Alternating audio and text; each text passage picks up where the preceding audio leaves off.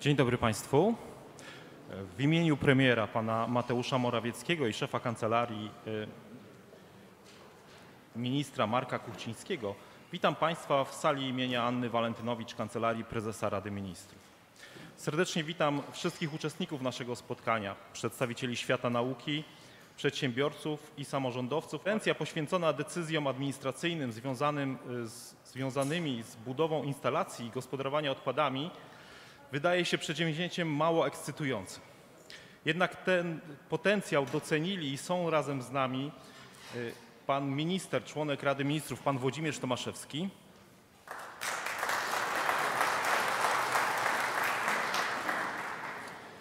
pan Marek Kajs, zastępca generalnego dyrektora ochrony środowiska, a także pan Dominik Bąk, zastępca prezesa Narodowego Funduszu Ochrony Środowiska i Gospodarki Wodnej.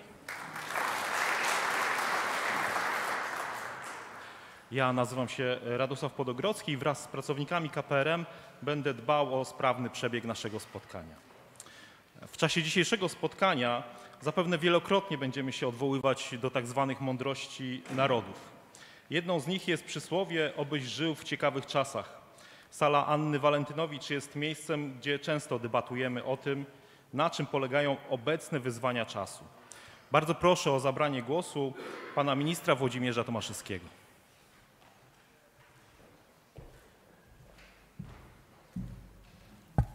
Dzień dobry Państwu.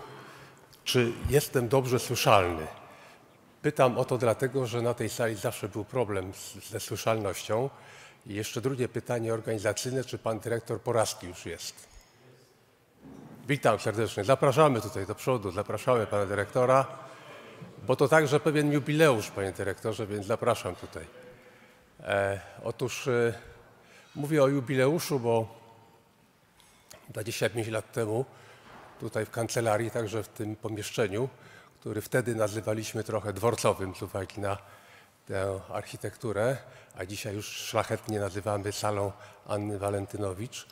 E, wtedy rodziły się pewne koncepcje dotyczące także sfery gospodarki odpadami, jeśli chodzi o kontekst decentralizacyjny.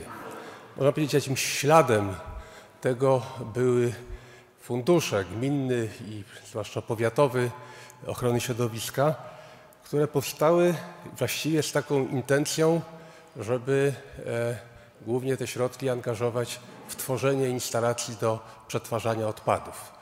E, mówię o tym śladzie, dlatego że e, intencje takie były, ale trzeba także jednocześnie stwierdzić, że od początku odrodzenia polskich samorządów była taka no, trochę, można powiedzieć, płonna nadzieja, że sprawę gospodarki odpadami załatwi niewidzialna ręka rynku. No, to się nie udało, a mało tego jeszcze Unia Europejska, do której aspirowaliśmy, do której przystąpiliśmy, e, choć jest prorynkowa, sama robiła wszystko, żeby kontrolę nad odpadami i nad tym, co się dzieje z nimi, no, zmaksymalizować, żeby było w tym zakresie jak najmniej szkód środowiskowych, chociaż nie wszyscy tego zdania byli. Część uważała, zwłaszcza u nas w Polsce, e, działaczy gospodarczych, że to jednak e, reguły rynku załatwią wszystko. Tak się nie stało. Ale myślę, że trochę ten czas e, nie został do końca wykorzystany, ponieważ wtedy, kiedy mieliśmy dużo środków unijnych na realizację instalacji do przetwarzania odpadów, przez, można powiedzieć, zwyciężała jednak ta opcja rynkowa i, i te instalacje nie powstawały w takiej ilości, jakbyśmy sobie życzyli. A dzisiaj mamy nowe okoliczności, które związane są z tym, że jest wojna energetyczna, nawet i militarna, ale w ramach tego pojęcia wojny mieści się również szantaż energetyczny i w związku z czym wiele państw i korporacji również zmienia swoją optykę w zakresie gospodarki odpadami. To jest bardzo ważny czynnik, o którym mówię, dlatego że e, wydaje się, że i te państwa, które nastawiały się kiedyś na określone paliwa, no, na przykład paliwa kopalne, gaz ziemny, one nie były specjalnie zainteresowane rozwojem technologii tych, które związane są z rzeczywistą gospodarką obiegu zamkniętego, tylko raczej na tworzeniu własnego monopolu, a czasami nawet i swoistego dyktatu. E, Ci, którzy chcieli operować gazem ziemnym, e, przekonywali nas, że to jest bardziej czyste od węgla w związku z czym to jest możliwe e, i o innych paliwach wtedy się nie mówiło. Dzisiaj jesteśmy u progu tej rewolucji, kiedy w samorządach, ale także i w tych wielkich korporacjach i także w państwach myśli się już coraz bardziej procesowo w ramach domykania tego, tej gospodarki obiegu zamkniętego. No i co najważniejsze w kontekście naszej konferencji, myśli się o śmieciach jako paliwie, a nie jako czy coś, co jest obciążające. Owszem, jest trudność dotycząca segregacji odpadów, jakiś wysiłek trzeba to włożyć, ale można powiedzieć, ten wysiłek też powinien być racjonalny do pewnego stopnia, a później już możemy użyć e, to, co mamy w gminach, e, na terytorium naszego kraju do różnych instalacji po to, żeby otrzymać energię cieplną, elektryczną, ale także, żeby to zintegrować z innymi sposobami, bo dzisiaj w tym zintegrowanym myśleniu nie tylko powinniśmy postrzegać kwestię taniego paliwa, tanich instalacji, ale także i sposobu magazynowania energii. To wszystko ze sobą się dzisiaj zaraz bardziej będzie łączyć. Muszę Państwu powiedzieć, że to, o czym będziemy tutaj mówić, jest pewną powtórką z historii. Nie to, mówię o tej historii sprzed 25 lat, kiedy fundusze były stworzone, ale właściwie nie do końca spełniły swojej roli. Dzisiaj na szczęście mamy świetnego partnera w tej konferencji, czyli Narodowy Fundusz Ochrony Środowiska i on dedykuje e, olbrzymie środki na to, żeby te instalacje powstawały. A więc można powiedzieć, jest pewne zastępstwo i to w dużej skali. Ale myślę, że dzisiaj największym wyzwaniem jest wiedza o technologiach, które wcale nie są nowe. Możemy je przypomnieć e, po to, żeby stwierdzić, że warto do nich zaglądać, po to, żeby chociażby odpowiedzieć na pytanie, co się najbardziej opłaca i co jest najmniej agresywne w stosunku do środowiska. Te wszystkie elementy muszą się zbiec razem i ta argumentacja i kalkulacje w inwestowaniu muszą właśnie obejmować wszystkie te czynniki, o których tutaj wspomniałem. Mamy sytuację wojenną, ale mamy sytuację także w związku z tym pewnej rewolucji, jak powiedziałem, technologicznej. I okazuje się, że będziemy mieli dobrych partnerów międzynarodowych w tym zakresie, bo o ile do niedawna nie korzystaliśmy e, jeszcze z tych ulg i z faktu, że przetwarzanie odpadów e, w energię jest, e, można powiedzieć, wolne od obciążeń opłat emisyjnych, to raczej perspektywa nie była zbyt dobra, ponieważ planowano jednak obciążyć tę formę produkcji energii właśnie tą opłatą. Ale zmienia się optyka, dlatego że okazuje się, że dyskusja na temat zwłaszcza paliw i silników spalinowych może otwierać nam tutaj oczy na to, iż tak jak przekonywano nas, że do, mm, do tej pory gaz ziemny będzie najlepszym E, e, rozwiązaniem, to teraz technologie przerabiania odpadów, także organicznych, także i węgla, nawet sięgające do tej historii przedwojennej. Myślę tutaj o klasycznych gazowniach, które były w miastach, które produkowały gaz nieziemny, tylko gaz z, z, węgla, a dzisiaj można mówić również ze zgazowania odpadów, jeżeli będzie taka wola. I te technologie okazuje się można pokazać, ponieważ te firmy i te światowe trendy zmieniają się z uwagi na brak dostępu do tych paliw, na które nastawione były czy te państwa, czy korporacje. My będziemy mówić o skali lokalnej. I w tej skali lokalnej wszystkie te uwarunkowania, te czynniki ekonomiczne, środowiskowe muszą być brane pod uwagę, ale okazuje się, że w skali wielkiej, przemysłowej można mieć wielkie korzyści i przetwarzać odpady organiczne bezemisyjnie. W wymiarze lokalnym z pewnością będzie to można robić e, przynajmniej bez takiej e, potężnej agresji w środowisko, chociażby e, tlenkami azotu. I to jest czynnik, który jest bardzo istotny. Wspomnę również o tym elemencie, który dotyczy magazynowania. To też w wymiarze lokalnym będzie mniej praktykowane, ale dzisiaj ta praktyka zewnętrzna coraz bardziej uświadamia nam, że formą magazynowania, jedyną dzisiaj najbardziej racjonalną, nie dostrzegam żadnej innej, nie ma takich akumulatorów, które by tak energię kumulowały e, w jednym miejscu i byłoby to opłacalne, ale wykorzystanie e,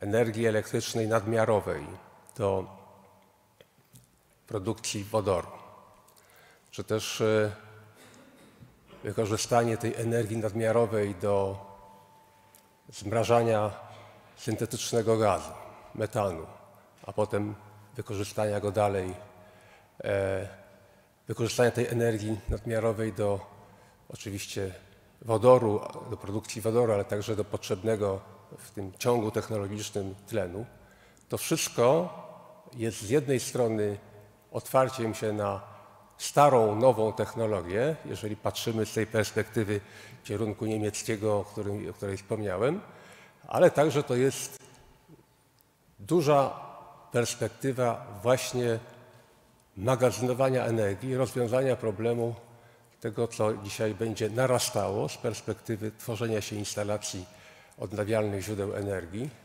czyli magazynowania nadmiarowej energii, która się będzie w coraz większej skali pojawiać.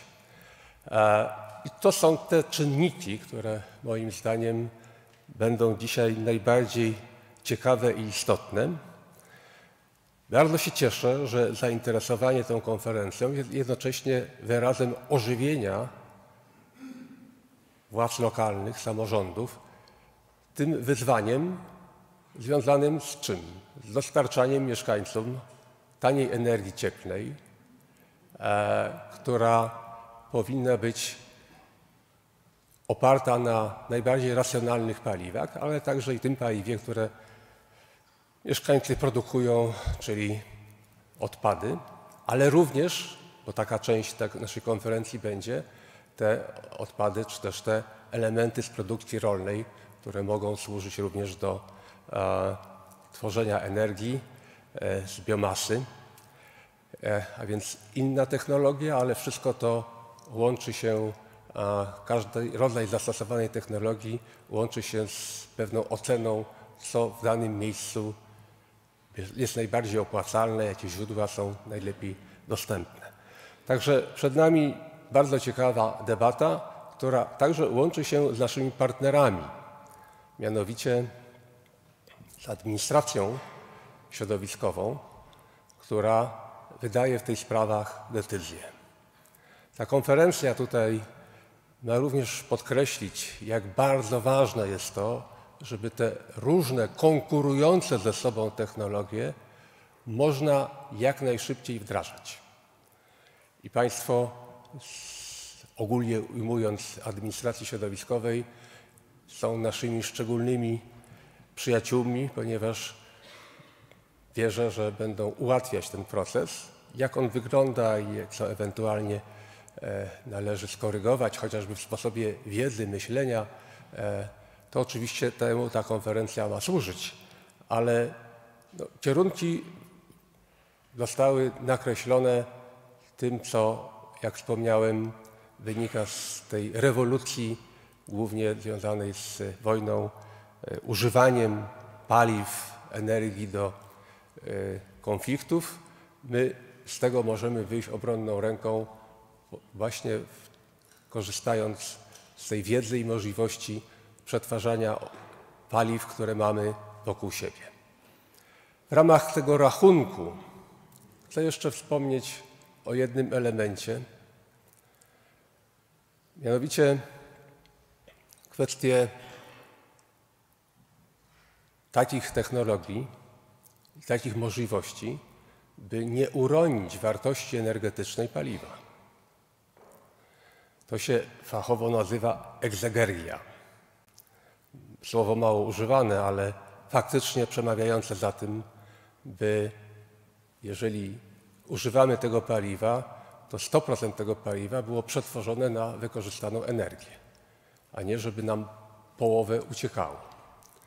Dzisiaj odkrywamy te technologie, które dają takie szanse, żeby wszystko to, co włożymy umownie do kotła, chociaż ten kocioł jeszcze różnie będzie kształtował, żeby wykorzystać tę energię w pełnym zakresie.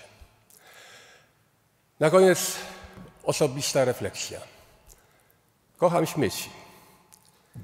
To może zabrzmi dziwnie, ale im bardziej wchodzimy w kulturę technologiczną, tym bardziej ta miłość się może rozwijać. Ponieważ okazuje się, że te śmieci nie są obciążeniem, ale mogą być, można powiedzieć, rozwiązaniem naszego problemu lokalnego. Bardzo bym chciał, żeby lokalne ciepłownie nie były wykupywane przez jedne koncerny i nie tworzone monopole, które potem będą wpływały na ceny lokalne, ale żeby lokalni liderzy właśnie korzystając z tej wiedzy i technologii tworzyli własne instalacje, żeby się tworzyły związki kooperatywne między samorządami żeby te instalacje dzisiaj mogły jak najszybciej powstać. Dlaczego moja osobista refleksja jest związana z taką konkluzją? Otóż jestem z Łodzi. W Łodzi od samego początku nie było instalacji do przetwarzania odpadów, a po zmianie ustrojowej instalacje były planowane poza granicami miasta, w związku z czym tam e, sąsiednie gminy nie pozwalały na to, żeby realizować takie instalacje. E, więc całe lata jeździłem po Sejmie, po korporacjach samorządowych, e, po to, żeby znaleźć instrumenty do tego, żeby się to opłacało. A jak już te instrumenty powstały, e, kiedy samorządy przejęły władztwo nad odpadami, kiedy już nawet doszedłem do tego, że był plan wybudowania spalarni odpadów w Łodzi, no to się zmieniła władza, zrezygnowano z tych pieniędzy unijnych, 363 miliony, spalarnia nie powstała, a ceny odpadów rosły pięciokrotnie za odbiór odpadów. Więc moim marzeniem jest to, żeby dzisiaj wszystkie te możliwości technologiczne wykorzystać i żeby nie było takich paradoksów, to jest kolejny wniosek praktyczny. W Warszawie chyba w 19 roku była mm, forma przetargu na budowę spalarni. I wiem, że była również oferta technologiczna, która była o dwie trzecie tańsza od tej, która ostatecznie została przyjęta.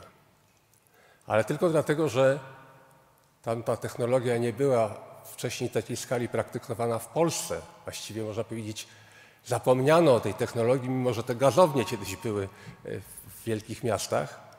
E, w związku z czym no, zapłacono za tę instalację rusztową 2 e, miliardy. Można było zapłacić 600 milionów. I tutaj podaję ten znak zapytania. Warto to sprawdzić, czy to rzeczywiście jest bezpieczne, opłacalne, żeby mieć tańszą instalację, żeby mieć jednocześnie o wiele tańszą energię i nie obciążać mieszkańców takimi opłatami.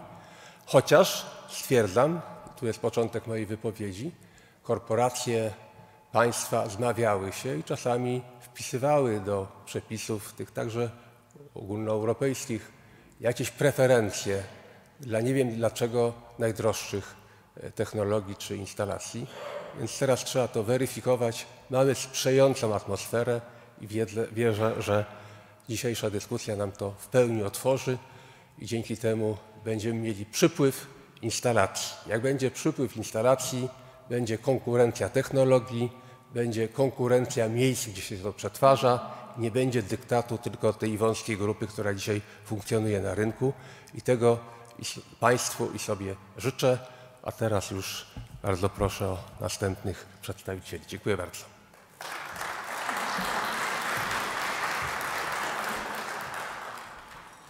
Dziękuję bardzo za wystąpienie. E, Pan minister y, mówił o bardzo istotnym elemencie e, całego procesu inwestycyjnego, e, o decyzjach, decyzjach administracyjnych i dlatego bardzo się cieszę, że jest z nami pan Marek Kajs, którego proszę o zabranie głosu.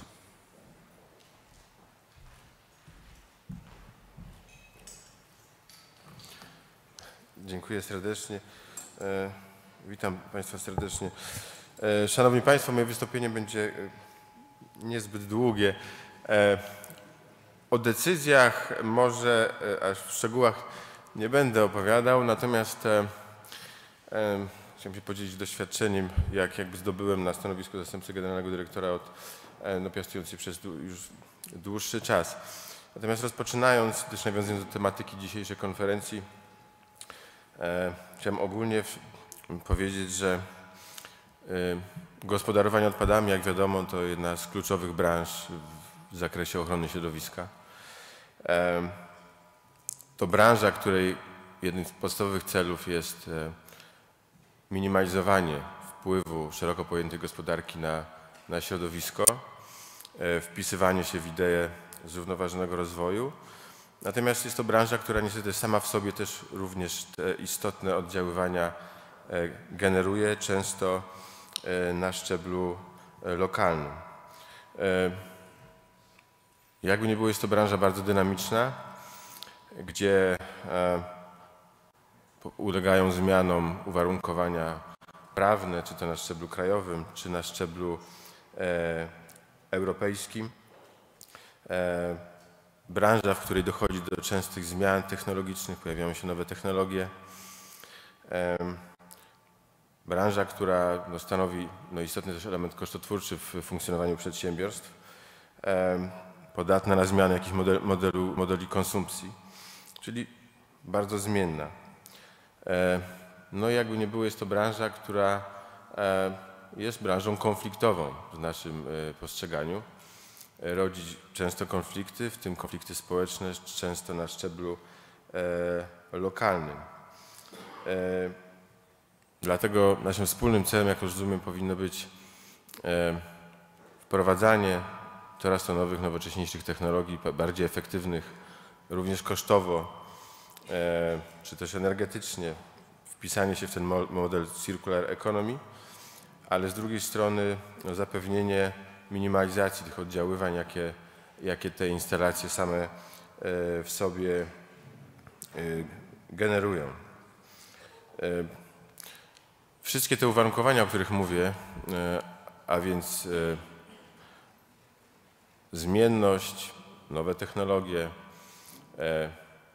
konflikty społeczne inne, e, powodują, że w, naszej ocenie postępowania administracyjne e, związane z gospodarowaniem odpadami, one należą do naj, najtrudniejszych.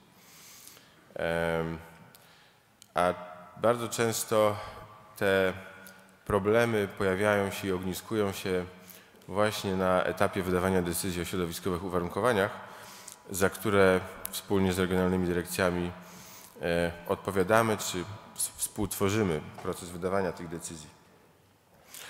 E, Więc e, nie można ukryć, że postępowania dotyczące właśnie branży odpadów i decyzji środowiskowych są postępowaniami, które trwają długo. No, trzeba stwierdzić to za długo. W kolejnych wystąpieniach pewnie będziemy słyszeli o tym, że wdrażanie nowych rozwiązań e, i zapewnienie właśnie efektywności tej, tej branży jest to jakby racja stanu. E, Jesteśmy na nią skazani e, i powinniśmy e, podejmować wszelkie możliwe e, działania, żeby te istotne te, te ba- bariery, które dostrzegamy, usuwać. A barier jest, jest bardzo dużo. W praktyce wydawania decyzji środowiskowych właśnie dla, dla instalacji z zakresu gospodarki odpadami my bardzo często notujemy pewną też niepewność inwestycyjną związaną ze strumieniami odpadów, modelowaniem oddziaływań, niepewność związaną właśnie z przyszłością branży, która ulega ciągłej zmienności.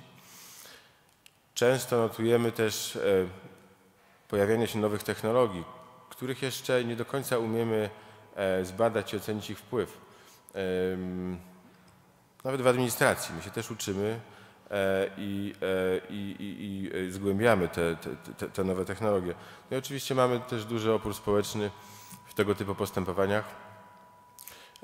Liczne, coraz to bardziej szczegółowe zarzuty, pytania.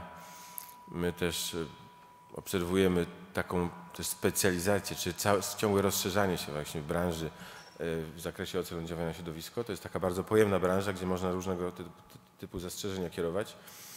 I o, o ile jeszcze ki- kilka lat temu standardowe jakieś odwołania w tym procesie były no, krótkie, często po prostu ograniczone do wyrażenia sprzeciwu, to teraz notujemy specjalizację, też liczne kancelarie prawne, pełnomocników, którzy przedstawiają bardzo szczegółowe pytania i zarzuty e, względem em, oceny oddziaływania.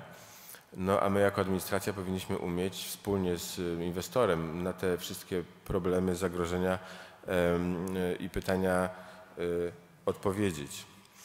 E, Więc w postępowaniach tych e, mamy do czynienia właśnie, jak mówię, z licznymi konfliktami, licznymi e, zapytaniami, koreferatami, negacji, negacją pewnych zapisów raportów, później z procesem odwoławczym, nierzadko sądowym. Jak już powiedziałem, naszym wspólnym celem powinno być zastanowienie się, jak te bariery usuwać i jak ten proces usprawniać. Mam nadzieję, ja bardzo dziękuję za zaproszenie na tę dzisiejszą konferencję, którą traktujemy bardzo poważnie. E, W związku z powyższym no, e, udział w tej konferencji dzisiejszej e, biorą wszyscy przedstawiciele, dyrektorzy wszystkich regionalnych dyrekcji ochrony środowiska w Polsce wraz z pracownikami, którzy zajmują się branżą odpadową, ponieważ em, jesteśmy przekonani, że tego typu konferencje e, w których, na których można, do, dochodzi do styku właśnie pewnych racji, zarówno inwestorów, jak i administracji. To to jest doskonałe właśnie, doskonała okazja do tego, żeby te trudności pojawiające się e, identyfikować i zastanawiać się, dyskutować, jak, jak im przeciwdziałać. Często taki dialog i wymiana em, inform, spostrzeżeń, problemów, em, decyzje o konieczności na przykład opracowania pewnych standardów, schematów czy dobrych praktyk, e, one są bardzo pomocne i, takie postępowania przyspieszają, często w większym stopniu niż, niż jakieś potencjalne zmiany prawne. My myśląc o usprawnieniu procesu inwestycyjnego, to często myślimy, o to trzeba, naj- najlepszym rozwiązaniem jest zmiana prawa. Z tym, że w zakresie ocen oddziaływania na środowisko wiele się tutaj, jeśli chodzi o sferę prawną, zmienić nie da. My jesteśmy związani jakby regułami, które wyznaczają dyrektywy europejskie, więc systemu e, gruntownie nie zreformujemy, zastrzeżeń, pytań nie wyeliminujemy. Em, Natomiast, jak mówię, w mojej ocenie właśnie wypracowanie pewnych dobrych praktyk, pewnego właśnie jakichś platform dialogu między, między, między inwestorami a, a administracją jest, jest, jest kluczowe i po, pozwala na skrócenie czasu, trwającego czasu y, y, trwania postępowań. A jak mówiłem, jest to nasz wspólny cel i mam nadzieję, że dzi- dzięki e, dzisiejszej konferencji, ale też kontynuacji tego dialogu w przyszłości uda nam się e, ten cel osiągnąć, czyli no, skrócić postępowania e, administracyjne, bo mm, no, jesteśmy chyba wszyscy przekonani o tym, że no, nie może tak być, że postępowanie administracyjne trwa e, jakieś jedno trwa dwa lata lub trzy. To, a to jest proces inwestycyjny, jest oczywiście złożony z wielu różny, różnorodnych decyzji E, Także często może mieć sytuację, kiedy ten cały proces decyzyjny właściwie paraliżuje możliwość e, e, realizacji inwestycji w jakichś zakładanych harmonogramach i ramach finansowych, ale też czasowych. E, Kończąc, bardzo dziękujemy za zaproszenie e, i, i, i liczymy, czy ja liczę osobiście na, na bardzo owocną dyskusję e, i, i na to, że zrobimy krok, krok do przodu. Dziękuję bardzo.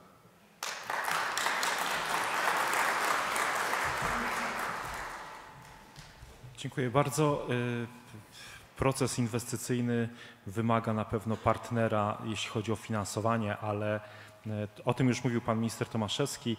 Mamy y, doskonałego partnera w postaci Narodowego Funduszu Ochrony Środowiska i Gospodarki Wodnej. I proszę pana prezesa Dominika Bąka o zabranie głosu. Dzień dobry Państwu, Szanowny Panie Ministrze, Szanowni Panowie Ministrowie, Szanowni Państwo Dyrektorzy, Prezydenci Miast, Burmistrzowie, Wójtowie, wszyscy, którzy się zebraliśmy dzisiaj w Kancelarii Prezesa Rady Ministrów w sercu władzy wykonawczej Rzeczpospolitej Polskiej. To robi wrażenie, za to serdecznie dziękujemy Panie Ministrze, Panu Ministrowi i, pan, i, i, i wszystkim współpracownikom, bo rzeczywiście jest to dla nas duże przeżycie. No i wyzwanie. Wyzwanie uwidocznione w tym tytule. E, Jesteśmy wszyscy. Regionalna Dyrekcja Ochrony Środowiska z panem ministrem Kajsem na czele, przedstawiciele urzędów marszałkowskich, przedstawiciele wojewodów, urzędów wojewódzkich, są prezydenci miast, burmistrzowie, wójtowie, zdalnie są komendy wojewódzkie Państwowych Straży Pożarnej, są inwestorzy, są, jest e, e, inspekcja sanitarna, są przedstawiciele świata nauki, którzy będą do nas mówić, są wszyscy, którzy w jakiejś mierze uczestniczą w e, wydawaniu decyzji administracyjnych służących budowie, rozbudowie, modernizacji niezwykle potrzebnych, tak jak powiedział pan minister Marek Kajs, instalacji, które są w pewnym sensie racją stanu w gospodarce odpadami. Bez instalacji sobie nie poradzimy, to wiemy na pewno. One muszą powstać.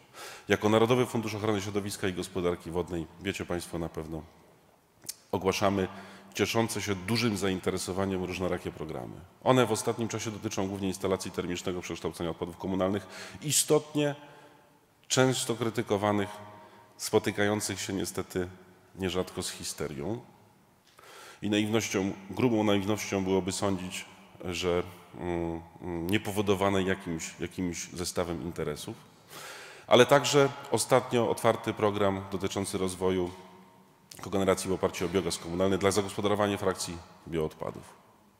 Proszę Państwa, to jest kilkanaście miliardów złotych dzisiaj we wnioskach. I spotykamy się wszyscy tutaj po to, bo to, że to jest, że Państwa działalność, nasza wspólna działalność jest gwarancją porządku, to jest aksjomat, my to wiemy. Ten tytuł ma nas tylko pobudzić, uwrażliwić na potrzebę realizacji tych inwestycji. Do tego Państwa zachęcam. Tego ma, temu ma służyć nasza dzisiejsza e, konferencja. My sobie zdajemy sprawę, że często ten rozhisteryzowany przekaz natrafia na jednego urzędnika, nawet w niewielkim urzędzie gminy. My musimy działać w sposób profesjonalny, ale bardzo często jest, jesteśmy pod presją. My to doskonale rozumiemy. I ta konferencja ma Państwa w pewnym sensie wzmocnić. Chcemy, żeby Was wzmocniła. Są tu przedstawiciele przy- branży gospodarowania odpadami, są korporacje samorządowe. Zwracamy się z apelem, jako ci, którzy mają wnioski i będą dofinansowywać potrzebne instalacje, bez nich sobie nie poradzimy. O co nam chodzi? Nam chodzi o to, żeby mieszkaniec, obywatel, my także, miał możliwie niedrogo, miał czysto w altanie i wiedział, że to, co wystawia do altany, czy w zabudowie wielorodzinnej, czy indywidualnej, jest zagospodarowane zgodnie z prawem, a do tego są potrzebne instalacje.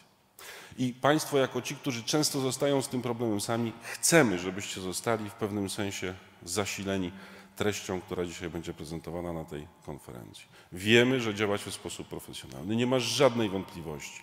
Chodzi o to, żebyśmy zintegrowali nasze działania i, tak jak powiedział pan dyrektor Podogrodzki na samym początku, o odpadach mówi się mało, ale jak się mówi, to się mówi na ogół o zdarzeniach spektakularnych albo takich, które gdzieś stworzyły jakieś zagrożenie. Daj Boże, żeby pozostały w niszy. Jeżeli będą wyniszy, to znaczy, że wszystko działa tak, jak powinno. Na ogół nie mówi się o tym, że do przeciętnie do instalacji mechaniczno-biologicznego przekształcenia odpadów przyjeżdża 150 ciężarówek wyładowanych wszystkim, co wyrzucamy do kosza dziennie. O tym nie mówimy, to, to, jest, to jest nic, instalacja sobie z tym radzi.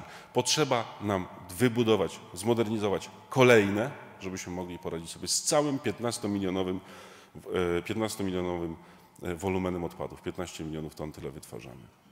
Do tego Państwa zachęcam, do, tej, do pogłębienia wrażliwości na sprawy, przy zachowaniu całego spektrum Państwa profesjonalnego działania, do uwrażliwienia się na sprawy tych potrzeb ludzi, nas wszystkich, obywateli, którzy potrzebują żyć w czystym środowisku za możliwie e, e, nieduże pieniądze, że tak powiem, od strony ponoszenia opłat. Raz jeszcze dziękuję Panie Ministrze za to, że możemy w Kancelarii Prezesa Rady Ministrów dyskutować na temat związany z, z racjonalnym gospodarowaniem odpadami. Mam nadzieję, że to spotkanie będzie początkiem naszej zacieśnionej współpracy w przyszłości. Nie będę już zabierał głosu, e, odbierał czasu kolejnym prelegentom.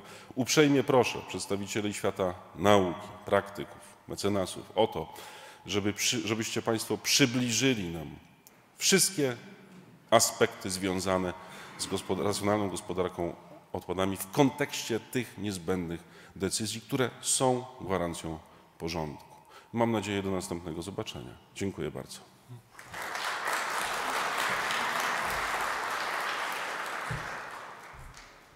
Dziękuję bardzo. E, proszę Państwa, po wysłuchaniu e, wystąpień wstępnych E, dotarło do mnie, że chyba mamy błąd w agencie.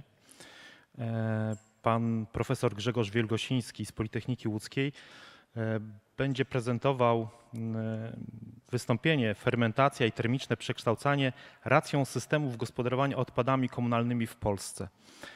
Ten błąd myślę, że polega przede wszystkim na tym, że racja stanu jest tutaj w cudzysłowie. Mi się wydaje, że po tym, co usłyszeliśmy, po tym, co Państwo zapewne mm, doświadczacie na co dzień, to nie jest racja stanu w cudzysłowie. To rzeczywiście jest racja stanu, to jest rzeczywiście e, e, czas, żeby e, o tym rozmawiać na poziomie strategicznym i także z czasem na poziomie operacyjnym. To rzeczywiście jest wyzwanie, które musimy sprostać. Poproszę pana profesora Grzegorza Wielgosińskiego.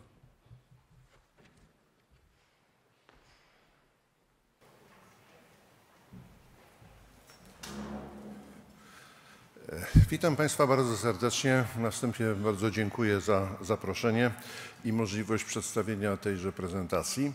Rzeczywiście racja stanu w cudzysłowie. No cóż, taką propozycję tematu dostałem, nie śmiałem zmieniać.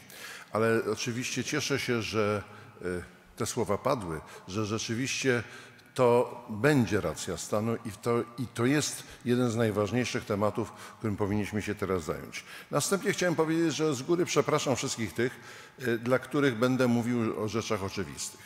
Ale myślę, że przypomnienie pewnych oczywistości jest tutaj nam potrzebne, ażebyśmy y, mogli, powiedziałbym, y, uczciwie podyskutować o tych wszystkich zagadnieniach, czyli spojrzeć, jak to wygląda naprawdę, a nie jak nam czasami suflują to y, osoby, które z różnych powodów są zainteresowane sprawą niekoniecznie pozytywnie.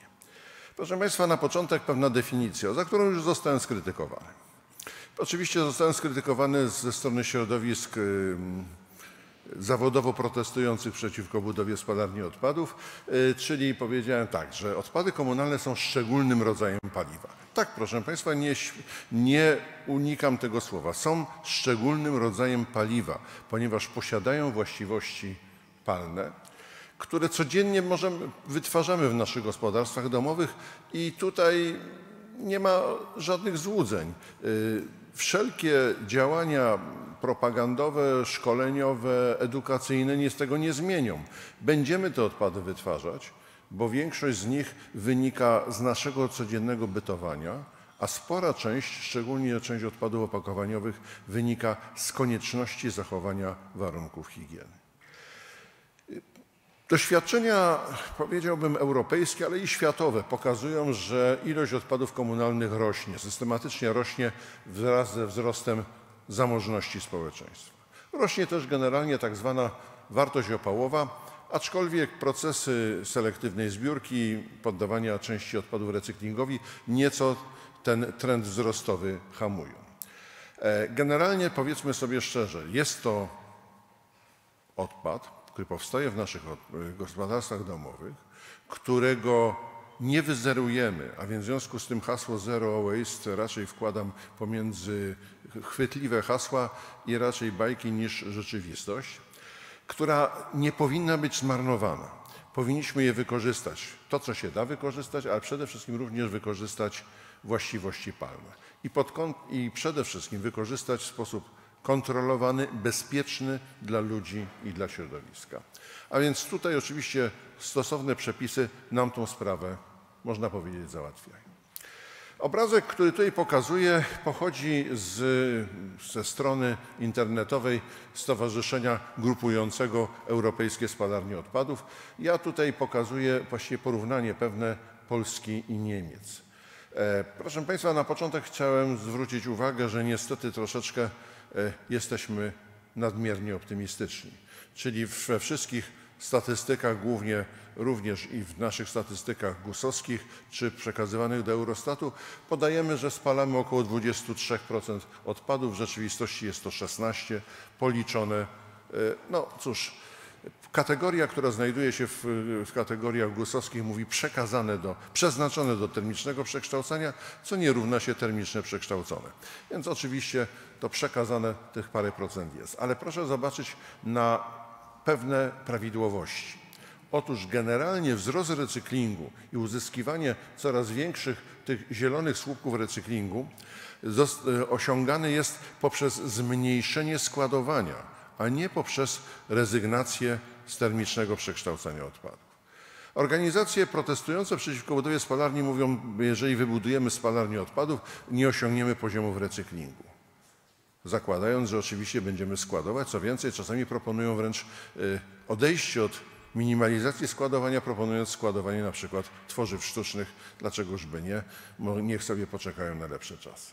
Proszę Państwa, y, porównuję tutaj nas do Niemiec, dlatego że e, założenia tak zwanej gospodarki obiegu zamkniętego gospodarki cyrkularnej mówią o osiągnięciu 65% recyklingu przy minimalizacji składowania do poniżej 10%. Jeżeli spojrzymy na ten kwadracik na niebiesko zaznaczony, czyli na Niemcy, oni mają 68% recyklingu przy 31% udziale spalania. A więc jest to ewidentny dowód, ale poniżej 1% składują. Jest to ewidentny dowód na to, że jedno nie przeszkadza drugie.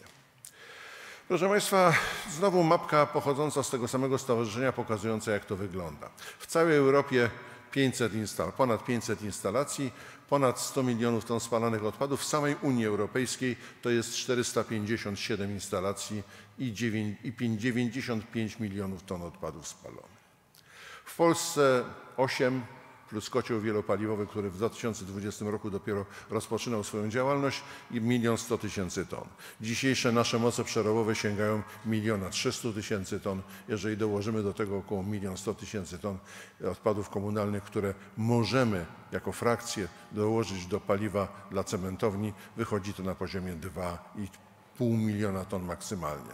I pozostaje nam co najmniej 2 miliony ton, które trzeba w jakiś sposób zagospodarować tejże frakcji palnej. Otóż od roku 2013, właśnie 2014, jako efekt tak zwanej rewolucji śmieciowej ilość odpadów komunalnych nam rośnie. Rośnie jak we wszystkich, większości krajów y, Unii Europejskiej, jak w większości krajów świata. Jest to ściśle powiązane z dochodem narodowym na mieszkańca. W Polsce jest to przyrost około pół miliona ton rocznie i na dzień dzisiejszy, to znaczy na rok 2021, prawie 13,8 miliona ton. Przy czym perspektywy są nieco większe. Tutaj mamy cz- cztery źródła szacowania aż do roku 2035. Jak widać, te 15 milionów ton, o których pan prezes mówił, no myślę, że osiągniemy, a może i nawet przekro- przekroczymy w najbliższych latach. Szacunki pokazują, że może być tego jeszcze więcej. Cieszymy się, że rośnie nam udział recyklingu. Proszę Państwa, 60, y, na razie 40% mamy oficjalnie wykazywanego recyklingu. Myślę, że znowu jest to pewnego rodzaju nadinterpretacja, bo to przekazane do recyklingu. Rzeczywisty recykling jest niestety troszeczkę na niższym poziomie, ale cieszylibyśmy się, gdyby było to 40. No, do 65% w założeniach GOZu jest, jeszcze nam trochę brakuje. Jeżeli chodzi o selektywną zbiórkę frakcji bio, widać wyraźnie, że to też rośnie, bo po wprowadzeniu regulacji w 2018-2019 roku, e, kiedy wszyscy zbieramy nasze odpady w systemie no, czteropojemnikowym czy pięciopojemnikowym, jak niektórzy mówią, to jednak widać, że to zaczyna działać. Oczywiście nic nie osiągniemy z roku na rok, czyli w ciągu jednego roku nie osiągniemy y, założonych celów. Na pewno. To musi trwać. To musi trwać, musi być w tym zakresie i kampania edukacyjna, i kampania informacyjna, jak to robić, a przede wszystkim również i przedsiębiorstwa, które odbierają odpady, muszą z tym sobie poradzić, jak na przykład odbierać odpady biodegradowalne, ażeby y, mieszkańcy nie narzekali na przykład na odory. Proszę Państwa, system gospodarowania odpadami komunalnymi w Polsce pokazany jest na tym schemacie. I trzeba uczciwie powiedzieć, że naszym obowiązkiem, i to racją stanu, w tym wyrazie już wyraźnie powiem bez żadnych cudzysłowów, jest to, ażebyśmy rozwijali selektywną zbiórkę. Bo to, co zbierzemy selektywnie, tak naprawdę nadaje się do recyklingu. Może nie w 100%, ale z tego jesteśmy w stanie coś wykrzesać. Wszystko to, co zostanie jako odpady resztkowe i trafia do instalacji mechaniczno-biologicznego przetwarzania, generalnie rzecz biorąc, tam już recyklingu i poziomów recyklingu nie osiągniemy. Na pewno. E, w sumie tak wygląda system, nie będę się nad nim specjalnie dłużej rozwodził. Myślę, że ponieważ prezentacja e, będzie dostępna dla Państwa, także nie będę tutaj e, dłużej tego omawiał. Proszę Państwa, natomiast to jest bardzo ważne, Informacje, które na tym slajdzie są zawarte, pochodzą od eksploatatorów, czyli od tych, którzy prowadzą tego typu instalacje. O ile nasz zielony worek, czyli szkło, do recyklingu nadaje się w 85-90%, tam dodatków e, innych nie nadających się jest niewiele, papier tektura, czyli niebieski worek, 75-85%, to dramat jest z żółtym workiem. Plastik i tworzywa sztuczne. 50-60% to jest poziom recyklingu, który możemy osiągnąć z żółtego worka. Tutaj myślę, że pierwsza sprawa to jest z jednej strony edukacja, z drugiej strony to jest również to, że miejmy świadomość, że nie wszystkie tworzywa sztuczne, które zbieramy selektywnie, nadają się do recyklingu.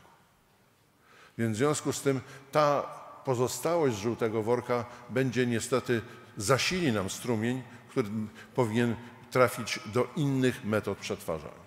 Według również danych z instalacji mechaniczno-biologicznego przetwarzania i innych sortowni, generalnie uzysk tego, co możemy wykorzystać do recyklingu w takiej sortowni to jest od 3 do 5%. Także e, jeżeli słyszę pomysł znowu przeciwników spalarni pod tytułem zbudujmy sortownię i poddajmy wszystkie odpady zmieszane sortowaniu, to chcę pokazać ten rysunek. Nie da się. To nie uzyskamy tych poziomów. To nie tędy droga. E, dlaczego mówiłem, że odpady są szczególnym rodzajem paliwa? Dlatego, że odpady, zmieszane odpady komunalne w Polsce mają wartość opałową pomiędzy 6,5 a 8,5 megadżula na kilogram, co w zupełności wystarcza, żeby samodzielnie, bez potrzeby dodawania paliwa pomocniczego spalały się w instalacjach. Jeżeli z tego wyodrębnimy frakcję kaloryczną, tak zwaną nadsitową w instalacjach MBP, bez czyszczenia, bez suszenia, bez e, dodatkowego oczyszczania, wychodzi wartość opałowa pomiędzy 10 a 12 tej frakcji nadsitowej.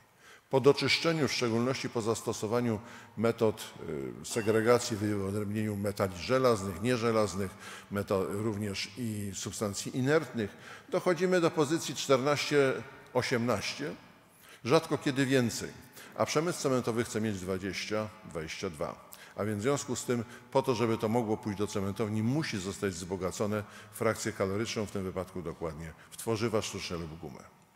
Węgiel kamienny 19,32, nieco wyżej. Węgiel brunatny, jak widać, to jest poziom spalania odpadów. A więc miejmy świadomość, że to nie jest gorsze paliwo niż węgiel brunatny. Biomasa w zależności od wilgotności też w porównaniu z tak zwanym pre-RDF-em czy RDF-em wygl- wygląda dosyć podobnie. Proszę Państwa, to jest y, bilans zrobiony od 2015 roku. Co roku zbieram dane, biorę dane z GUS-u, biorę dane również od prowadzących instalacje termicznego przekształcania odpadów, czyli również z instalacji ile spalono odpadów o kodzie 20, ile jest dziewiętnastek i tak dalej, i tak dalej. I ewidentnie proszę zobaczyć, że od roku 2015 do 2020 każdego roku około 2 milionów czy więcej ton frakcji palnej nie znajdowało zagospodarowania.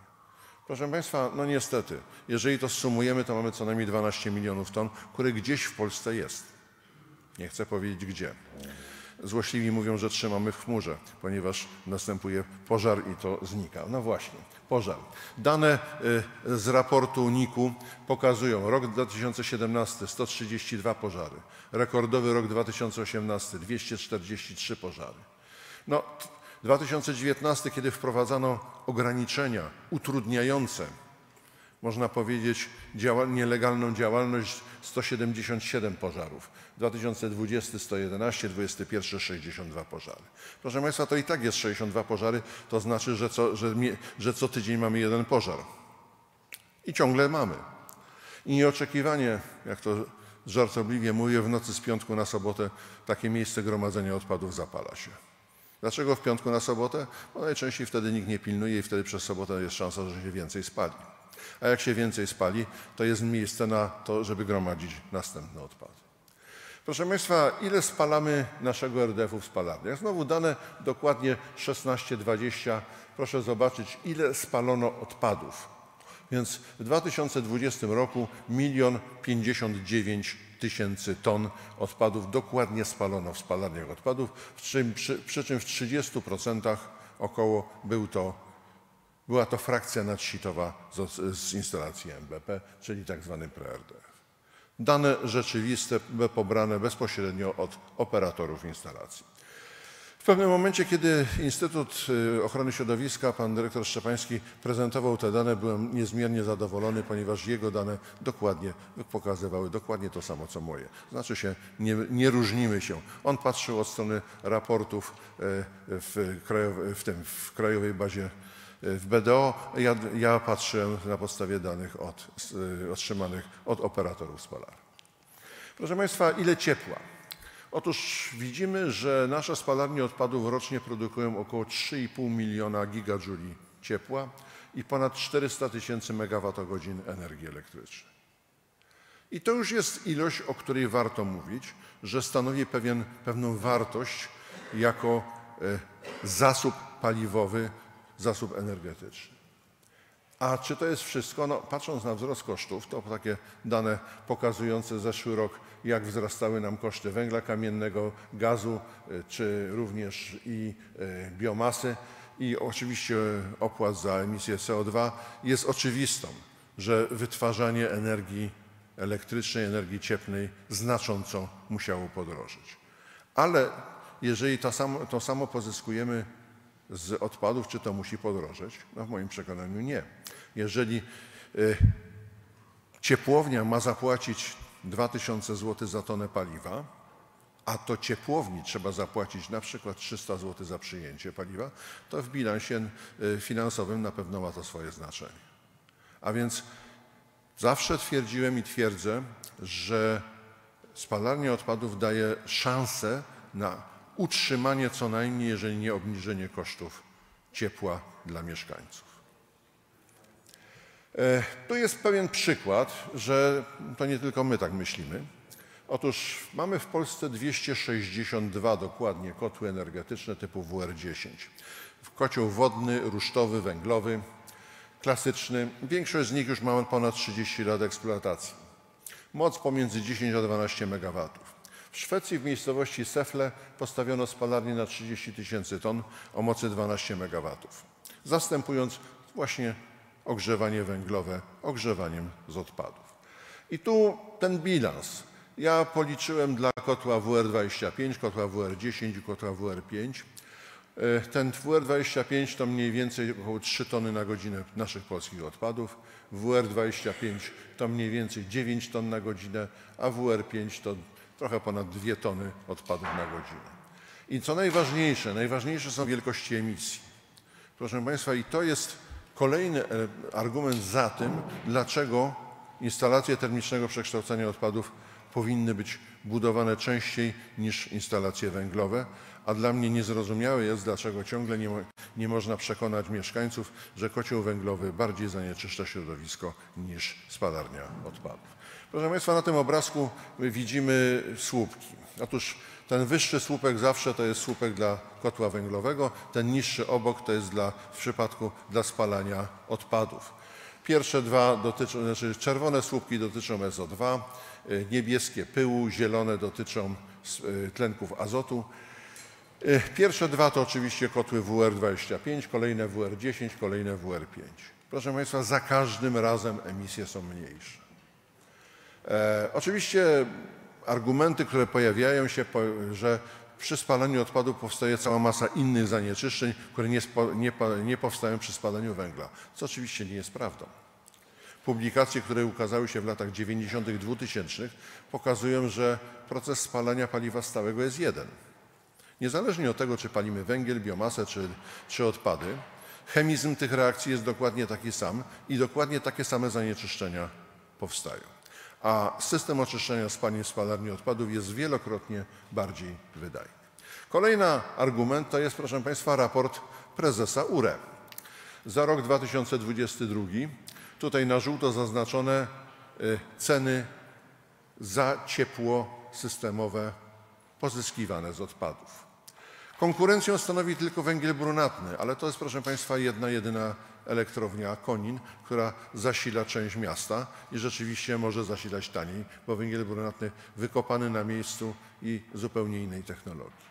Natomiast w porównaniu z wszystkimi innymi paliwami, biomasą, gazem, węglem kamiennym, Spalanie odpadów ma najniższą taryfę, a więc w związku z tym to potwierdza, że to jest dla mieszkańca znacznie tańsze źródło energii. E, Potencjał. Proszę Państwa, jeżeli byśmy te nasze 2 miliony ton rocznie od roku 2015, które nam zostawało zawsze, zagospodarowywali energetycznie, czyli mielibyśmy dopięty, domknięty system gospodarki odpadami, który, w którym całość odpadów palnych ulega spaleniu, moglibyśmy mieć rocznie około 12 milionów gigajouli energii i ponad milion e, megawattogodzin, milion 600 miga- megawattogodzin energii elektrycznej. Taki jest potencjał. To jest mniej więcej 10% polskiego rynku ciepłowniczego. Mamy ewidentną szansę zdekarbonizowania 10% rynku ciepłowniczego i starając instalacje termicznego przekształcania odpadów właśnie na poziomie powiatowym czy w, w, tam w miastach, gdzie jest, istnieją systemy ciepłownicze. W małych miejscowościach, takich jak Zamość, Krasnystaw, Suwałki, Koszalin, Siedlce.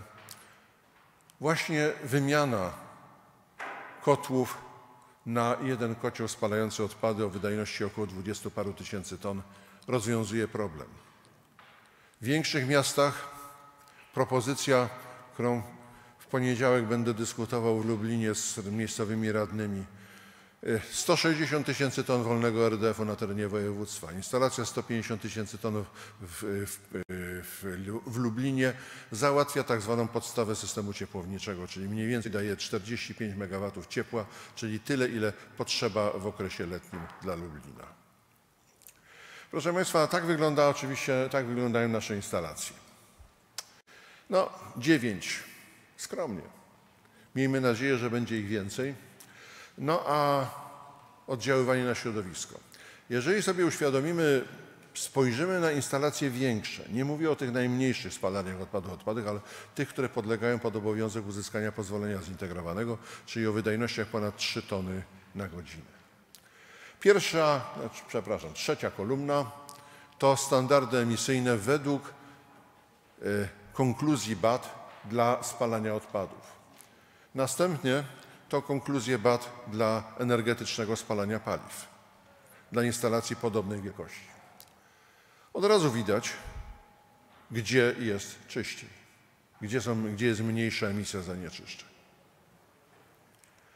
Proszę Państwa, kolejny argument, który bardzo często bywa dyskutowany, to sprawa dioksyn.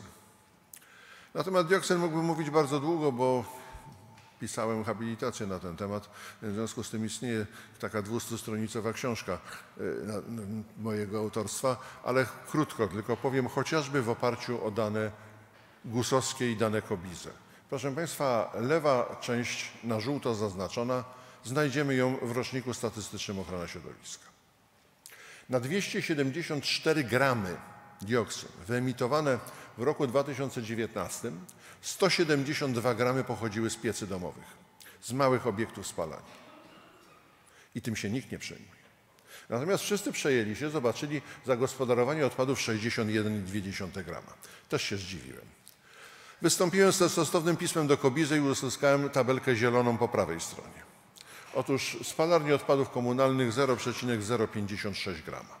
Spalarnie odpadów niebezpiecznych 0,5 grama i tak dalej, i tak dalej. Co dominuje? Pożary składowisk, czyli miejsca nielegalnego bądź półlegalnego gromadzenia naszej frakcji palnej, PRDF-u, które nieoczekiwanie w nocy z piątku na sobotę uległy zapłonowi.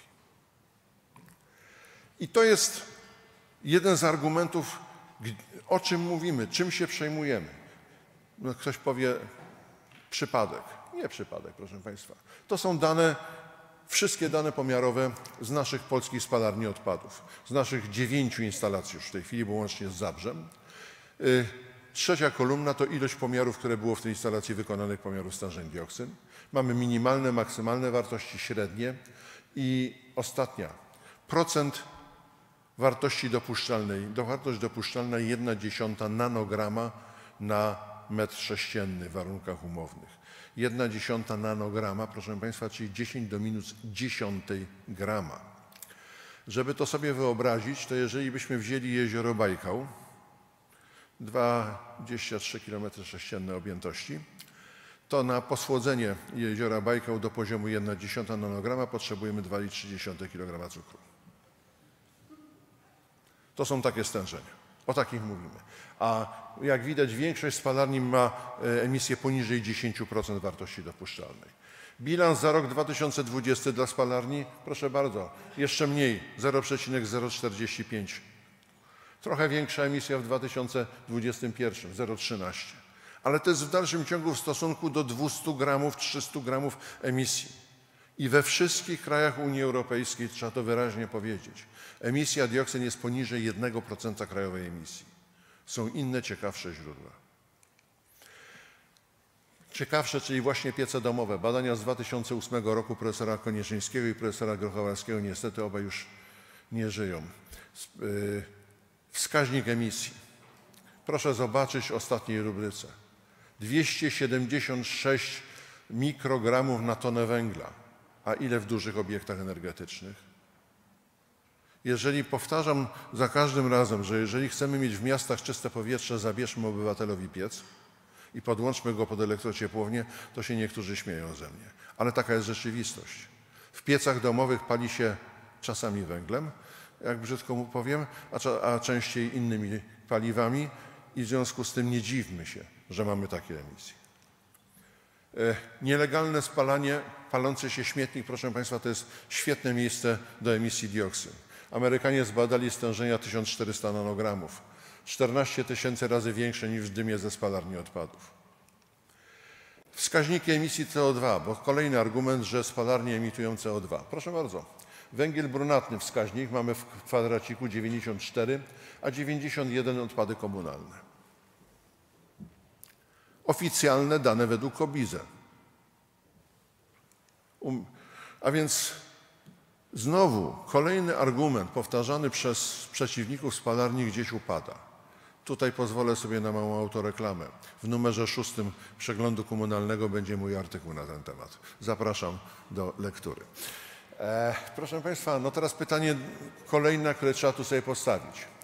jeżeli uda nam się zagospodarować całą frakcję nadcitową z instalacji mechaniczno-biologicznego przetwarzania, to pozostaje jeszcze zebrana selektywnie frakcja biologiczna i frakcja podsitowa, frakcja biologiczna zębepów. Co z tym fantem robić?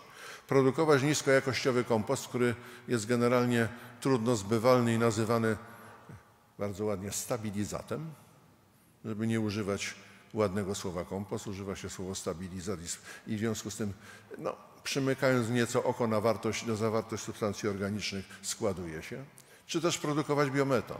I proszę Państwa, jestem zdecydowanym orędownikiem tego, żeby produkować z tego gaz, bo to jest znowu energetyczne wykorzystanie. Potencjał, proszę Państwa, w roku 2021 to jest potencjał mniej więcej 4, prawie pół miliona gigadżuli energii, które jest w tym metanie, który moglibyśmy pozyskać. Warto się nad tym pochylić. E, I widać wyraźnie, że w większości krajów unijnych z roku na rok to te zielone w stosunku do niebieskich ilość biogazowni rośnie. Bo wszyscy na to patrzą, że szkoda marnować potencjał frakcji biologicznej na produkcję trudno zbywalnego bądź niezbywalnego kompostu, a może lepiej produkujmy biometan, który da się wykorzystać energetycznie. Tym bardziej, że oczywiście e, nie jest tak produktywny jak ziarno, jak ziarno żyta, no ale może to jest mm, trochę byłaby profanacja, jakbyśmy chcieli żyto zamieniać na biometan, ale resztki żywności 125 metrów sześciennych z tony. Generalnie rzecz biorąc przyjmuje się w obliczeń 110 metrów sześciennych z tony odpadów. Da się wyprodukować biometanu. No i 10 instalacji w Polsce raptem do tej pory. Miejmy nadzieję, że będzie ich więcej. Proszę Państwa, no i kolejne pytanie, które się pojawia. Biogazownia czy spalarnia? Odpowiedź jest prosta. Jedno nie przeszkadza drugiemu. Bo to, co trafia, czyli odpady biodegradowalne z brązowego pojemnika, nigdy nie trafią do spalarni odpadów. Tak samo jak odpady opakowaniowe i odpady resztkowe nie trafią do, y, do y, fermentacji, bo z tego nie uzyskamy właściwie rozsądnej wydajności. Sukces tego programu budowy spalarni pozwala oczekiwać, że może uda się domknąć nasz system gospodarki odpadami tak, że nie będzie tej części, którą nie do końca wiadomo, co się stało, jaki gdzie ona się tak naprawdę znajduje. Generalnie widzimy ten niedostatek instalacji do przeróbki biologicznej i generalnie zdecydowanie w moim przekonaniu lepiej produkować biogaz niż kompost. A po ferment, po obróbce tlenowej da się także wykorzystać biologicznie, więc może raczej róbmy to w ten sposób. Dlaczego biogazownia jest potrzebna? Bo rozwiązuje problem, co zrobić z brązowym wo- workiem czy brązowym pojemnikiem. Jeżeli to zostawimy, to przepraszam bardzo, walory zapachowe są tutaj nie, mocno przeceniane, to znaczy nie lubimy tego zapachu bardzo, e, a nieuniknione. Szansa na spełnienie wymagań gozu, proszę Państwa, oczywiście. Bez przeróbki biologicznej, bez zagospodarowania frakcji bio, nie, nawet nie zbliżymy się do poziomów wyznaczonych w gozie. Wykorzystanie właściwości energetycznych, wykorzystanie paliwa gazowego i tak dalej, ograniczenie kosztów. To wszystko daje szansę.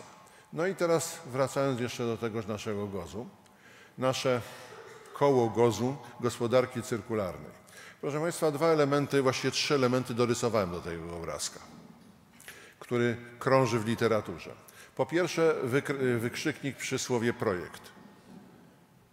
Od pięciu lat mówimy o ekoprojektowaniu, więcej, od 2015 roku mówimy o ekoprojektowaniu, kiedy pojawiły się pierwsze założenia gozu. E, No powiem szczerze, może źle patrzę, ale nie widzę tych efektów e, e, ekoprojektowania.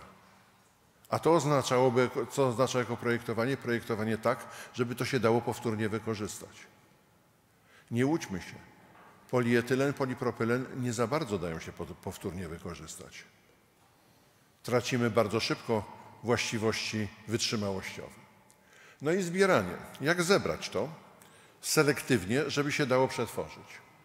A dorysowana przeze mnie tutaj spalarnia pokazuje, że trzeba skądś wziąć energię, żeby to koło napędzać, bo bez energii to nic nie będzie. I proszę Państwa, założenia GOZU, które tutaj pokazuję, 65% recyklingu odpadów komunalnych do roku 2035. Bardzo szczytny cel, bardzo ważny. 70% recyklingu odpadów opakowaniowych. Szczegółowe, e, ale to wszystko, proszę Państwa, powoduje co? Że 65% recyklingu, 10% składowania, to jak umiem liczyć, to zostaje mi 25%. I co? I te 25% co mam z tym zrobić? To właśnie powinno trafić do termicznego przekształcenia.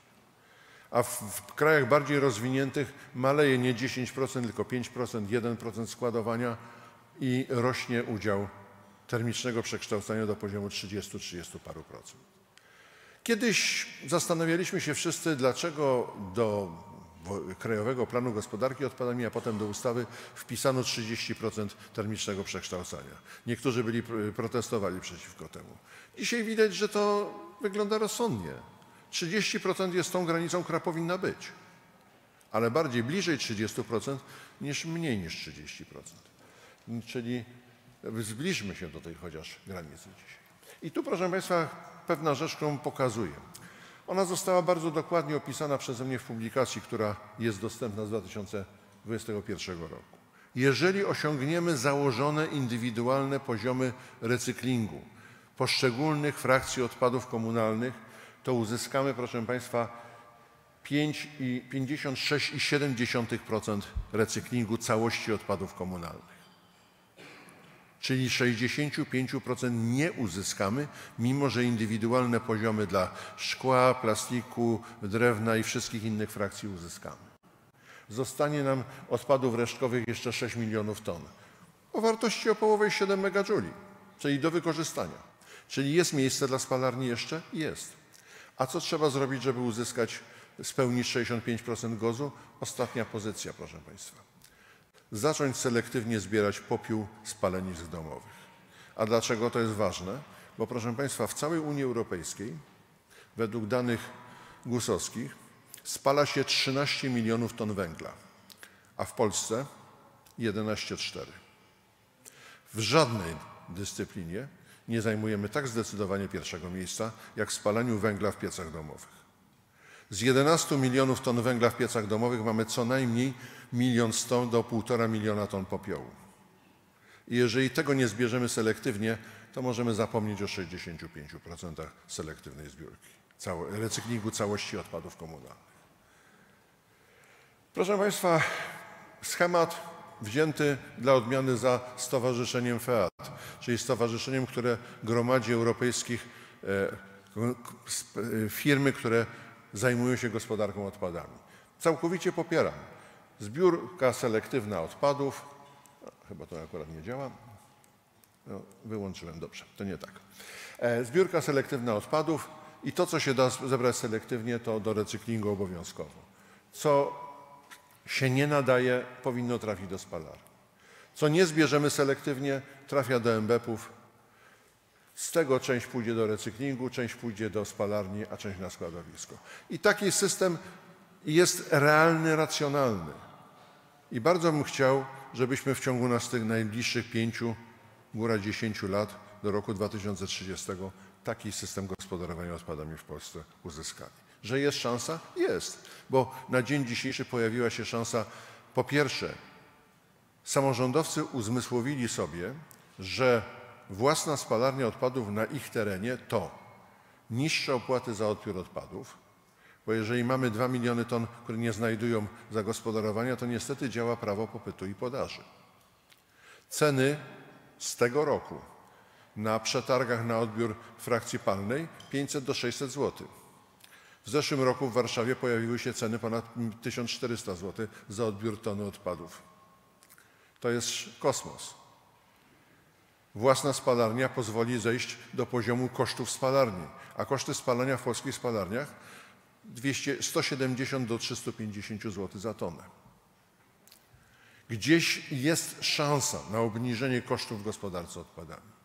To jest również tańsze ciepło i na to trzeba patrzeć. Podsumowując, Niezależnie od tego, czy, jak będziemy szybko i jak nam się będzie udawało wdrażać, wdrażać GOS, zawsze nam zostanie ten, ten strumień odpadów resztkowych, który do recyklingu się nie będzie nadawał. A jeżeli się nie będzie nadawał, to trzeba coś z tym fantem zrobić, czyli wykorzystać właściwości paliwowe, broń Boże składować. Spalanie powinno być, y, odpadów powinny pracować w systemie ciepłowniczym. I tu jest ewidentnie, nie po to budujemy spalarnię, żeby ją budować pośrodku niczego, czyli 10 km, 20 km od miasta. Każdy kilometr ciepłociągu kosztuje. W Łodzi, skąd pochodzę, jedna z możliwych lokalizacji była rozważana w rejonie grupowej oczyszczalni ścieków. Ale stamtąd, żeby poprowadzić ciepło w miejsce, gdzie możemy wprowadzić ją do sieci ciepłowniczej, trzeba położyć 10 km ciepłociągu w rejon nieistniejącej już zlikwidowanej elektrociepłowni EC2. Więc to musi być zintegrowane z systemem ciepłowniczym miasta, żeby to działało. Kogeneracja jest oczywista, także nie ma co o czym mówić i bez biologicznej przeróbki odpadów nie osiągniemy. Natomiast na koniec tak, protestujący antyspalarniowcy pojawiają się zawsze. Każdy pomysł budowy spalarni to komitet protestacyjny, w który angażują się bardzo wiele ludzi. Czasami aż przykro popatrzeć, bo angażują się ludzie również ze środowiska naukowego, którzy w tym obszarze nigdy w życiu nie, nie, nie działali. Protestują socjologowie, ekonomiści, prawnicy, E, nic nie mam do prawników, E, czy, pro- czy, czy, czy inne, inni specjaliści. A specjalist, ale wśród protestujących zazwyczaj nie ma specjalistów z zakresu inżynierii środowiska. Dlaczego? Bo wiedzą, że to nie powod, że to, czym to grozi. Czyli czym właściwie nie grozi spalarnia odpadów. W związku z tym wydaje mi się, że niezależnie od tego, ile protestów będzie, trzeba wzorem Młynarskiego powiedzieć, róbmy swoje, róbmy, budujmy i nie patrzmy na to, jak wiele będzie głosów protestu, bo tak jest, słusznie taka jest potrzeba. I to jest właśnie ta nasza polska racja stanu w tej chwili, żeby konsekwentnie ten program zrealizować. Dziękuję bardzo.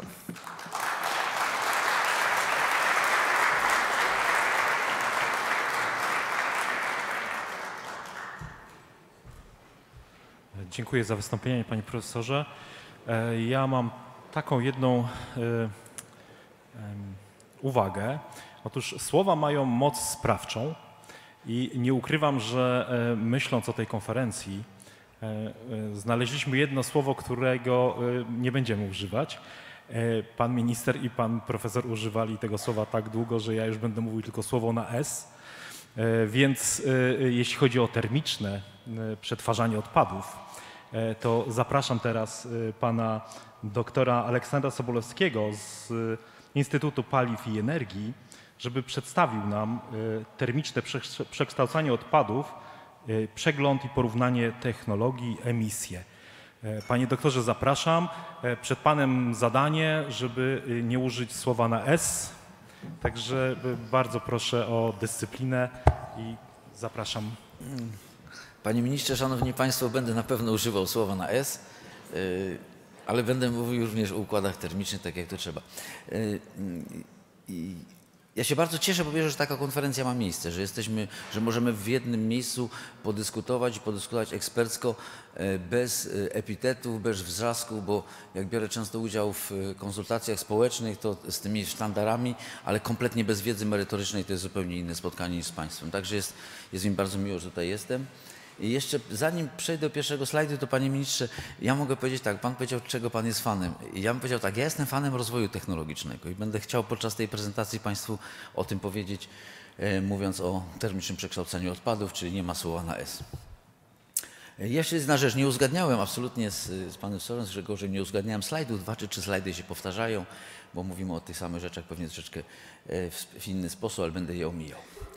E, Proszę Państwa, więc tak, te, te, e, temat dokładnie termiczne przekształcanie odpadów, przegląd i porównanie technologii. Mój referat będzie głównie referatem technologicznym. Będę starał się Państwu powiedzieć o, od strony technologii, jak to wygląda. E, Żałuję, że przy, nawet przy tak długim czasie, jaki tutaj dostałem, że nie ma możliwości powiedzieć o finansach, bo technologia i finanse, one są bardzo mocno ze sobą związane. Y, I dzisiaj trzeba spojrzeć, oprócz technologii i środowiska trzeba patrzeć na kasę. I, i dopiero jak ona się będzie zgadzała, to, to inwestycja będzie miała szansę powodzenia. Proszę Państwa, pierwsza rzecz to takie dwa zdania prywaty. Y, Być może w dużej części Państwa jestem dużo bardziej znany jako Instytut Chemicznej Przeróbki Węgla, czyli coś, co po 65 latach, w zeszłym roku pan premier zmienił nam nazwę, nazywamy się Instytut Technologii y, Paliw i Energii, czyli naprawdę mamy taką nazwą, czym się dzisiaj zajmujemy. Czyli po pierwsze słowo technologia, o czym mówiłem, a paliwa i energia to jest właściwie tytuł dzisiejszego, e, dzisiejszej naszej konferencji o, o energii z odpadów. Będziemy mówić paliwo jako, jako odpady jako, jako paliwo. A więc od 1955 roku skończyła się era IHPW. Dzisiaj nasz znaczek jest bardzo podobny, nazywamy się ITPE. Od 22 od czerwca za niedługo będziemy mieć środek roku. E, Nasz instytut jest pod nadzorem MAPU. Ja jestem dyrektorem, mamy zatrudnienie 125 osób i między innymi jak Państwo patrzycie na tą rozetkę, to, to paliwa i energia w środku, ale gospodarka o obiegu zamkniętym po jednej stronie i transformacja energetyczna po drugiej. Tak naprawdę bardzo krótko Panie Ministrze, tym czym się zajmujemy to jest to, o czym Pan mówi w wystąpieniu. Czyli od wodór, biogaz, wszystkie te elementy, magazynowanie energii, syntetyczny metan, wszystkie te elementy tym się zajmujemy. Dobrze, proszę Państwa, przejdę już do mm, referatu. Zacznę od gospodarki odpadami i pierwszą taką oczywistość. Wbrew temu, co sądzi większość społeczeństwa, selektywna zbiórka odpadów nie rozwiązuje problemu ich recyklingu. Niektórzy tak widzą tą sprawę, że jeżeli mamy dużą kupę i podzielimy ją na kilka małych kupek, to one magicznie znikną. One nie znikną, one proszę Państwa dalej są, ich masa jest dokładnie taka sama, tylko one są rozdzielone na kubki. I teraz pytanie, czy my potrafimy zagospodarować wszystkie z tych małych kubek? Jeżeli tak, to układ pójścia w selektywną zbiórkę ma sens, w innym przypadku on w ogóle nie ma sensu. Oczywiście zaraz Państwu będę udowadniał, że to, że to ma głębokie przełożenie i to ma sens. Oczywiście odzysk energii z odpadów staje się koniecznością i nie stoi w sprzeczności z zasadami GOZU, o tym mówi Pan profesor Wielgosiński i o tym też będę starał się Państwa przekonać.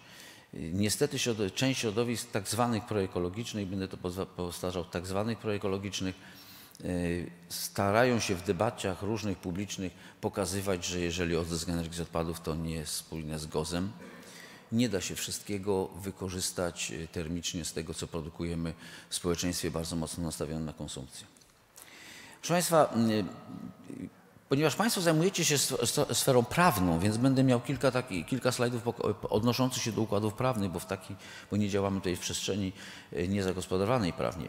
Mamy tutaj dwie rzeczy. Ustawa o odpadach i bezpośrednio cytowanie po angielsku dyrektywy i dwa zasadnicze pojęcia, czyli pojęcie odzysk i pojęcie recykling.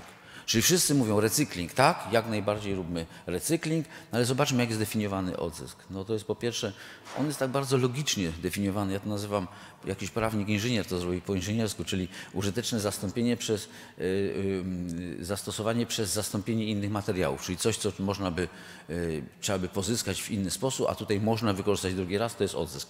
Zupełnie logiczne. Natomiast jak patrzymy na recykling, to jest taki odzysk, w ramach którego odpady są ponownie przetwarzane na produkty. A więc tutaj zaczynamy już mówić o czymś innym, o produktach, ale specjalnie na złość tutaj na koniec jest napisane, jak Państwo wiedzą, żeby tylko, żeby nie były one wykorzystane, które nie mogą być wykorzystywane na dole Państwo to macie jako paliwa e, lub do celów, e, ale przede wszystkim jako paliwa. Czyli jeżeli poprowadzimy, będziemy chcieli zrobić recykling i otrzymamy użyteczny produkt, Pan minister kilkakrotnie mówił w swoim wystąpieniu o układzie zgazowania, na przykład uzyskamy metanol, to proszę Państwa, metanol w beczce, to trudno powiedzieć, czym on jest.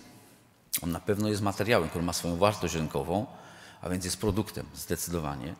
Ale jeżeli ten metanol uzyskamy następnie do syntez chemicznych i pójdziemy w, w poliolefiny, to wtedy on nie będzie wykorzystany jako paliwo. Ale ten sam metanol w beczce, jeżeli dolejemy do normalnego paliwa i zrobimy z niego odrobinę tej części, którą nazwiemy jako recyklingowalną, no to w tym momencie już nie będzie nam to zaliczone do układu recyklingu, bo to będzie zastosowanie paliwowe. A więc sam fakt chemicznie, że coś przerobimy w układzie, mamy w beczce, to jeszcze nie znaczy, że prawnik tak samo na to spojrzy. A więc Państwo musicie za każdym razem pamiętać, i to jest też y, dyskusja z środowiskami ekologicznymi, również z Brukselą, że tak mniej więcej wygląda odzysk, a tak recykling. Recykling to jest tylko część odzysku. Oczywiście wszyscy mówią, róbmy cały czas ten recykling. No dobrze, no róbmy, tylko musimy mieć jakość produktów i musimy mieć zbyt na te produkty rynkowe. Proszę Państwa, ja stawiam taką tezę. Jeżeli dzisiaj nie potrafimy przeprowadzić skutecznego recyklingu dla wszystkich odpadów, o tym też pan profesor Wielgosiński mówił, to może w, w pierwszej kolejności zróbmy przynajmniej odzysk. On jest zdecydowanie y, po drugiej stronie chcę powiedzieć, że nie, po drugiej stronie e, recyklingu e, nie mamy, nie, nie jest problem z odzyskiem. Problem jest, żeby nie składować. Składowanie po prostu musi być wyeliminowane, to są absolutnie to nie, nie te czasy w XXI wieku w Europie. Ale jeżeli spalanie, i tutaj mamy słowo na S, y, czyli odzysk energii w spalarni, to tak się to urządzenie, czy ta instalacja nazywa zgodnie z prawem, ale tylko mówimy o RDF-ie. Tutaj już te instalacje, które nastawione są na niesort, które są nowoczesnymi obiektami, one były w innym układzie troszeczkę projektowanym, no to one, gdybyśmy wszystkie odpady komunalne hurtem spalali bez układu e, selektywnej zbiórki, no to mielibyśmy, proszę Państwa, spalarnia by działała, ale nie uzyskalibyśmy, mielibyśmy recykling na poziomie zerowym. A my jednak musimy iść w kierunku recyklingu, a resztkowe frakcje spalać. Proszę Państwa, jak wygląda ten system na takim bardzo prostym rysuneczku? Proszę Państwa, mamy za każdym razem to jest to, czym spotykamy się na bieżąco. Odpady komunalne, potem mamy, tych w zależności od e, lokalizacji, ileś tam kubów, mamy system zbierania, on musi być i teraz y, czy mamy tą kupę odpadów, którą jeżeli mamy podzielić, rozsegregować, no i teraz pytanie, co z tym zrobić. No i tutaj zaczynamy wchodzić, to jest taki pierwszy slajd wprowadzający do technologii. Pytanie jest takie, czy mamy dla każdego strumienia wyselekcjonowanych odpadów, czy mamy zapewnioną technologię? I proszę Państwa, tam gdzie mamy tą technologię zapewnioną, zapewnioną znaczy technologia, która działa pełnoskalowo od wielu lat i ma określone koszty. To proszę Państwa, tam to wszystko działa. Zwróćcie Państwo uwagę, to mamy znane technologie zagospodarowania, tutaj Państwo to są jakieś takie butelki, jakiś złom. No wszystko jest jasne. Co to znaczy? Mamy technologię, najczęściej jest to proces wysokotemperaturowy, który powoduje tak głęboką destrukcję materiału, że on powtórnie jest do użytku i wygląda tak samo jak pierwotny. Czyli jeżeli weźmiemy sobie takie koło zębate, jakieś stalowe, my go weźmiemy do pieca elektrycznego, 1500 stopni, stopimy, oczyścimy, dodamy dodatki, proszę Państwa, ten nowy materiał, on jest nierozróżnialny od tego poprzedniego. Y, część stalowników by się nam nie obraziło, bo to do końca tak nie jest i nie da się w nieskończoność recyklować tego, szczególnie przy produkcjach stali wysokojakościowej, ale jako takie uproszczenie dla dzisiejszej naszej rozmowy to jest w zupełności wystarczające. To samo mamy ze szkłem. Też mamy wysoką temperaturę. Czyli po prostu im głębsza będzie destrukcja, tym powtórnie stworzony produkt będzie miał bliższe właściwości do tych właściwości y, pierwotnych. Proszę Państwa, no po drugiej stronie co tutaj mamy? Tutaj mamy takie zmieszane odpady, mamy takie plastiki, mamy brak rozwiązań technologicznych. Ja będę na końcowej slajdzie mówił, proszę Państwa, brak rozwiązań technologicznych na wysokich TRL-ach po rozsądnych kosztach. I to, o czym Pan Minister mówi, te programy niemieckie, bo również z Niemcami działamy, jeżeli przejdziemy przez procesy wysokotemperaturowe, w szczególności procesy zgazowania, to proszę Państwa zrobimy, rozłożymy de facto na gaz syntezowy, z którego dalej się e, zrobimy syntezy i będzie ten plastik nierozpoznawalny w stosunku do tego pierwotnego. Ale jeżeli pójdziemy tylko na układ mechaniczny, to z bardzo czystych tworzyw, z niektórych z nich damy radę zrobić reglanura, natomiast z większości z nich nie. I teraz co z tą resztą? A więc albo, e, no niestety spalanie jest tutaj najlepszym rozwiązaniem. Ale oczywiście trzeba w tym kierunku iść, czyli domykanie pętli e, z pełnym recyklingiem, czyli nie pokazanie, że myśmy wyselekcjonowali grupę jakiegoś materiału i następnie piszemy, przekazujemy go do recyklingu i dalej nas nic nie interesuje, co się z tym dzieje, tylko naprawdę mamy instalację, pokaż mi tę instalację, gdzie on działa i co dokładnie z tych zebranych 100 tysięcy ton przekazanych do recyklingu, co zostało wytworzone. Jeżeli coś takiego będziemy mieli, to mamy prawdziwy układ gospodarki obiegu zamknięty. Kiedy to nastąpi? No ja wierzę, że pierwsze instalacje tego typu będą 2035-40. Robiliśmy z, z, Instytutami Fraunhofera i niektórymi uczelniami niemieckimi taki duży program, porównując dwie gospodarki, niemiecką i polską. No i tam Niemcy mówili o perspektywie 2050 w układzie wielkoskalowym. Czyli nie mówią 2030, tylko mówią 2050 będzie wielki niemiecki przemysł chemiczny przystosowany do zamykania tych obiegów. Zresztą to gdyby były pytania, to chętnie powiem, to jest bardzo ciekawe, ale na inny znowu temat. Proszę Państwa, więc tak, jeżeli, jeżeli nie potrafimy z tymi odpadami y, zrobić, mamy dwie możliwości, odzysk energii i składowanie, mówimy składowanie nie może, absolutnie nie składowanie, no to mamy odzysk energii, dokąd nie powstaną racjonalne technologie, y, które będą pozwalały na recykling wszystkich strumieni. A więc teza, zagospodarowanie paliw z odpadów w ciepłownictwie jest w praktyce jedynym szybkim i skutecznym sposobem rozwiązania problemu RD w Polsce. Dlaczego mówię w ciepłownictwie? Dlatego że tu już trzeba wejść bardziej w rachunek finansowy i w to, z czego taka instalacja ma żyć. Czy ona żyje tylko z opłaty na bramie za przyjmowanie odpadów, czy ona żyje również w układzie kogeneracyjnym za sprzedaży energii elektrycznej i ciepła. No biznes dla większości y, biznesplanów, które myśmy liczyli w ciągu ostatnich lat, dla wielu polskich obiektów wskazują, że bez sprzedaży ciepła i energii elektrycznej biznes się po prostu nie domyka. Znaczy, Państwa, on się domknie, jeżeli walniemy taką cenę mieszkańcom za odpady, że oni z nas nie będą chcieli wybrać w najbliższych wyborach, na pewno.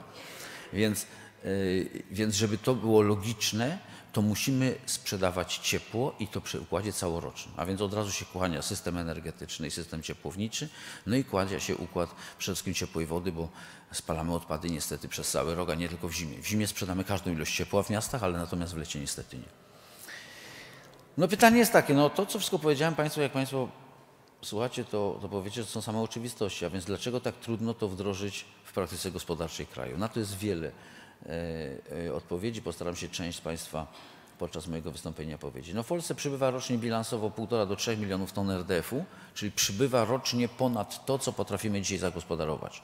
Czyli to gdzieś tam się znajduje, nikt nie wie gdzie, nie wolno tego Państwo wiecie składować, natomiast wolno to przechowywać, magazynować, no więc tak to się nazywa, nie składujemy, tylko magazynujemy. Pan profesor powiedział w chmurze. Aktualnie szacujemy, że w takich różnych miejscach mamy około 30 milionów ton paliw z odpadów o różnej jakości, ale generalnie materiału, który ma pełne właściwości palne.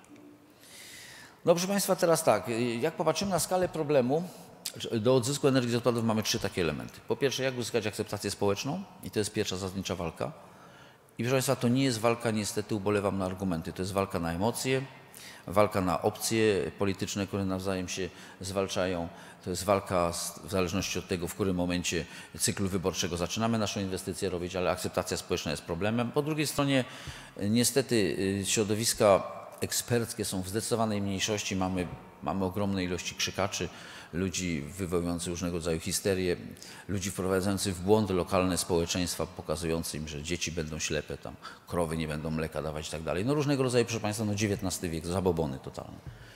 No drugie pytanie, jak już wiemy, że to nie tędy, że już gdybyśmy mieli tą akceptację społeczną, no to wtedy tutaj patrzę głęboko w oczy pana presa, to jest jak sfinansować, zbudować instalację. No trzeba mieć kasę. A kasa to znaczy trzeba iść do banku po kredyt. No kredyt to nie jest tak opsiu, bo trzeba mieć coś w zastaw i tak dalej, i tak dalej, koszty. A więc tutaj program narodowego jest właściwie zbawienny dla nas i, i, i oby on po prostu był realizowany. No i trzecia rzecz, jak zapewnić opłacalność inwestycji, a później znaczy opłacalność również w kosztach operacyjnych. Czyli już po zbudowaniu, nawet jeżeli dostaniemy układ dotacyjny, to to się musi samo gdzieś napędzać finansowo.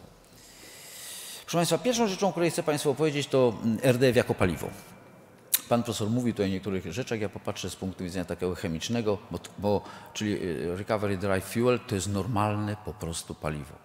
Więc jak to wygląda? Z czego wykonywane? No najczęściej części z odpadów komunalnych. No żeby dostać odpowiednią wartość opałową dodaje się trochę odpadów przemysłowych, Czasem odpadowa biomasa bardzo rzadko, czasem osady ściegowe, z tego się tworzy taki materiał. Czy on zawsze musi być w formie takich wytłoczonych peletów? No niekoniecznie, on może być luzem.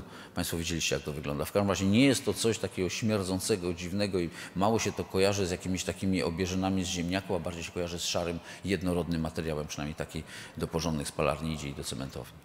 Proszę Państwa, spójrzmy na klasyczny dla chemików tak zwany diagram Van Kravelena, który pokazuje naukowo, gdzie, mamy, gdzie jest RDF.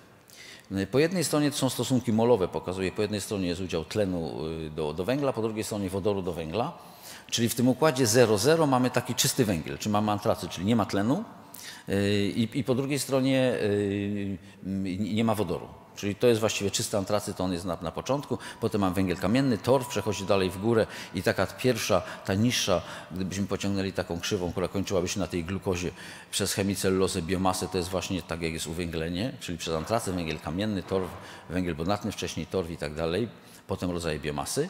Po drugiej stronie, jakbyśmy wyżej poszli, to byśmy mieli materiały już chemicznie uszlachetnione, a więc przez etanol, metanol do samego końca. Metanol jest tam, widzicie Państwo, na samym końcu, natomiast metan, jako też coś, co nie ma w sobie y, atomu tlenu w cząsteczce, no to mamy właśnie y, pod tą czwórką y, na, na osi Y. I Państwo zobaczcie, gdzie jest ten RDF. No one, bo to są różne oczywiście, bo to jest gama różnych RDF-ów. One są mniej więcej gdzieś tam między węglem tak węgiel brunatny zachodzący na biomasę, torf, mniej więcej tak, tak one są kwalifikowane. Czyli to jest zupełnie przyzwoite paliwo. Jeżeli z kolei spojrzymy na taki wykres RDF jako paliwo na innym wykresie, gdzie zobaczymy na właściwości jego użytkowe. Tutaj mamy stosunek na X, mamy C do H, ale to jest stosunek masowy czyli ile węgla jest w stosunku do wodoru, czyli jak uwęglone jest to paliwo, jak to się mówi. Po drugiej stronie mamy wartość opałową, czyli to, to używane, co ten ciepłownik każdy najbardziej by chciał.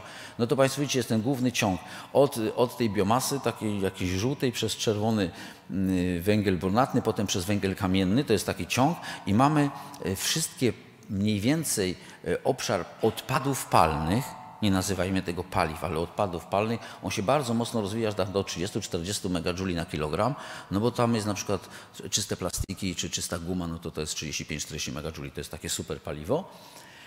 I, i, ale one wszystkie mniej więcej mają ten stosunek e, C do H na poziomie 6 do 8 i średnio wartość opołowa takiego paliwa to jest około 15. My w Instytucie dysponujemy od 20 paru lat chyba najlepszą bazą danych e, i odnośnie biomas, i odnośnie e, RDF-ów w Polsce, także zachęcam do współpracy. Proszę Państwa, teraz popatrzmy na RDF jako paliwo z punktu widzenia prawa. A więc już nie, ma, nie patrzymy na chemię, nie patrzymy na technologię, tylko trzeci wykres to jest prawo. I Państwo macie tak, jeżeli weźmiemy wszystkie odpady stałe, no to te odpady możemy podzielić na, na niebezpieczne i inne niż niebezpieczne. O odpadach niebezpiecznych w ogóle nie mówimy, czyli nie zajmujemy się odpadami niebezpiecznymi. Oczywiście część odpadów to jest odpady palne, czyli to mamy odpady o właściwościach palnych. To są takie odpady, co znaczy o właściwościach palnych, które w normalnych warunkach spalają się autotermicznie, czyli gdzieś około 6 megajouli na kilogram.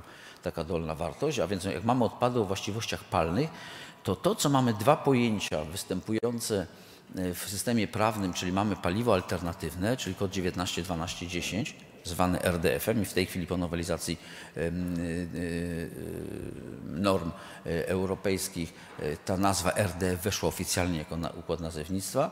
Po drugiej stronie mamy, mamy SRF, czyli to jest, taki, to, to jest takie paliwo, które jest dodatkowo opisane w, sy w specjalnym systemie kodowania. Nazywa się to w polskiej nomenklaturze stałe paliwa wtórne, to są SRF-y. Można powiedzieć, że SRF-y są takie porządne RDF-y, które zostały w laboratorium dobrze opisane. Po co dobrze opisać? Po to, że jest to podstawa relacji między dostawcą a odbiorcą paliwa. No, trzeba powiedzieć, że w jaki sposób to trzeba zrobić.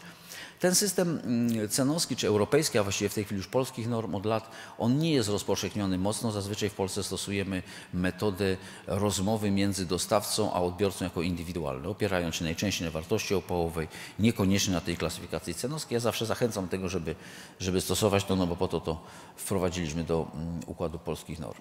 Proszę Państwa, jak wygląda klasyfikacja e, SRF-u według Europejskiego Komitetu Normalizacyjnego?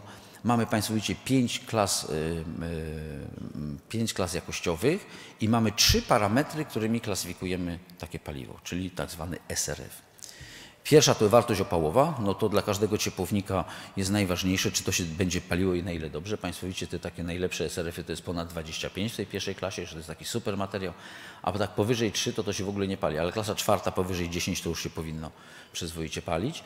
Drugi element to jest zawartość chloru, a więc wpływ na destrukcję urządzeń. Im mamy więcej chloru, tym będzie jednak bardzo mocno następowała e, e, korozja e, i urządzenie żaden ciepłownik czy energetyk nie chciałby wprowadzić siebie paliwa, które będzie miało dużo chloru. Jak Państwo zobaczycie, to takie paliwo klasy pierwszej to jest takie najlepsze, czyli wysoka wartość opałowa, mało chloru. I mało rtęci. Jako trzeci element, ten element środowiskowy, to jest pokazana rtęć. Rtęć nie jest jako wartość średnia, tylko jako mediana i 80 percentyl. A taka średnia klasa paliwa, taka wieś około właśnie, proszę zobaczyć na taką trójkę, czyli powyżej 15 megajouli, to jest takie przyzwoite paliwo, poniżej 1% chloru, no i trochę rtęci. A więc to jest takie paliwo, które ciepłownik powinien chętnie do swojej instalacji wziąć. On będzie rozumiał, co to jest za paliwo, to nie jest dla niego nic egzotycznego.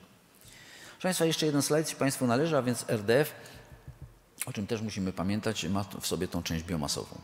Ta część biomasowa, ona powinna być jeżeli o tym, o co mówił tutaj również pan minister, że ktoś nas uszczęśliwi wcześniej czy później i w kompletnie nierozsądny sposób prowadzi instalację termicznego zysku odpadów do, do systemu ETS, co jest w ogóle bzdurą dla mnie, ale będą pewnie takie zabiegi, no to wtedy będziemy patrzyli, ile z tego jest y, układu biomasowego, chociaż w tej chwili są zabiegi o to, żeby biomasa też nie była OZE. Ja, ja, nie mówię, że wszystko mam rozumieć, ale to są rzeczywiście dziwne pomysły.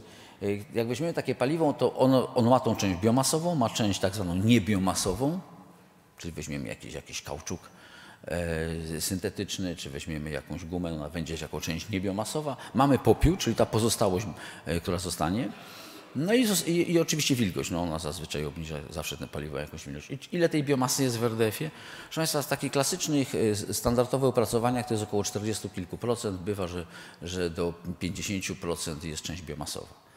Oczywiście najlepiej byłoby być wypisanym w nieskończoność z ETS-u na mocy definicji, a nie na mocy badania frakcji biodegradowalnej. Ale gdyby była wielka bieda, to zawsze możemy tą frakcję zbadać i udowodnić, że przepraszam, my w naszej instalacji mamy średnio rocznie 45%, więc proszę naszą emisję tylko 55 nas zaliczy do ETS-u. Liczę, że do tego nie dojdzie.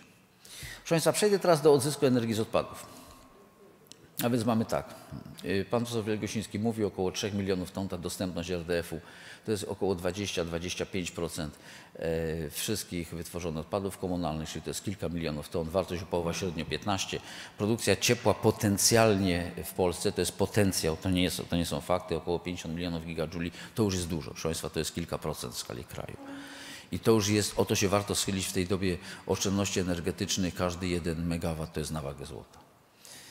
Proszę Państwa, odzysk energii z odpadów Państwo to znaczy doskonale rozporządzenie ministra rozwoju y, w sprawie y, wymagań dotyczących prowadzenia procesu termicznego przekształcania odpadów. No i macie Państwo tutaj te magiczne liczby, te magiczne dwie sekundy, które się wszyscy czepiają i 850 stopni e, e, dla tej, dla tej klasyki albo 1100 stopni e, po to, żeby zapewnić takie warunki w całym ciągu technologicznym, czyli do ostatniego, za ostatnim doprowadzeniem powietrza technologicznego. Oczywiście to musi być przygotowana instalacja, to nie jest tak, że każdy kocioł energetyczny spełnia te parametry technologiczne.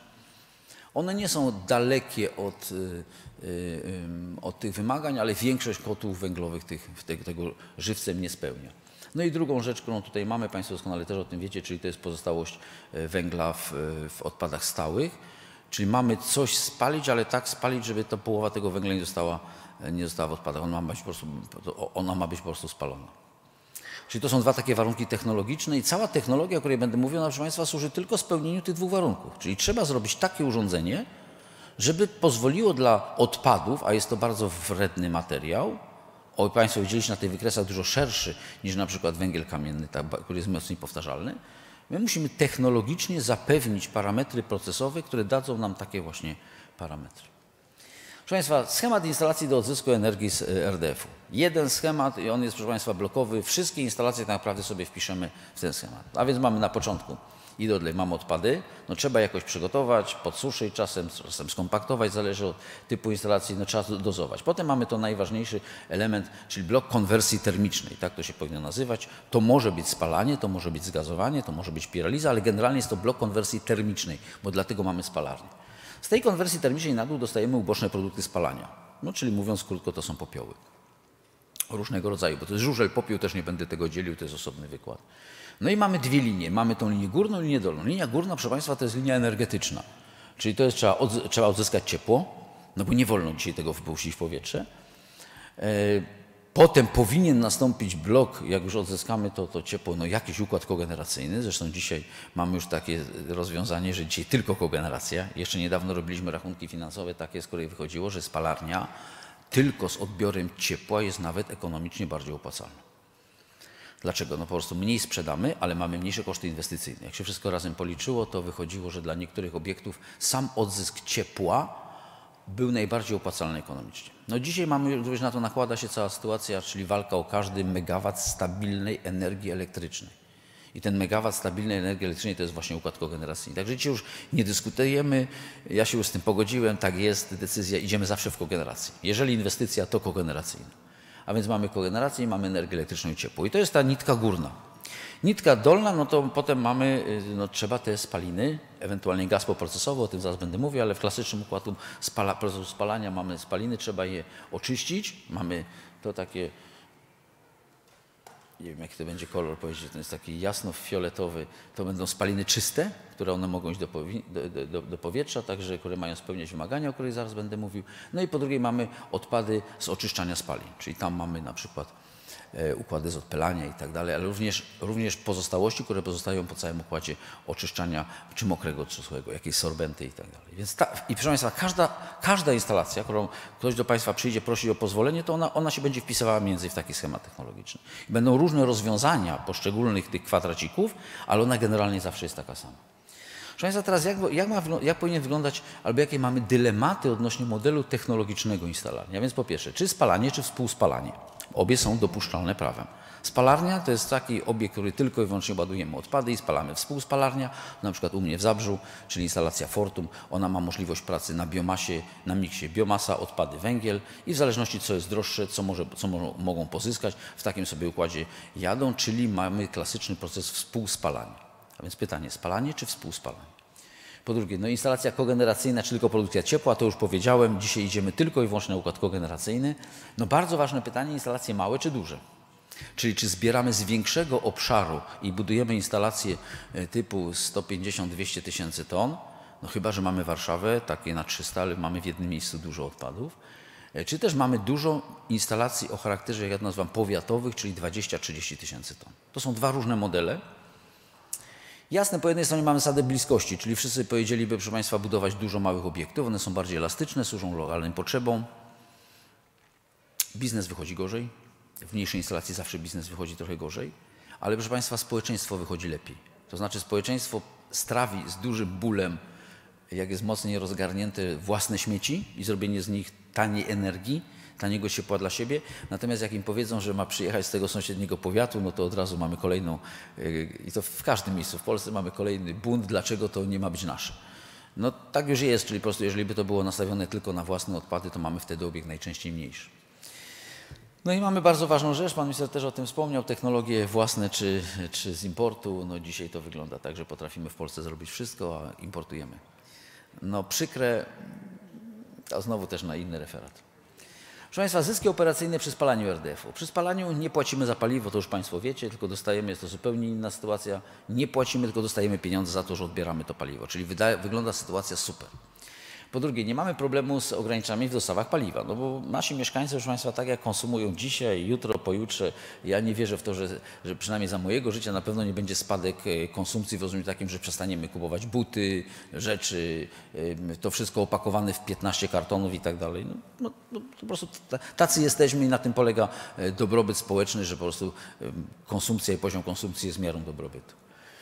No i trzecie, na dzisiaj jesteśmy zwolnieni z udziału w ETS-ie. Jak długo będziemy zwolnieni, trudno powiedzieć. Liczę, że długo. Walki będą, ale przy cenie 100 euro za tonę CO2 to, proszę Państwa, zaczyna być rzeczywiście problem, e,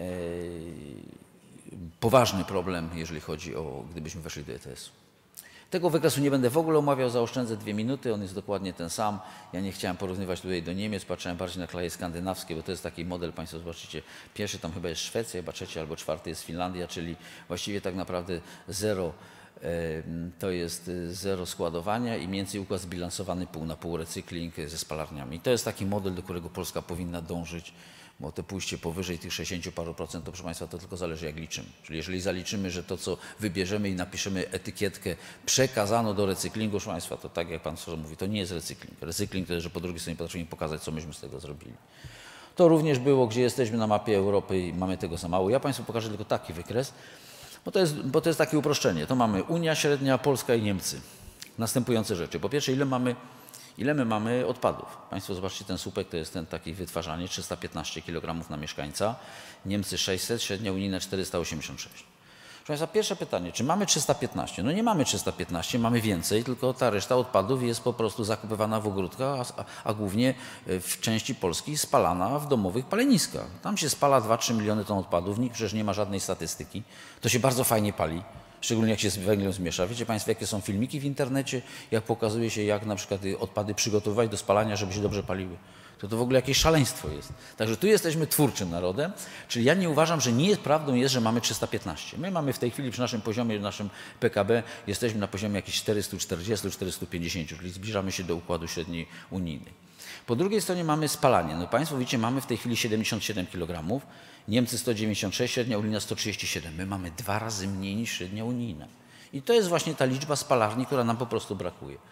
No i po trzecie, niestety, no zawsze to jest po drugiej stronie mamy składowanie. No ten Niemcy 6, my mamy 132. No, po prostu trzeba zamienić, yy, urealnić ten słupek, ile mamy naprawdę odpadów, a poza tym resztę nie spalać tylko nie w domowej spalarni czy przy domowej spalarni, tylko, tylko w kwalifikowanej.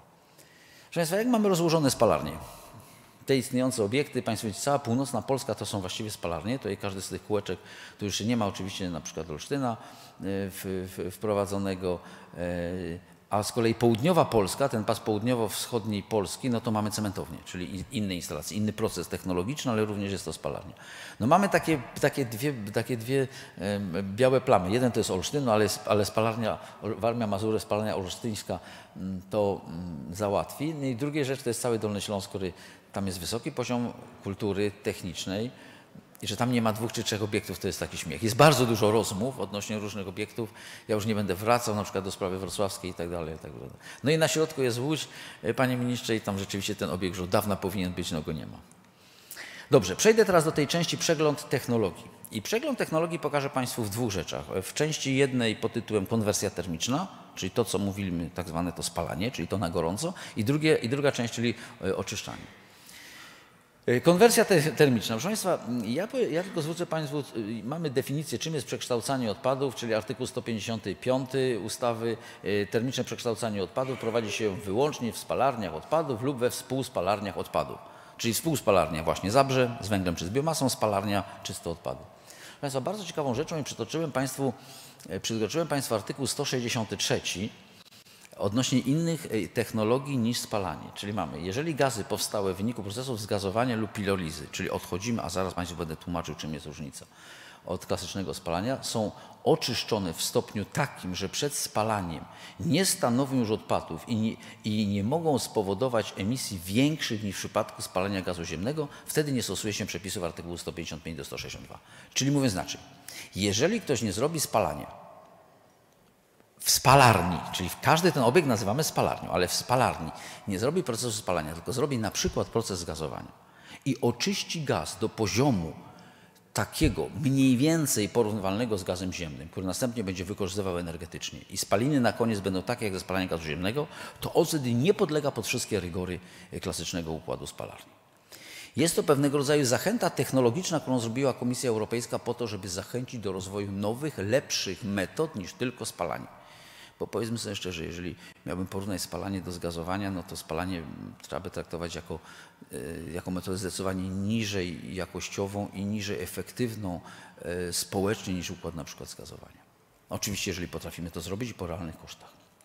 Proszę Państwa, czym to się różni? Bo Państwo wiecie wielokrotnie, że właśnie mówią spalanie, zgazowanie, piroliza. Ja Państwu to pokażę na dwóch takich najprostszych wykresach, jak to wygląda. Proszę zobaczyć, mamy spalanie u góry, mamy zgazowanie i piroliza. Naprawdę wygląda tak, jeżeli do procesu nie dostarczymy powietrza, nie dostarczymy utleniacza, czyli będzie współczynnik nadmiaru powietrza, to jest ta prawa oś, będzie na poziomie zero, mamy czystą modelową pirolizę. Jeżeli mamy z kolei ten współczynnik powyżej 1,0 dla spalania, e, y, które jest policzone jako stechiometryczne, czyli tyle tlenu, ile trzeba do spalania całej substancji palnej, no to powyżej jednego mamy, mamy typową energetykę. W spalarni, znaczy w normalnej energetyce mamy ten współczynnik na poziomie 1,5, 1,7, 1,3, zależy od tego, jakie paliwo spalamy. I teraz tak Państwo patrzcie, więc, więc tym to się różni. Czyli mamy tak spalarnię, do, e, proces spalania. Mamy, dostarczamy tylko surowiec i powietrze, które jest w nadmiarze. Wylatują nam spaliny i popiół. Spaliny oczywiście, od których musimy odebrać ciepło. Jeżeli zejdziemy niżej, czyli mamy surowiec i niedomiar powietrza, czyli trochę dajemy powietrza, ale mniej niż tego powietrza jest do pełnego procesu, do pełnego procesu utleniania całej substancji, to mamy nie spaliny szare, jak Państwo widzicie. Ja przepraszam, ale na tym ekranie to nie działa laser. Ale nie mamy, nie mamy, żół, nie mamy szarych spalin, tylko mamy żółty gaz. I teraz ten gaz, tak zwany gaz procesowy, można dalej go wykorzystywać chemicznie. Oczywiście można go dalej spalić. Tylko po co spalić dobry gaz, jeżeli można go wykorzystać dalej w syntezach? I oczywiście mamy popiół. Z kolei piroliza jako taki układ taki zupełnie czysty, czyli bez dostępu powietrza, mamy gaz, ale jak pokażę Państwu zupełnie inny gaz. Mamy niestety produkty ciekłe, oleje, no nazwijmy to bardzo, bardzo ogólnie, oleje smoły i mamy karbonizat. Natomiast do tego procesu na dole musimy, proszę Państwa, nie dostarczamy utleniacza, ale musimy dostarczyć ciepło. Czyli my musimy to nagrzać do temperatury takiej, żeby się e, układ zaczął rozkładać. Tym się różnią te trzy procesy. Każdy z, tych, każdy z takich procesów może być realizowany w obiekcie technologicznym, w instalacji, która prawnie będzie nazywała się spalarnią odpadów. Czyli nie ma prawnej definicji zgazowalnia odpadów czy pirolizarnia odpadów, e, tylko mówimy wszystko spalanie, bo spalarnia odpadów, bo spalanie jest najbardziej powszechny proces. Proszę Państwa, z czego to wynika? Ja nie będę już tego bardzo szczegółowo, bo tutaj kontroluję czas, omawiał. Jak Państwo zobaczycie na pirolizę, to mamy na początku metan, dużo wodoru, jeszcze węgiel pierwiastkowy i tlenek węgla. To mamy z pirolizy. Jak przechodzimy dalej w zgazowanie, zaczyna się pojawiać nam tlen, proszę zwrócić uwagę, zaczyna pojawiać się coraz większe pasmo dwutlenku węgla, CO2 i mniej tlenku węgla. One są mniej więcej w równowarze. Pojawia się coraz więcej z kolei wodór schodzi w dół, ale ponieważ mamy, dodajemy tlen, dlatego, dlatego pojawia się, e, pojawia się to, to ciemno-niebieskie para wodna. No i ostatecznie, jak mamy, jak, mamy, jak mamy spalanie, no to mamy trochę tego tlenu, no bo tego tlenu jest więcej niż, e, jak lambda jest większa niż jeden, to jest więcej niż trzeba do spalenia. Mamy oczywiście parę wodną, no i mamy dwutlenek węgla, no czyli mamy klasyczny po prostu spaliny. Ja nie mówię to jest zanieczyszczenia, tylko mówię, jak się te równowagi rozkładają.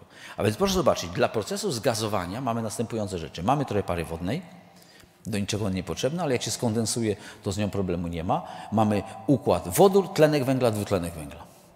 Jak Państwo widzicie, tlenek węgla, e, tlenek węgla i wodór, no to są do, do, do, dokładne składniki do wszystkich syntez e, chemicznych. Czyli takie w każdej fabryce chemicznej to gaz syntezowy to jest mieszanina tlenku węgla i wodoru w różnych proporcjach. Mamy oczywiście niechciany dwutlenek węgla, który usuwamy. Osobny proces też się tym zajmuje. Proszę Państwa, jeżeli z kolei popatrzymy nie z punktu widzenia samego, samego procesu, a tym, co może z tego być, jak popatrzymy sobie spalanie, zgazowanie, pirolizę, można tak samo to zrobić dla odpadów, jak dla biomasy, również najczęściej robi się to dla węgla. To mamy, proszę Państwa, proszę zobaczyć, ze spalania mamy spaliny. No ze spalin nie wymyślimy, idę tą dolną ścieżką, ze spalin nie wymyślimy nic innego, a więc energia elektryczna, ciepło. No to można, to można uzyskać. Natomiast już ze zgazowania mamy gaz procesowy, który następnie możemy albo go spalić, w, układach, y, w układach y, turbina gazowa silnik, albo prze, przejść do syntez chemicznych i z syntezy możemy robić najróżniejsze rzeczy. Metan, wodór, metanol, benzyny, olej napędowy, amoniak, no co sobie kto wymyśli jaka fabryka chemiczna jest. Oczywiście, jeżeli weźmiemy układ pirolizy, to z pirolizy mamy karbonizat, który może być paliwem stałym, chociaż najczęściej jest uciążliwym paliwem stałym. Mamy olej y, pirolityczny i gaz pirolityczny, który jest inny niż gaz procesowy, czyli ma inny skład pokazywany na tym poprzednim rysunku, ale również dalej można przejść przez oczyszczanie, syntezę i dostać te chemikalia takie na, na zielono. Proszę Państwa, wszystko zależy od technologii, ile mamy kasy, jaką mamy skalę i czy nam się będzie opłacało. Teraz przejdźmy do przeglądu y, technologii, czyli do konwersji termicznej, jak taki proces wygląda. Proszę Państwa, mamy, mamy tą najważniejszą, to jądro instalacji, czyli, to, e, czyli mm, piec, ewentualnie reaktor. No bo na, będziemy nazywali piec, piec z odzyskiem ciepła nazwa kocioł. Reaktor to jest to, że najczęściej z gazowania, no to o piecu to mówimy w przypadku, gdy jest spalanie, no, ale z gazowania będziemy mówić reaktor. Paliwo, odpady, do, wprowadzamy jakiś utleniacz, czasem wprowadzamy ciepło, Wyprowadzamy pozostałości stałe popiół w różnej postaci, o tym też za chwilę powiem. No i mamy, spa, i mamy spaliny tylko do zysku ciepła albo gazy procesowe. Oczywiście parametry technologiczne w tej kostce to jest temperatura, ciśnienie, czas przebywania, szybkość ogrzewania, intensywność mieszkania i w zależności od tego, jakie mamy rozwiązanie, to ta kostka może być wypełniona w różny sposób technologicznie, czyli różne typy reaktorów, ale zasada, jeżeli chodzi co do nich wlata i co wylata, jest dokładnie taka sama. Bardzo szybko. Typy reaktorów konwersji. Jak Państwo zobaczycie, tak naprawdę można powiedzieć, że mamy cztery typy reaktorów konwersji. Mamy tak zwany reaktor pierwszy, czyli jedynka, to jest e, reaktor e, szybowy, ale w każdym razie ze złożem stałym, czyli ładujemy z góry paliwo, ono się grawitacyjnie przesuwa w dół i z dołu wychodzą, e, wychodzi właściwie popiół i podajemy ciepło, utleniacz, gazy spalinowe wychodzą z, z takiego układu. I właściwie materiał przesuwa się w układzie grawitacyjnym. No on sobie po prostu schodzi w dół. Drugi, drugi to mamy tam, gdzie mamy piec o charakterze rusztowym, czyli ruch e, rusztu, elementu mechanicznego, który jest w gorącej strefie pieca, on wymusza przepływ paliwa. Czyli tak jak się ruszt rusza, to ten ruszt powoduje przesuwanie paliwa. W tym pierwszym nie było rusztu. Znaczy, on w sumie tam jest nieruchomy, ale to są szczegóły konstrukcyjne. Tam się przesuwa to grawitacyjnie. Tutaj maszyna wymusza ruch tego rusztu. W trzecim przypadku, w piecu obrotowym, tam nie jest element ruchomy, tylko cały reaktor się rusza. Czyli to się nazywa piec obrotowy, czy reaktor obrotowy i to się po prostu obraca się w kółko, się kręci, kręci, ponieważ jest pochylony pod kątem kilku stopni, no to po lewej stronie podajemy odpady, po, stałej, po prawej wylatują stałe pozostałości. No i ostatni element to mamy reaktory reaktory fluidalne, gdzie przepływ fazy gazowej wypływa, wymusza przepływ paliwa, czyli podajemy ten utleniacz najczęściej w postaci takiej, że robi się taka zupa, jakby, czyli złoże fluidalne i, i ten materiał jest wynoszony z reaktora po przereagowaniu. Tu mamy cztery podstawowe typy reaktorów. Każdy, który przyniosą do Państwa jakakolwiek będzie technologia w układzie spalania, to będzie jedno z tych rozwiązań albo ró- różnego rodzaju ich miksy. Potem będą szczegóły, czy róż będzie chłodzony wodą, czy będzie chłodzony powietrzem, ale to są, to są bardzo y, y, szczegóły istotne tylko dla konstruktorów poszczególnych rozwiązań. Proszę Państwa, jeżeli popatrzymy z kolei na układ zgazowania, to Państwu pokażę jeszcze raz zgazowanie i pirolizę. To mamy układ odpady, przygotowanie surowca, zgazowanie, do którego podajemy zielony utleniacz, z którego wchodzi popiół, następnie gaz palny, chłodzenie, oczyszczanie tego gazu, stąd mamy kondensaty, ścieki i czysty gaz. Zasadniczo trzeba powiedzieć, że jest czymś zupełnie innym ten gaz surowy, który jest pokazany jako gaz palny tutaj i gaz czysty po oczyszczeniu, to są dwa gazy o zupełnie różnym, e, o zupełnie różnych składach. No i dalej mamy wykorzystanie czystego gazu energetyczny albo chemiczny. Jeżeli popatrzymy z kolei na pirolizę, to układ jest podobny. Przygotowanie surowca, piroliza, czyli trochę inna temperatura. Musimy wprowadzać ciepło. Proszę Państwa, no, no, kto chciałby robić coś takiego, żeby do takiego procesu wprowadzać gaz, albo nie daj Boże jeszcze w jakichś reaktorach eksperymentalnych, to można sobie wprowadzić e, nawet ogrzewanie elektryczne, ale to w laboratorium, w skali biznesowej nigdy w życiu. Natomiast proszę zobaczyć, ten oczyszczany, ten recykl, ten oczyszczany czysty gaz, jeżeli go spalimy, wytworzymy ciepło, to wtedy napędzamy ten proces pirolizy tym tak zwanym własnym gazem. Typowym takim rozwiązaniem w skali przemysłowej jest bateria pieców koksowniczych, gdzie mamy własny gaz, oczyszczamy ten gaz koksowniczy i następnie on opala nam e, baterię, w której następuje proces e, pirolizy, no, czyli nazywany w tym wypadku koksowaniem. Proszę Państwa, jeżeli popatrzymy, już nie będę, bo patrzę na czas, nie będę, e, chcę Państwu tylko pokazać, jakie są różnice. W przypadku zgazowania mamy dwa zasadnicze kierunki, zgazowanie powietrzne i tlenowe. Powietrzne dużo tańsze, no bo wprowadzamy powietrze do procesu, ale mamy niestety ten balast azotowy i 5 megajouli na metr sześcienny, taki mniej więcej wartość połowa tego gazu. Oczywiście dalej można go oczyszczać, ale to kosztuje. Albo mamy zgazowanie tlenowe, które jest droższe, dlatego że musimy najpierw wyprodukować tlen, najczęściej metodą kryoge- kryogeniczną, ale po drugiej stronie, jak Państwo zobaczcie, CO i azot mamy tego bardzo mało, czyli mamy właściwie skład idealnego gazu syntezowego, wodór i tlenek węgla. Z kolei z pirolizy Możemy również, dzielimy ją na autotermiczną i, i tą przeponową. Ta przeponowa to jest taki czysty proces, taki, że jest coś napchane odpady, z zewnątrz się grzeje przeponowo, czyli przez ścianki reaktora, no i wtedy mamy ten piękny gaz, mamy tego wodoru do 50%, mamy metanu 25%, wysoką wartość opałową, ale zupełnie inna konstrukcja reaktora i trzeba mieć dobry czynnik grzewczy. Z kolei jeżeli zrobimy pirolizę autotermiczną, to wprowadzamy do środka powietrze, no i przez to mamy dużo tańsze rozwiązanie, natomiast tego wodoru i tlenku węgla Państwo wiecie 10, 20, w sumie 30% części tych, tych procesowo-palnych, czyli niespecjalnie atrakcyjny dla chemika. Przegląd technologii konwersji termicznej. Y, Państwo dostaniecie tą prezentację, ja nie będę każdego z reaktorów omawiał. Mamy zgazowanie to bezpośrednie autotermiczne i zgazowanie pośrednie allotermiczne i poszczególne typy reaktorów, czyli reaktory ze złożem stałym, tak jak tam pokazywałem te cztery typy, jak się przesuwa, jak się przesuwa urządzenie, tak tutaj typy reaktorów do konwersji technicznej, do zgazowania. Ja bym podzielił je takie na, na reaktor właśnie klasyczny z złożem stałym, czyli też grawitacyjnie materiał się przesuwa, ewentualnie reaktor współprądowy, no a następnie mamy złoże, y, fluidalne reaktory, złoże pęcherzykowe, czyli taka zupa gotująca się, albo reaktory złożem cyrkulującym fluidalnym, to jest, to jest dużo nowsza, nowsze i lepsze rozwiązania, dużo bardziej zaawansowane i ostatecznie najlepsze reaktory, reaktory strumieniowe, Mm, I tu muszę tylko powiedzieć dwie rzeczy, czym się różnią reaktory, tutaj wracam, e, te e, e, fluidalne, na przykład cyrkulujące, od reaktorów strumieniowych. Najczęściej w reaktorach cyrkulującym złożem fluidalnym jesteśmy poniżej 1000 stopni. 800-950 stopni najczęściej one tak pracują. Dlaczego? Proszę Państwa, po to, żeby odbierać popiół w fazie sypkiej. Czyli popiół jest takim dziadostwem, teraz cementownie już właściwie to chcą brać, ale to jest materiał, to jest materiał sypki nieprzetworzony. Czyli on jest tak jakby, on wygląda jak popiół ze, ze spalenia. Tak naprawdę z takiego reaktora zgazowania, jak Państwo zobaczycie, to wygląda tak jak, tak jak z normalnego kotła. Natomiast tu jest zupełnie inna sytuacja. Temperaturę procesu mamy powyżej 1600 stopni i dostajemy popiół w układzie totalnie inertnym. Jest on przetopiony, wygląda jak szkło, jest idealnym materiałem, niewymywalnym. Możemy lać na to cokolwiek, on wszystko jest, wszystkie substancje te niechciane, one są uwięzione w tej strukturze, ma inną zupełnie strukturę wytrzymałości i to jest idealny materiał jako dodatek mineralny i on w pełni zastępuje na przykład kruszywa, czyli na przykład drogi, które gdzieś tam w Japonii widziałem, one są właśnie z układów zgazowania, one są do asfaltu dodawany jest ten dodatek. I, I to można sprzedawać, to ma już swoją wartość. To nie jest niechciany popiół, tylko to jest przetworzony materiał, ale tylko z takich układów, gdzie on zostaje głęboko przetopiony. Proszę Państwa, gdyby ktoś chciał się porozmawiać z nami o konwersji termicznej, to my mamy bazę danych u nas w Instytucie. To jest te, ja podałem tutaj dwie takie przykładowe karty technologiczne. Ten akurat jest reaktor, to jest reaktor strumieniowy, a tutaj mamy reaktor cyrkulujący. Tu widzę, że jest Lachti, a tutaj jest chyba jakiś niemiecki Siemens.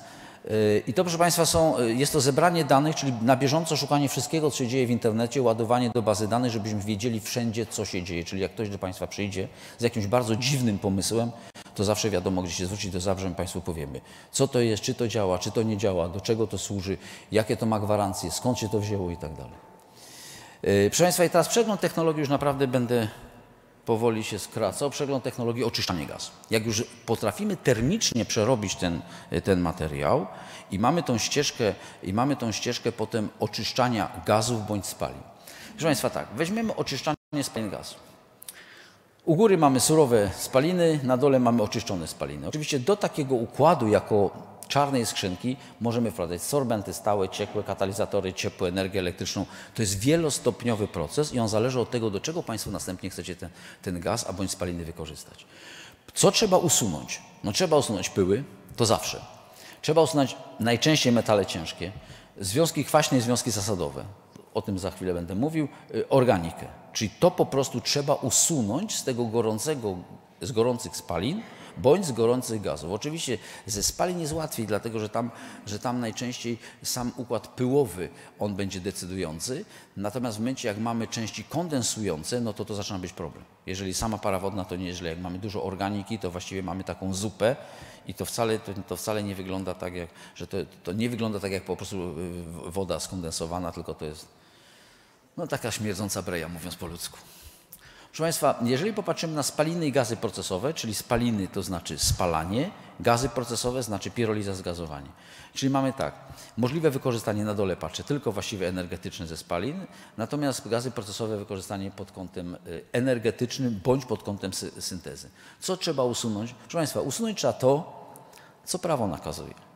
Bo tak naprawdę inżynier usunie wszystko, no tylko za jakie pieniądze. Więc, skupiamy się w tym, co jest napisane w ustawie, co musi być usunięte i do jakiego poziomu. Metody. Metody dla pyłu i metali ciężkich, a więc mamy inercyjne, barierowe, elektrofiltry w najróżniejszych konstrukcjach i związki kwaśne i zasadowe, a więc mamy y, procesy sorpcyjne suche, procesy sorpcyjne mokre i procesy katalityczne. Różne kombinacje tych procesów. Jeszcze raz Państwu mówię, da się zrobić inżyniersko prawie wszystko. I teraz zwróćcie Państwo oczyszczanie gazu, dla, jakie są wymagania oczyszczania dla poszczególnych dalszych procesów wykorzystania. Zwróćcie Państwo uwagę, jeżeli mamy spalanie, mamy piece, tak naprawdę w piecu spali się wszystko. Znaczy dalej później, żeby ten gaz spalić w piecu. Jeżeli już mamy silniki tłokowe albo turbiny gazowe, no to jak Państwo wprowadzą brudny gaz, to Państwo po prostu zajedziecie taki silnik. A więc wymagania dla pyłu tak poniżej 5 mg na metr sześcienny, to to jest takie logiczne i, yy, i poniżej 50 mg smoły, która zresztą się spali, tylko ona podczas zatrzymywania i uruchamiania silnika będzie z nią problemy. Natomiast zwróćcie Państwo uwagę, mamy poziomy na poziomie miligramów. Jeżeli zejdziemy dalej, gaz na ogniwa paliwowe, to już mamy poziom ppm-ów. A jeżeli dalej zejdziemy na syntezy, tak jak na SNG czy na DME, no to mamy, proszę bardzo, to mamy ppb. Czemu? Bo to są procesy katalityczne.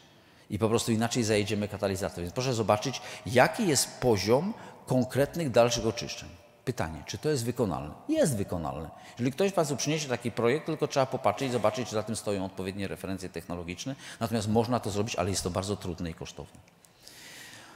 Na tym slajdzie mamy dalej, mamy układ piec, y, silnik y, ogniwa i syntezy i mamy pokazane pyły, zasady, y, związki kwaśne, zasadowe i smoły i różne techniki, jakie najczęściej są stosowane do, do, do usuwania zanieczyszczeń. Państwo sobie to zobaczycie. No i tutaj rozpisane są poszczególne operacje jednostkowe, a więc mamy procesy w momencie mamy procesy suche dla gazów gorących, mamy katalityczne adsorpcyjne, dalej mamy procesy suche dla gazów zimnych i procesy mokre i na koniec mamy odpylanie. I właściwie twórca technologii wybiera sobie z tych kostek, bo te kostki istnieją, one się nazywają po prostu operacje jednostkowe i z nich się właściwie składa, z gotowych rzeczy składa się instalacji. Po to, żeby zagwarantować na koniec odpowiedni stopień emisji. Tutaj powinienem zwrócić Państwu uwagę również na procesy, na, po- po- popatrzcie Państwo na prawej stronie, tam gdzie mamy metody niekonwencjonalne, na dole mamy procesy fotokatalistyczne, mamy procesy plazmowe, czyli są rzeczy, które są rozwijane, dla których na pewno należy przyszłość, trzeba w tym kierunku iść, natomiast na końcu zawsze trzeba powiedzieć referencje, gwarancje, kasa. Odpylanie gazów tak samo, możemy odpylać na najróżniejszy sposób, wszystko zależy od tego, jaką mamy fantazję, jakie mamy wymagania. Emisja ze spalarni, ja już przejdę przez niektóre slajdy szybciej. Proszę Państwa, zrobiłem taki slajd, napisałem uzasadnione obawy mieszkańców i przed tym trzeba się pochylić. Ale versus protesty tak zwanych zawodowych ekologów. To nie ma nic wspólnego z rozsądkiem. Jak przyjeżdżają z miasta A y, 500 kilometrów do innego i zaczynają mówić tym ludziom, że Państwa, jak, ta, jak ma być dobrze. To, to jest żenujące. I niestety bardzo przykro, że nie ma w Polsce metod rozsądnych walki z nim. Ja napisałem na dole do Państwa takie pytanie. Czy ktoś słyszał o protestach mieszkańców wybudowanych i oddanych do użytku od 2015 roku nowych spalarni odpadów w Polsce? I tych ludzi po prostu trzeba wziąć. Nikt nigdy w takim Koninie ani w takim Krakowie nie protestował, że mu spalarnia przeszkadza, bo tam po prostu jak zobaczą, to tam nie ma żadnego dymu, tam nic nie śmierdzi. Czasem jak są problemy, to nie z tymi dioksynami na kominie. Proszę Państwa, to są problemy, że ktoś przywiózł ciężarówką niedobrze zabezpieczone odpady i trochę tych worków foliowych wyleciało. Albo że komuś przeszkadza, bo za duży ruch jest ciężarówek. Trzeba zobaczyć się, w którym to jest miejscu. Ale na pewno nie, proszę Państwa, żadne dioksyny. To, to, jest, to jest po prostu głupota. Obawy lokalnej społeczności. Ja je podzieliłem swojego czasu na takie cztery grupy. Transport i logistyka odpadów przed spaleniem, czyli zwiększony ruch drogowy. Ludzie rzeczywiście tego się boją. Dwa, spadek wartości nieruchomości i to jest fakt. No ale o tym decyduje rynek. Jak ludzie są głupi, no jak jest blisko spalarni, to on tego nie chce. No dobrze, a jak mamy oczyszczalnię ścieków, zwykłą, normalnie, to przecież też czasem zaśmierdzi. Ktoś powie, też mu spada wartość inwestycji. A jak jest droga robiona, no to komuś też, jednemu to jest zadowolony, że jest przy drodze, a drugiemu nie. Proszę Państwa, nikomu nie ma, jeszcze taki nie urodził, żeby wszystkim dogodzić. Obawy zdrowotne, no to to są te emisje, o których cały czas mówimy mm, i głównie ludzie się boją, to drugie zdanie, ryzyko braku egzekwowania zapisów pozwoleń. Tego ludzie się boją. Nie, że w pozwoleniu będzie coś nie tak napisane. Ja mówię o prawdziwych ludziach, nie mówię o, o krzykaczach. Oni po prostu boją się tego, że swoją drogą zapis, a naprawdę, jak to się mówi, a w nocy i tak będą otwierać jakieś, włączać filtry z oszczędności. Taka jest mentalność w Polsce. No i mamy polityka finansowa samorządu. Czy nas na to stać? I co można za to zbudować? Szkołę, basen i tak dalej. Po co zbudować spalarnię? Dopiero trzeba tym ludziom bardzo jasno wytłumaczyć, że, że po prostu ich rachunki spadną. Yy, Tutaj napisamy, czy chcemy więcej płacić, czy chcemy mieć śmietnisko w pobliskim lesie i tak dalej. No oczywiście nie i na te pytania takie cztery każdy odpowie rozsądny człowiek nie, ale potem włączać ten drugi moduł. Ale nie kosztem zdrowia naszego i naszych dzieci. Zaczynają właśnie wyciągać te dziwactwa. Proszę Państwa, pokażę tylko dwa mm, takie slajdy, czyli standardy emisyjne, czyli standardy formalne, które są w prawie zapisane dla spalania odpadów. Macie Państwo węgiel, biomasę i proszę zobaczyć, co jest ważne. Odpady w przeliczeniu na 11% tlenu, bo tak mówi, mówią zapisy w rozporządzeniach, ale nie można porównywać konia z krową, prawda? Więc te 11% tlenu trzeba by przeliczyć na 6. Czyli tak, bo, bo dla węgla i dla biomasy jest 6%. Jeżeli przeliczymy na 6, to Państwo patrzcie, dla pyłu. Węgiel 30, biomasa 30, odpady 15. Proszę za spalanie jak spalanie, czyli tu jest ostrzej. Ym, SO2 400, 275.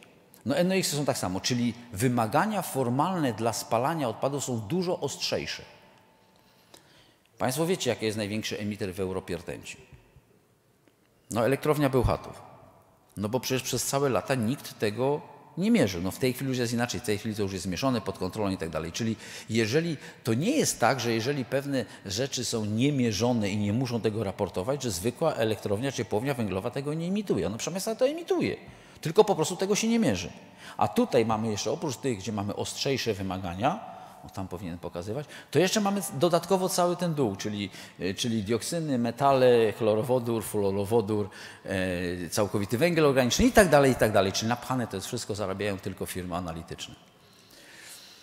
Tu mamy porównanie, wziąłem takie porównanie z amerykańskich e, kilku spalarni i mamy odpady, węgiel, olej i gaz ziemny. No jeżeli porównamy się do gazu ziemnego, to nie wychodzi to aż tak dobrze, ale jak popatrzymy sobie na węgiel i olej, no to zwróćcie Państwo, CO2 dwa razy mniej, no bo mamy tą część biomasową. Jesteśmy na poziomie praktycznie gazu ziemnego, czyli jesteśmy bardzo czyści pod względem klimatycznym. czym oczywiście powtarzam zawsze, CO2 to nie jest żadne zanieczyszczenie. Oddzielmy klimat od ochrony, e, od ochrony mm, atmosfery. Ochrona klimatu jest zupełnie czymś innym, ale jak weźmiemy SO2 i NOx, no to to są wartości takie, że jeżeli tutaj mamy dla SO2 mamy na poziomie 5, a tutaj mamy 0,2, no to Państwo wiecie, to jest 20 razy mniej. Emisja spalarni odpadów. Czy spalarnia emituje dużo CO2? Też czasami niektórzy się mówią, że emituje dużo. No proszę Państwa, mniej emituje. Ona emituje więcej CO2, ale to Państwu mówię. No, ale, ale pytanie, czy ile ona emituje tego CO2, które uznawane jest w obliczeniu jako CO2 szkodliwy klimatycznie? No to wtedy mniej. No bo ona ma tą część biomasową. Ale oczywiście, jakby ktoś powiedział, czy ścigamy na, że się będziemy ścigać y, na, na ciepło, nie wiem, ze spalarni w stosunku do, do energii słonecznej, no to oczywiście, że, że wtedy spalarnia nie wygrywa, bo spalarnię trzeba porównywać do obiektów cieplnych. Y, bardzo podobne, albo nawet dokładnie takie same miał pan profesor. Nie będę mówił o tym, że mamy, mamy, mamy bardzo, jak popatrzymy na polskie spalarnie, to mamy bardzo wyśrubowane parametry, już mamy wiele lat pomiarów i nie ma się czego bać. To wszystko działa. Nie będę. Ja tylko pokażę państwu to. Więc to nawet nie chodzi o to, że my mamy tak wyśrubowane normy. Jest najważniejszą sprawą. Proszę Państwa, każdy ma monitoring online.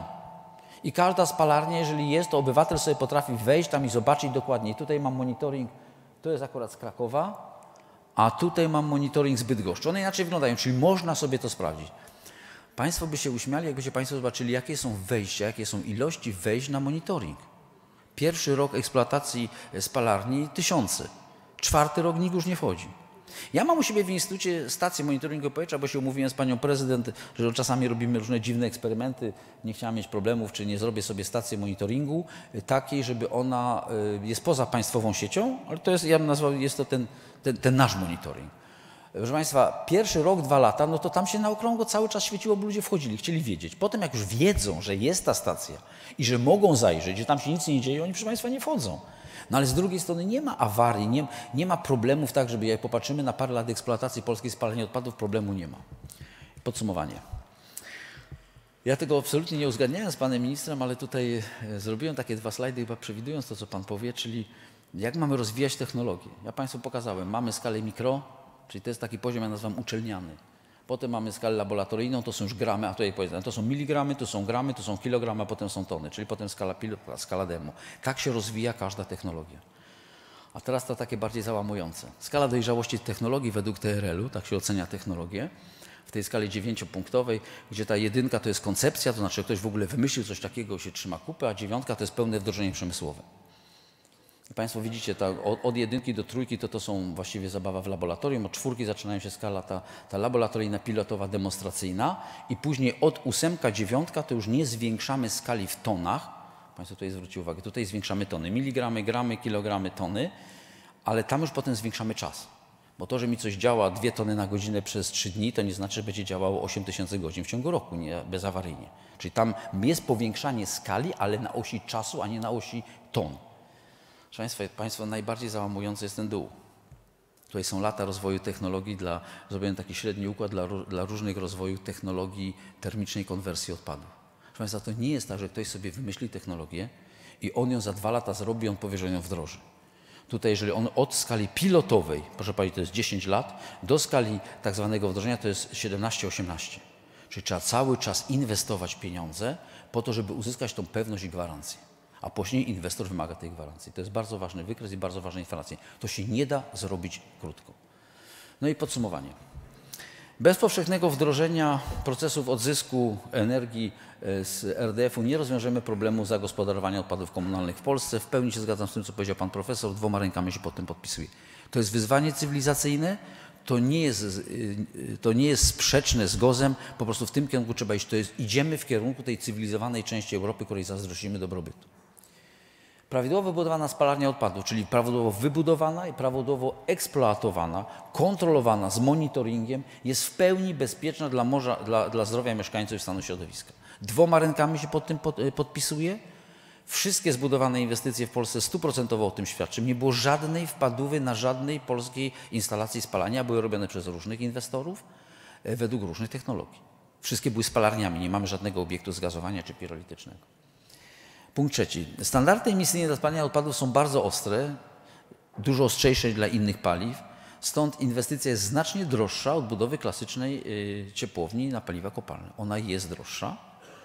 Ja uważam, że firmy wykorzystują swoistego rodzaju boom i, i jest ona za droga. Ona nie powinna aż tyle kosztować. Znaczy, Państwo muszą wiedzieć, że ona będzie trochę droższa, ale ona nie będzie trzy razy droższa. Natomiast no, prawo popytu i podaży, jak nagle e, ruszymy z 30 projektami w Polsce, no to ceny no, pójdą. zresztą Państwo wiecie, jak ci, co podpisali umowy, jakie na dzisiaj mają problemy z domknięciem budżetu, już na to nałożyła się inflacja i bardzo duży wzrost tych kosztów inwestycji, to jest problem. No i kluczowe decyzje ważne dla lokalnej społeczności winny być podejmowane wy, wyłącznie na podstawie rzetelnej analizy problemu opartej na niepodważanych faktach naukowych. W takim świecie chciałbym żyć, w takim świecie dzisiaj nie żyjemy i trzeba sobie z tego zdawać sprawę. Proszę Państwa, taki ostatni slajd napisałem tak. W każdej lokalnej społeczności pojawią się ludzie przekonani, że monitoring emisji online to oszustwo yy, i pic na wodę, czyli to też, że ten monitoring pokazałem, to tam wpisująco bądź. A w nocy to wyłączają filtry dla oszczędności. A dzieci chorują, bo słyszałem, że córka Kowalskiej i tak dalej. A ceny i tak będą rosły, a wszędzie śmierci, a sam... Wyłącza mi się już? Już mam nie dość po prostu. A tutaj tego dobrze, tutaj mi się pojawiało. Proszę Państwa, wszędzie śmierdzi i tak dalej. No, no będą tacy ludzie. Problem jest taki, że w 80-tysięcznym mieście, jeżeli się pojawia grupa takich 50 osób, bo to jest taka skala, to jest kłopot, jak nie rozmawiać z tą 50, proszę Państwa, szkoda czasu. Trzeba rozmawiać z tymi, z tymi pięć, trzeba znaleźć 500 ludzi, którzy będą chcieli tej spalarni świadomie. Oni mają przykryć czapkami tym, tych krzykaczy, a szczególnie tych krzykaczy, którzy przyjechali z zupełnie innej części Polski. Warunek sukcesu? Inwestycja w spalarnię RDF jest bezpieczna i opłacalna, lecz wymaga konsensusu społecznego, następnie odważnych, przemyślanych decyzji oraz najczęściej, pan prezes wyszedł, wsparcia finansowego. Bez wsparcia finansowego nic nie pójdzie.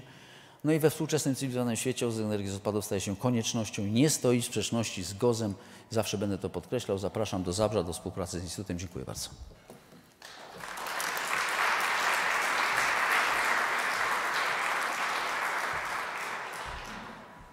Dziękuję bardzo e, panu doktorowi. Nie wiem, e, jak wielu prawników jest na sali, natomiast pan doktor e, e, zrobił coś, co mnie e, po prostu e, bardzo zastanowiło. To znaczy e, wyjaśnił wreszcie, że e, e, może być spalarnia, w której nie ma spalania.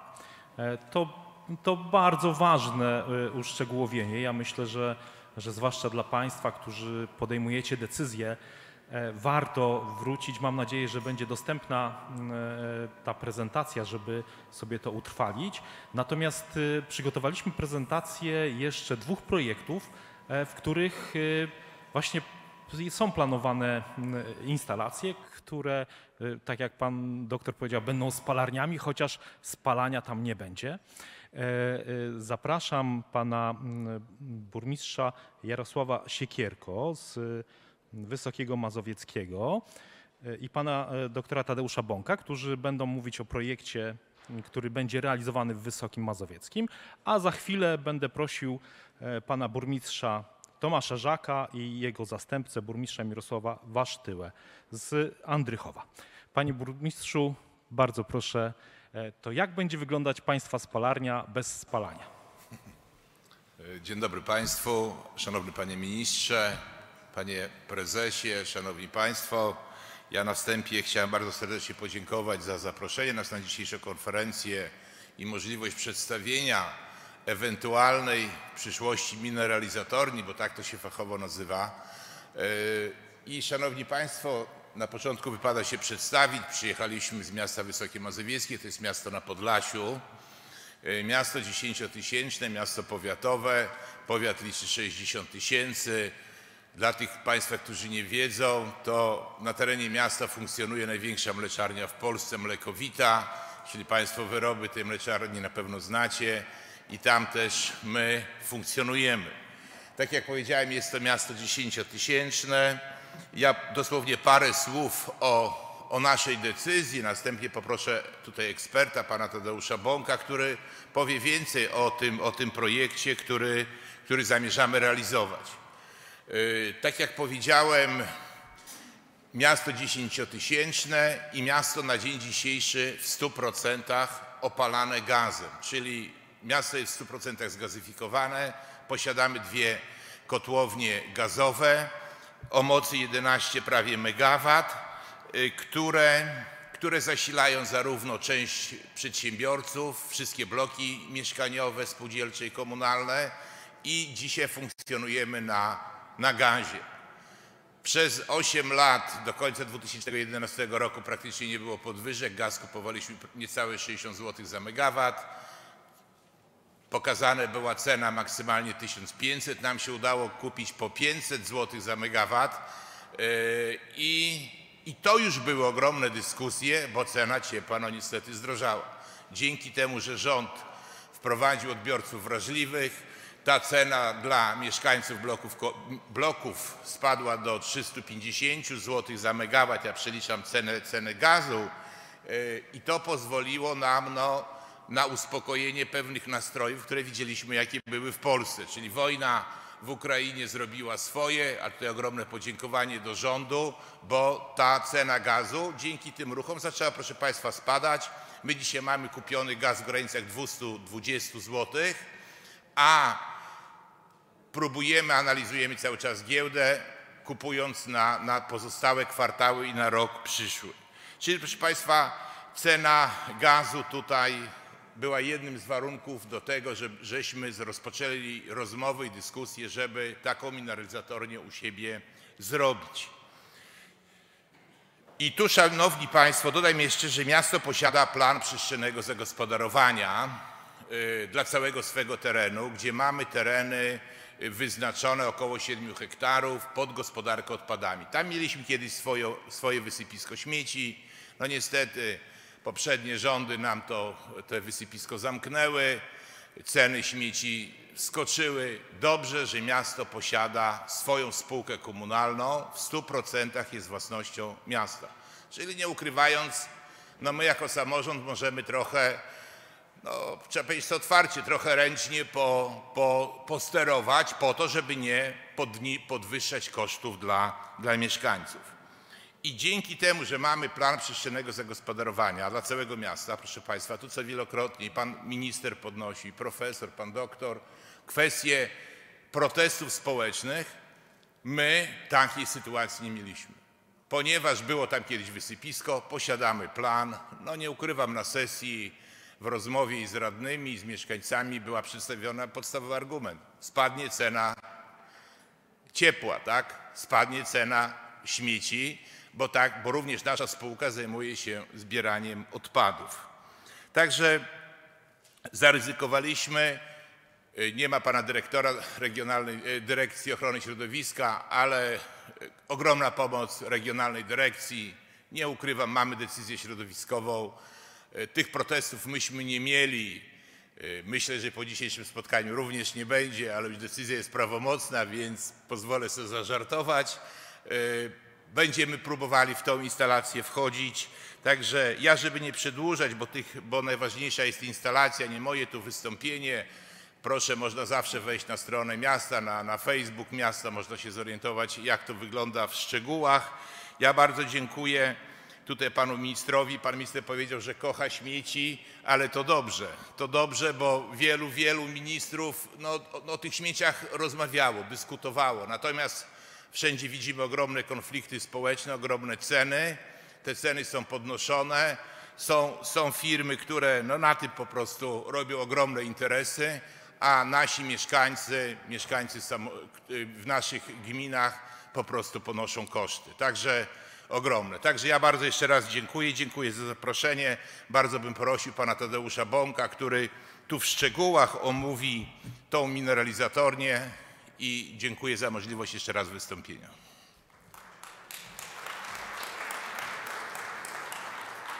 Witam Państwa i dziękuję. Momencik. O. E, proszę Państwa, e, zakład e, mineralizacji odpadów, no, charakterystyczna nazwa, chodzi konkretnie o zgazowanie. W klasycznym układzie zgazowarki poziomej Generalnie rozwiązanie, pozyskanie gazów, e, gazu syntetycznego i po oczyszczeniu jego katalityczne utlenienie.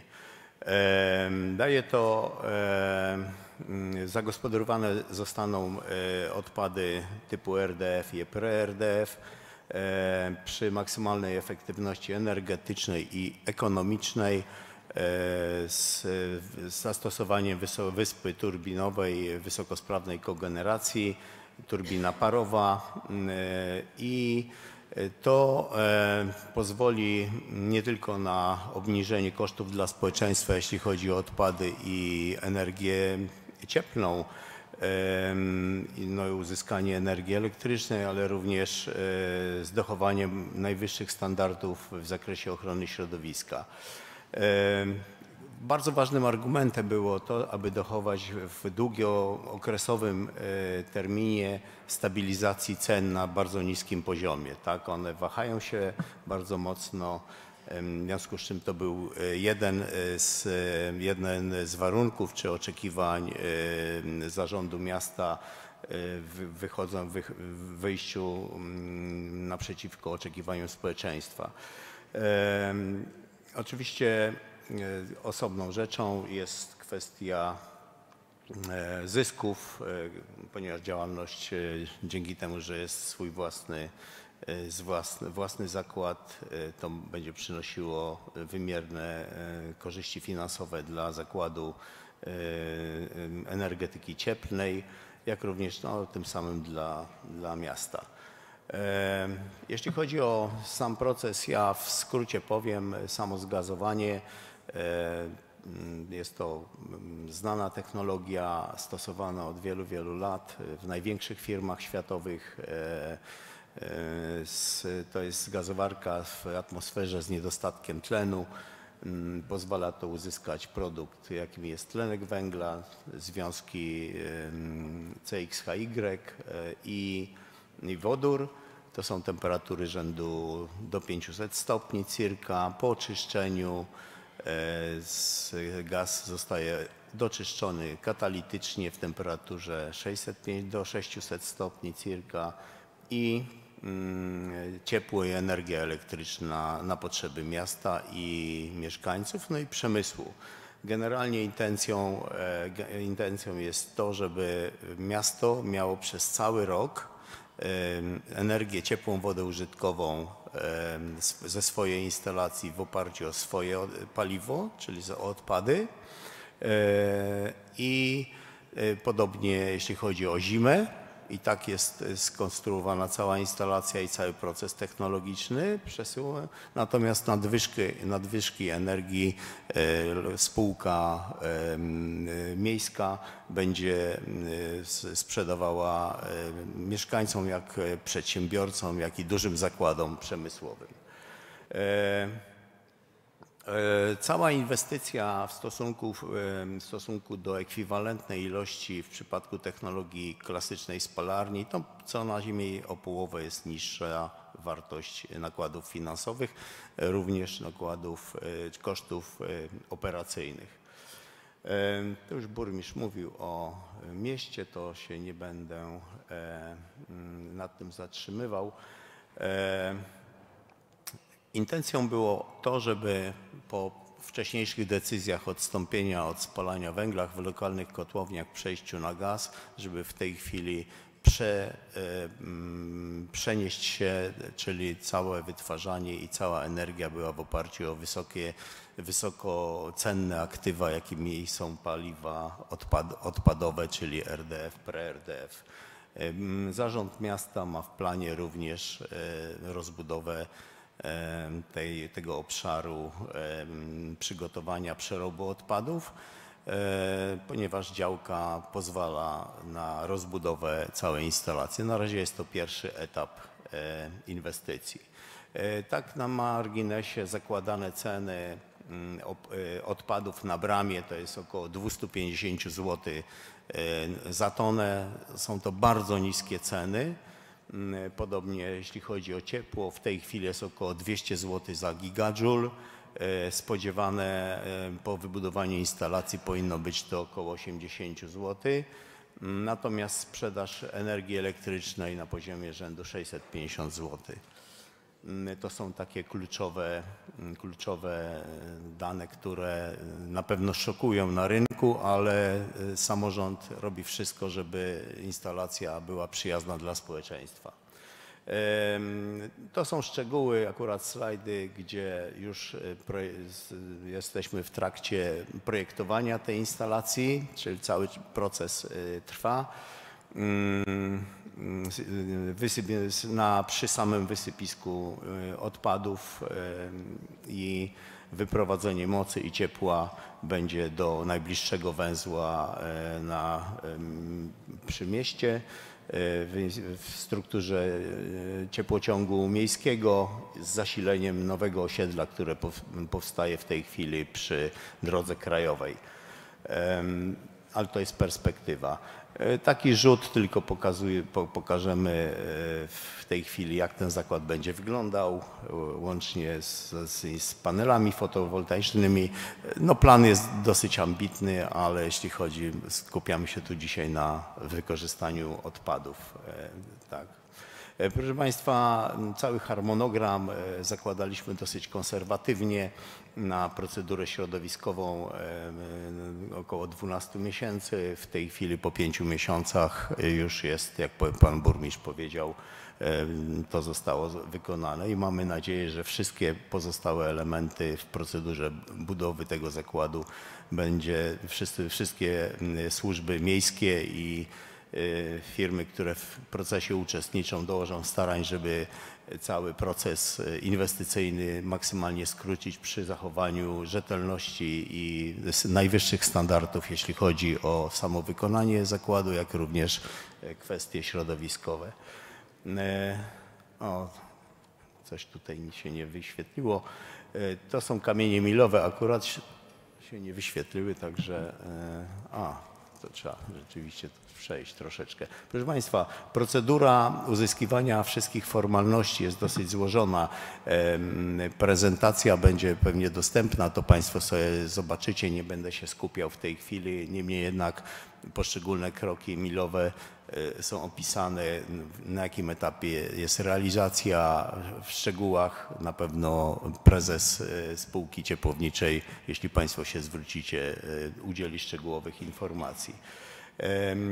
Ja jeszcze tylko chciałem powiedzieć, ponieważ cała inwestycja jest e, e, otwarta, pokazywane są dane, jakie efektywność, jakie nakłady, w związku z czym pozwolę sobie tylko e, takie kluczowe rzeczy. Będzie przerabiane około 25 tysięcy ton. Nakłady jednostko, nakłady na inwestycje całkowite około 130 milionów. E, I e, jeśli chodzi o to, co finansistów bardzo interesuje, to jest e, IRR, czyli okres zwrotu, no kilkanaście procent, także to jest bardzo atrakcyjne, ale w e, gospodarce odpadowej przy zachowaniu tak atrakcyjnych cen dla społeczeństwa, to, to e, ta inwestycja jest e, bardzo, bardzo fajnie e, sparametryzowana. No oczywiście y, takich o szczegółach nie będę w tej chwili, mm, ponieważ Państwo będziecie mieli y, w prezentacji. Poza tym, e, jeśli chodzi o płynność i pokrycie długu, również e, wskaźniki mm, są bardzo atrakcyjne.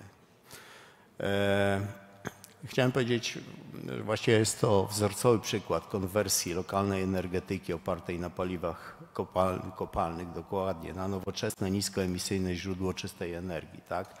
I o obniżonym śladzie węglowym. No dzisiaj jest y, kwestia z ETS-ów. Na razie, jak pan doktor Sobolewski wspomniał, e, nie ma e, obowiązku, nie zobaczymy co będzie w przyszłości. Miejmy nadzieję, że mm, będzie zero, będą zerowe dalej. No i co ciekawe, mm, to w trakcie realizacji tego projektu y, spotkaliśmy się z bardzo pozytywnym odbiorem.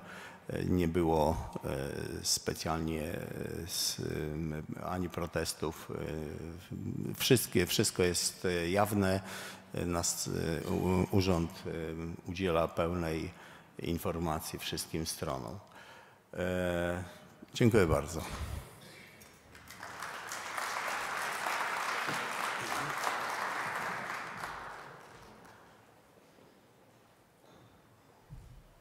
Dziękuję bardzo. Mieliśmy przykład zgazowywania. Jest jeszcze przed nami druga technologia. Poproszę pana burmistrza e, Tomasza Żaka i zastępcę burmistrza pana Mirosława Wosztyłę. Andrychów.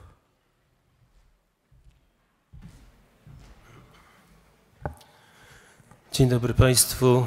E, Szanowni Państwo, ja wprowadzę troszkę informacji na temat Andrychowa, bo nie wiem, czy w ogóle Państwo wiedzą, gdzie leży Andrychów. To jest trochę większa gmina niż e, mojego poprzednika, bo gmina, w której mieszka ponad 44 tysiące mieszkańców.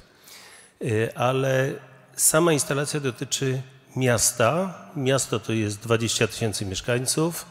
Miasto do okresu zmian ustrojowych z przemysłem ciężkim, bawełnianym. Na pewno wiele osób słyszało o silnikach wysokoprężnych, czyli wytwórnia silników wysokoprężnych Andoria w Andrychowie, bo to były bardzo popularne dawniej silniki. Andrychowskie Zakłady Przemysłu Bawełnianego czy Andrychowska Fabryka Maszyn. E, w szczątkowej, że tak powiem, e, formie one dalej działają. Natomiast gmina bardzo dynamicznie rozwijająca się od, od wielu, wielu lat. Posiadamy strefę ekonomiczną, no, około 60 podmiotów gospodarczych, małych, średnich i dużych. Myślę, że też znana taka nazwa jest firmy jak Ogniochron, czyli firma, która ma 80% rynku polskiego w produkcji gaśnic i sprzętu pożarniczego. Powiem tak, y, kryzys nam się kojarzy y, z pandemią i z obecnie y, wojną na wschodzie, natomiast Andrychów jest w kryzysie od 2019 roku i to w kryzysie energetycznym. E, ja tu dziękuję panu ministrowi, wszystkim moim przedmówcom za jakby fakty, które tak naprawdę w tej chwili dzieją się na naszych oczach za pokazanie problemów, które mamy. Gratuluję samorządowcom, którzy się w ogóle odważają wchodzić w ten temat, bo to nie jest łatwy temat, zwłaszcza jeżeli chodzi o odczucia społeczne. A zbliżają się wybory yy, i na pewno każdy samorządowiec gdzieś tam z tyłu głowy sobie analizuje, czy warto się w to, że tak powiem, mierzyć się z takim zadaniem, czy nie bo tak jak powiedziałem, te emocje społeczne, które tu pan doktor e, przedstawiał, naprawdę są na, e, codziennie odczuwalne, bo, bo mieszkańcy podchodzą do nas i mówią, znowu coś tam wymyśliliście, jakąś spalarnię, będziecie nas truć i, nie wiadomo co. E, ale drodzy Państwo, w 2019 roku w Andrychowie upadła tak naprawdę, może nie upadła, ale miała wielkie problemy finansowe prywatna elektrociepłownia. I tu mieliśmy dylemat, ponieważ e, zbliżał się sezon zimowy i staliśmy przed obliczem kryzysu e, energetycznego. E, zarówno Tauron Energia, bo, bo taki nas operator obsługiwał, zaczęła wyłączać nam prąd w mieście, jak również perspektywa zbliżającej się zimy powodowała, że miasto stałoby się, że tak powiem, miastem w ogóle nieogrzanym mogły stanąć wszystkie przedsiębiorstwa. No, kryzys był bardzo duży. Powiem tak, podjęliśmy rękawice, stworzyliśmy spółkę gminną, wydzierżawiliśmy majątek. Od 2019 roku to gmina ma spółkę z stuprocentowym udziałem gminy, e, energetyczną i cieplną. E, posiadamy koncesję na produkcję, dystrybucję i sprzedaż energii cieplnej i e, elektrycznej. I w przyszłym, miesiącu, w przyszłym roku będziemy obchodzić pięciolecie istnienia tej spółki, która jakoś funkcjonuje. Natomiast kryzys powoduje to, że poszukujemy nowych rozwiązań. Z założenia stwierdziliśmy, że beneficjentem mają być mieszkańcy. Ja tu nie mówię o obniżaniu cen, bo, bo tego nie obiecuję, ale zawsze mówiłem, że y, postaramy się ustabilizować ceny. Czyli żeby te ceny nie rosły w długiej perspektywie. E, i zaczęliśmy poszukiwać e, różnych sposobów i różnych technologii, zwłaszcza technologii nowoczesnych, które są już tak naprawdę sprawdzone i one działają na, w krajach zachodnich. Również w Polsce poszukiwaliśmy takich e, technologii. Natomiast naszym, naszą potrzebą był bardziej e, gaz e, palny, syntezowy niż ciepło, więc e, tych technologii jednak na świecie jest sporo i zaczęliśmy je porównywać. Ponieważ ja mam Tomasz na imię, to jestem taki niewierny, więc musiałem stwierdzić naocznie. Wykonaliśmy kilka wyjazdów studyjnych. Byliśmy w instalacjach e, w Wielkiej Brytanii, kontaktowaliśmy się ze Stanami Zjednoczonymi. No i w końcu padło na technologię, która jest em, sprawdzona i e, opatentowana w Szwajcarii. No mając na uwadze to, że Szwajcarzy mają te rygory bardzo ostre swoich technologii, dotknęliśmy i uwierzyliśmy. I może o szczegółach opowie mój zastępca Mirosław Asztyn. Bardzo proszę.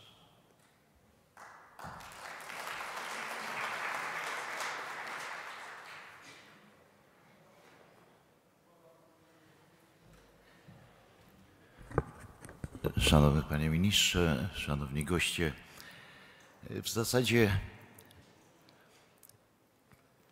nie wiadomo jak zacząć.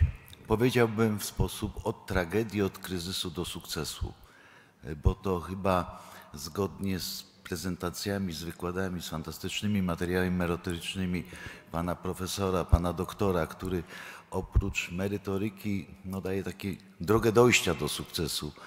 Natomiast w praktyce ta droga dojścia obarczona jest dużą determinacją i wolą zmiany tego świata lokalnego. Tak jak powiedział pan burmistrz, myśmy, szanowni państwo, na przełomie lipca-sierpnia w roku 2019 stanęli przed- dylematem ubóstwa energetycznego, kryzysu energetycznego w gminie. Żaden doświadczony, czy nawet mniej doświadczony samorządowiec nie jest w stanie sobie wyobrazić w obliczu zbliżającego się sezonu zimowego, że większa część miasta mieszkańców pozbawiona jest ciepła, ciepłej wody, większość zakładów przemysłowych pozbawiona jest ciepła, prądu i miasto powoli umiera. I niesamowity zbieg okoliczności, determinacji i dobrej woli ludzi i instytucji spowodował to, że w ciągu miesiąca czasu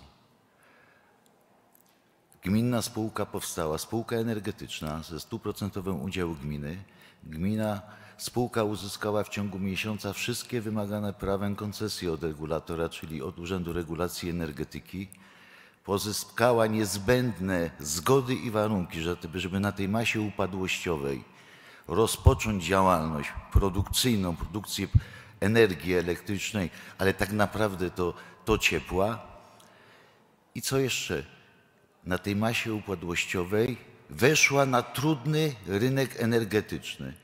To nie jest proste dla start-upu, który nie ma żadnej historii energetycznej, wejść na kontraktację zakupów paliwa gazowego, ponieważ w tej całej tragedii podjęliśmy jeszcze jedną strategiczną decyzję. Będziemy spółką, y, będziemy gminą zieloną, ponieważ 90% gminy to są tereny leśne i tereny rolne. Odchodzimy od paliw kopalnych, odchodzimy od węgla i przechodzimy na produkcję w kogeneracji gazowej z paliwa gazowego. W ciągu dwóch, trzech miesięcy zaczęliśmy kontraktować to paliwo na giełdzie, nabieraliśmy doświadczeń. I można powiedzieć, okrzepliśmy w tych trudach, ale nie przewidywaliśmy, że lata następne i tak dynamiczna zmiana cen paliw na rynku energetycznym, zarówno gazu, jak i węgla, doprowadzi do kolejnego kryzysu energetycznego, ponieważ myśmy nie mieli, z wyjątkiem dzierżawionej od pol energii turbiny gazowej, żadnych własnych źródeł ciepła. Posiłkowaliśmy się kotłowniami kontenerowymi ściąganymi z Holandii, naszymi tutaj partnerami, tak żeby zabezpieczyć zadanie, zrealizować zadanie własnej gminy. W momencie, kiedy przejęliśmy ten majątek, który był w rękach prywatnych, podjęliśmy się trudu realizacji tego zadania. W ostatnich latach 2021-2022 niestety z racji przepisów nie mogliśmy korzystać ze starej instalacji węglowej kotła 40-50-letniego, ponieważ poprzedni właściciel zostawił tej instalacji cały ten dobytek z niezapłaconymi karami za umorzenie praw do emisji dwutlenku węgla. Stąd kupowaliśmy ciepło od końca roku 2022 i 2023 wróciliśmy do paliwa gazowego. I z tego problemu narodziła się ścieżka, ścieżka dojścia do perspektywy, ponieważ pojawiła się i była świadomość konieczności transformacji energetycznej w gminie, bo to, że ta transformacja energetyczna będzie konieczna na poziomie centralnym, jest oczywiste. Nie zawsze ta świadomość jest w samorządzie lokalnym. I po- uporządkowania i wykorzystania, wykorzystania tego, co pan minister mówi, tych ulubionych śmieci, czyli mają wykorzystać ten lokalny majątek, żeby uzyskać alternatywne paliwo. Paliwo, które może być wykorzystane w konwencjonalnej energetyce, czy w konwencjonalnej ciepłowni, czy elektrociepłowni. Ja nie będę opowiadał, bo tutaj prezentacja instalacji termicznego przekształcania odpadów, co również sama definicja, o- na którą zwrócił pan doktor tutaj uwagę, wywołuje szereg kontrowersji i sprzeczności w opiniach publicznych, że tak naprawdę instalacja termicznego przekształcenia odpadów, czy to jest paladia, proces prowadzenia, procesy termicznego przekształcenia mogą być realizowane słusznie w procesie spalania, w procesie zgazowania pyrolizy, czy technologii, której my się tutaj przyglądaliśmy, wysokotemperaturowej hydrolizy, czyli rozwiązania między procesem w tym trójkącie przemian termicznych między zgazowaniem a pyrolizą w temperaturze 1200 stopni. Zadaliśmy sobie pytanie, bo w międzyczasie spółka gminna w tym okresie dwuletnim odkupiła cały majątek dystrybucyjny, jeżeli chodzi o sieci ciepłownicze i sieci energetyczne. Dzisiaj Miejska Spółka Ciepłownicza jest lokalnym dyspu, dyspo, dys, operatorem systemu dystrybucyjnego. Mamy ponad 32 km sieci, sieci parowych, sieci wodnych, wysokotemperaturowych, niskotemperaturowych. Jesteśmy operatorem systemu energetycznego, mamy własne sieci 15, 6 i, i KV i, niskiego napięcia. Jesteśmy w rejonie tutaj dyspozycji, powiedzmy całą dystrybucja i z nimi w tym zakresie dystrybucji energii elektrycznej na bieżąco współpracujemy. W międzyczasie kupiliśmy dwa nowe kotły, przepraszam, nie nowe, dwa kotły na paliwo gazowe, ponieważ podjęliśmy decyzję, że w podstawie będzie pracował turbogenerator, czyli turbina, natomiast kotły szczytowo-rezerwowe to są również kotły gazowe, jeden kocioł parowy o mocy 10,5 MW, drugi jest kocioł wodny o mocy 6 MW. Dodając do tego turbinę z kotłem odzysknicowym o mocy 6 MW i mocy elektrycznej 3,4 mamy moc źródle na poziomie 22,5 MW.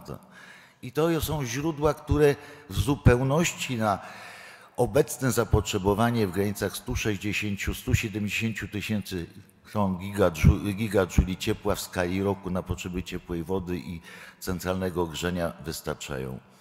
Jakie postawiliśmy sobie kamienie milowe w ścieżce dojścia do, te, do tego miejsca, gdzie dzisiaj jesteśmy? E, Dzisiaj, Szanowni Państwo, tak jak burmistrz wspominał, dalej mamy świadomość kryzysu energetycznego. Większość majątku energetycznego nie jest nasza. Jest to majątek dzierżawiony. Rozmowy z właścicielami, przedłużające się postępowania sądowe, komornicze powodują, że no, budzi to czasami niezdrowe emocje, y, ale udaje nam się ten, te, te problemy załatwiać. Jesteśmy właścicielami sieci. Mamy zmienione coś, co jest najistotniejsze, co jest kamieniem, kamieniem milowym i często przeszkodą w realizacji tego typu odważnych, innowacyjnych przedsięwzięć. Zmienione studium zagos- zagospodarowania przestrzennego i plan zagospodarowania przestrzennego. I uśmiechałem się pod nosem, jak pan doktor e, tutaj sprawozdawał, jakie samorządy mogą mieć problemy. Szanowni Państwo, myśmy to przeszli. Myśmy to przeszli i to nie jest dyskusja na poziomie wiedzy merytorycznej. Wiedzy merytorycznej na tych konsultacjach nie ma. Jest tylko kwestia kontrolowanego, niekontrolowanego poziomu emocji. Wynikiem tych konsultacji społecznych jest totalny konsensus, który ja Państwu zacytuję przepis, jak mamy w planie zagospodarowania przestrzennego. Dopuszcza się budowę instalacji termicznego przekształcania odpadów na wskazanej działce inwestycyjnej, która jest własnością gminy Andrychów, działce w rejonie strefy aktywności gospodarczej, kompletnie uzbrojonej z wyprowadzeniem końcówki mocy energetycznej i ciepłowniczej, z wyłączeniem technologii spalania. Szanowni Państwo, pan profesor się uśmiecha. Z koniem nie byliśmy w stanie się kopać. Świadomość tej analizy, o którym panowie, i pan, pan profesor, i pan doktor, i pan minister mówił, jest powszechnie znana w kręgach naszych tutaj, gdzie z, wyzwaniem jest to sama odpowiedzialność za, za, za małą ojczyznę. Aspekt ekonomiczny, czyli stabilizacja cen, niekoniecznie działa. W pewnym momencie myśmy pomyśleli, a może myśmy za szybko ten kryzys zaże- zażegnali, bo być może, mówiąc tak kolokwialnie, warto było pokazać, że przez miesiąc, dwa kaloryfery są zimne i nie ma ciepłej wody w kranie. Mieszkańcy tego nie doświadczyli, tej reakcji samorządu. Natomiast mamy taki zapis. Jesteśmy przekonani o konieczności, co więcej, Szanowni Państwo, o konieczności tego typu działań. Instalacja nasza wpisuje się, jest w zgodzie z wojewódzkim planem zagospodarowania odpadów. Mamy wszystkie niezbędne już dokumenty.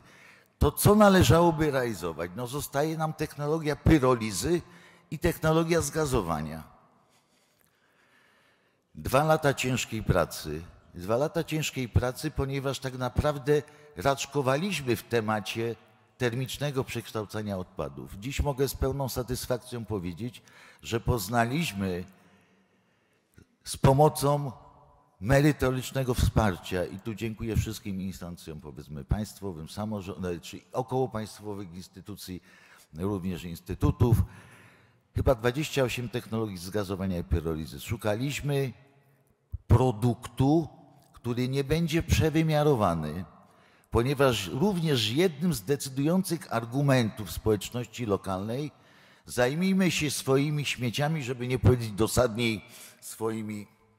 Nie ma mowy o sprowadzaniu tutaj śmieci spoza rejonu powiatu czy terenu tak zwanej Małopolski Zachodniej. Doskonale roze- rozeznaliśmy rynek surowca, czyli tego paliwa alternatywnego, całą jego morfologię. Poddaliśmy badaniom ten skład morfologiczny, ponieważ on też jest różny. Cała trudność tej technologii polega na niejedno, niejednorodności morfologicznej paliwa wejściowego, czyli tego RTF-u.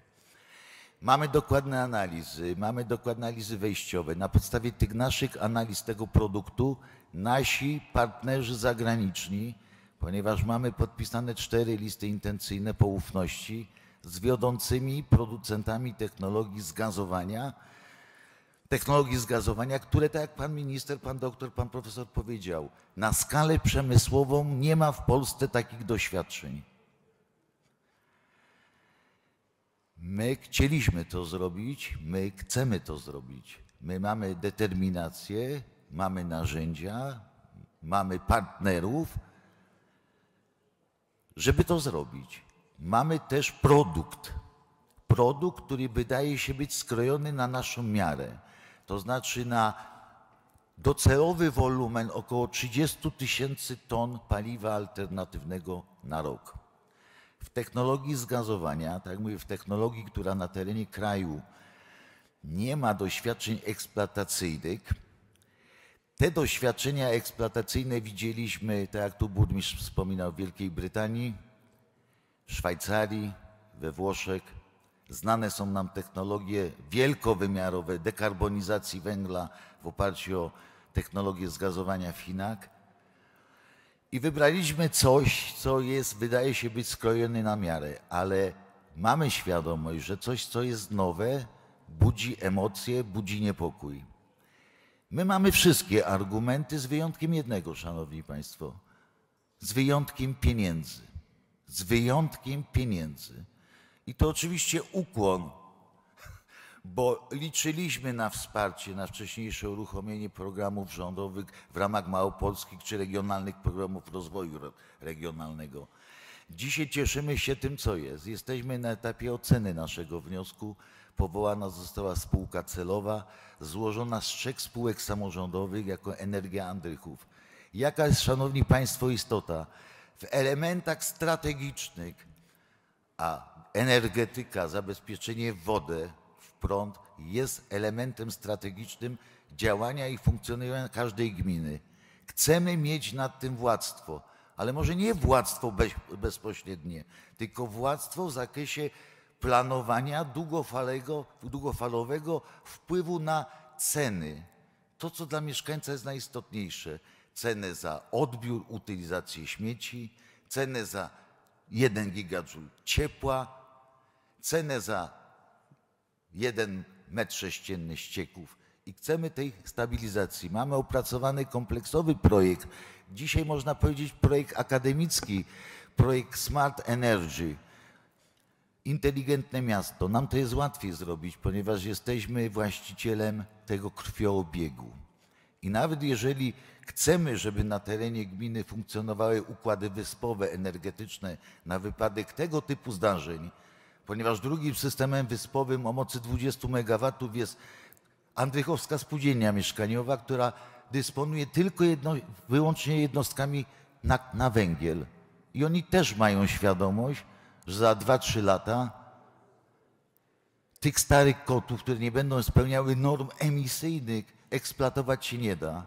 Stąd dzisiaj my wiemy, że jest determinacja, jest ten czas w takiej czy w takiej technologii i z wielką radością przyjmujemy tutaj o zorganizowanie tego typu konferencji, bo szanowni państwo, nie każdy samorządowiec, który, bo myśmy też tego nie mieli, kiedy nas to nie dotknęło, a jak dotknęło Andrychów, za rok, za dwa może dotknąć inny samorząd w Polsce.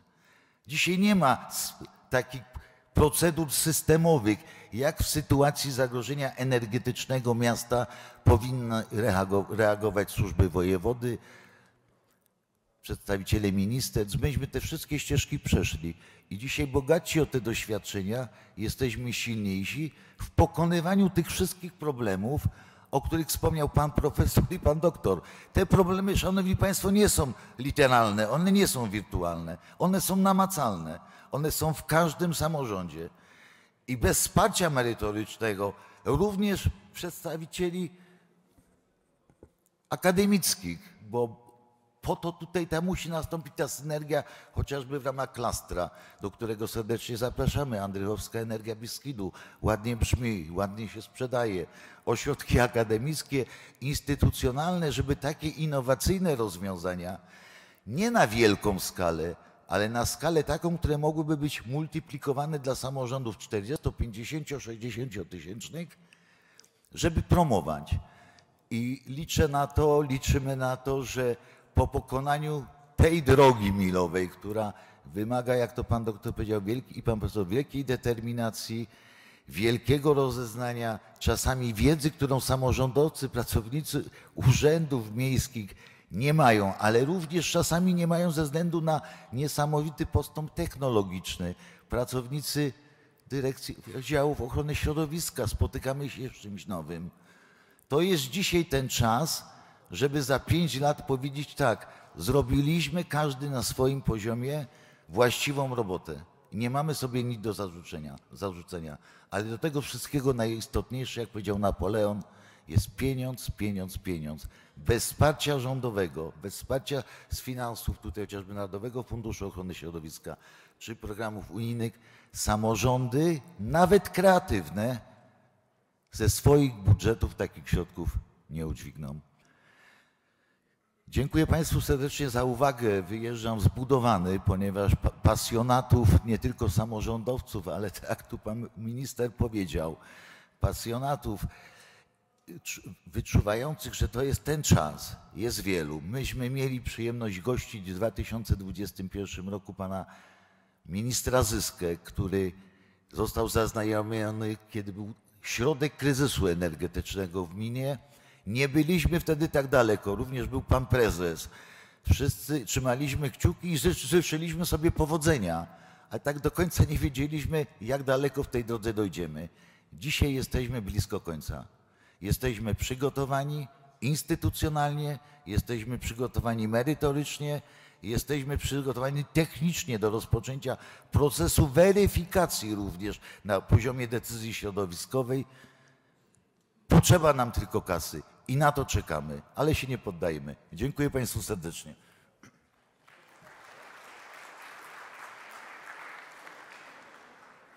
Dziękuję bardzo Państwu y, burmistrzom z Andrychowa.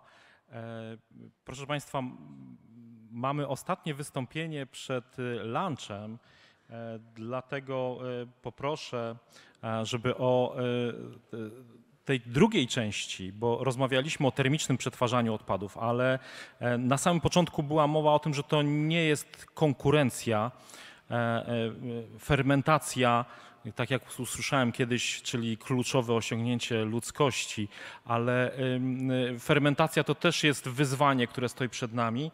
E, Jeśli chodzi o wprowadzenie e, co do y, technologii, poproszę pana profesora Andrzeja Jędrczaka z Uniwersytetu Zielonogórskiego o to, by e, przedstawił e, przeróbkę beztlenową odpadów komunalnych.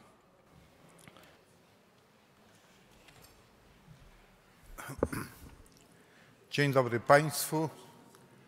Panie Ministrze, Szanowni Państwo. W swoim referacie przedstawię krótko podstawy fermentacji metanowej, historię fermentacji, surowce do przetwarzania metodami biologicznymi. Potem omówię różne dostępne na rynku technologie, w końcu produkty, które powstają podczas procesu i potencjalne emisje do środowiska. Proszę Państwa, fermentacja e, zachodzi powszechnie w środowisku, zachodzi wszędzie tam, gdzie jest substancja organiczna, gdzie jest woda i nie ma tlenu. E, Chemicznie ten proces opisał Boyle pokazał, z- że z materii organicznej e, powstaje e, w wyniku utlenienia części węgla tworzące, e, tworzącego tą materię dwutlenek węgla, a w wyniku redukcji pozostałego węgla metan. Ponieważ w materii organicznej jest jeszcze azot i siarka, to te dwa pierwiastki przechodzą zawsze formę amoniaku i siarkowodoru. Tabelka, którą teraz prezentuję, pokazuje ile z podstawowych składników substancji organicznej węglowodanów, tłuszczów i białek, ile powstaje e, biogazu i jaki jest jego skład. Najwięcej biogazu wytwarza się e, z tłuszczów. E, Około pół- ty- 1400 litrów na kilogram suchej masy. I Jest to biogaz najbardziej bogaty w metan, prawie 70%. Najmniej powstaje z węglowodanów i jest to biogaz składający się tylko a z dwutlenku węgla i metanu. W ostatnim wierszu tej tabelki pokazałem e, skład odpadów ulegających biodegradacji, które znajdują się w odpadach komunalnych i ilości powstające z tych odpadów gazu oraz skład tego gazu. Ilość to około 1000 litrów, a zawartość metanu 55%. Proces fermentacji jest bardzo złożony. Przebiega w czterech etapach. Pierwszy to hydroliza. Stałe związki tłuszcze, białka i węglowodany ulegają hydrolizie, przechodzą w monomery kwasy tłuszczowe, aminokwasy i mono lub dwucukry i te produkty są w wodzie rozpuszczalne. Stąd często mówimy o hydrolizie, że to jest proces upłynniania stałej masy. I jeszcze jedna ważna rzecz. Hydroliza jest procesem, który biegnie wolno i ona determinuje szybkość przebiegu całego procesu. Kolejne etapy to a, k- e, e, etap e, zakwaszania, kiedy z tych monomerów z kwasów tłuszczowych, aminokwasów, cukrów powstają wodór, dwutlenek węgla, kwas octowy oraz kwasy o zawartości węgla od 2 do 6, alkohole, aldehydy. Ten proces biegnie szybko i jak gdyby nie jest bardzo dla nas istotny technologów. E, Jedyne, co mogę powiedzieć tutaj istotnego, to o tym, ile powstaje tych niemetanowych produktów tego procesu, decyduje zawartość wodoru w biogazie. I jeżeli jest go dużo, to dużo powstaje tego kwasu propionowego, butylowego, alkoholi. I te związki rozkładane są do substratów do produkcji metanu w trzecim, w trzecim etapie, w trzeciej fazie, w octanogenezie, no a czwarta to produkcja metanu z wodoru i dwutlenku węgla lub w wyniku rozkładu e, kwasu octowego i tą drogą z rozkładu kwasu octowego powstaje najwięcej metanu, choć nie jest to droga termodynamicznie najbardziej korzystna. Tyle takiej teorii. Teraz króciutko o historii. E, Pan minister mówił, że nie mówimy o technologiach nowych. Tak, fermentacja to jest w zasadzie największe cywilizacyjne osiągnięcie człowieka. Fermentacja e, piwa i tam alkoholu generalnie. Ale jeżeli chodzi o gaz, biogaz był znany tysiąc lat przed naszą erą. Używano go do ogrzewania wody w wannach. E, Co prawda nie nazywano go biogazem, tylko gazem w bagien lub jakieś tam inaczej. Natomiast pierwsza instalacja powstała w 1859 roku w kolonii Trendowatych. E, Tam wykorzystywano fermentację do produkcji biogazu, który z kolei służył do ogrzewania i e, pomieszczeń i e, przygotowania posiłków. Niektórzy twierdzą, że na, w Nowej Zelandii trochę wcześniej powstała instalacja, ale generalnie przyjmijmy, że to był rok 1859. Ciekawe badania przeprowadził, takie naukowe już w 1883 Gajon, uczeń Pastera, mianowicie on przebadał wszystkie odchody zwierząt, różnych zwierząt, które w gospodarstwie domowym funkcjonują i stwierdził, że najwięcej gazu powstaje z odchodów końskich.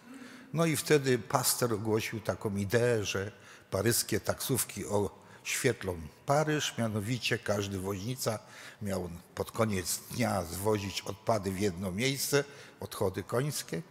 No i tam miała być instalacja, a wyprodukowany gaz miał oświetlić, miał trafiać do latarni ulicznych. Tak się nie stało, ale e, pierwsza duża oczyszczalnia, która została wybudowana w 95, 1895 roku w miejscowości Exeter, oczy, oczyszczalnia ścieków, miała komorę fermentacyjną, a wyprodukowany biogaz trafił do latarni ulicznych.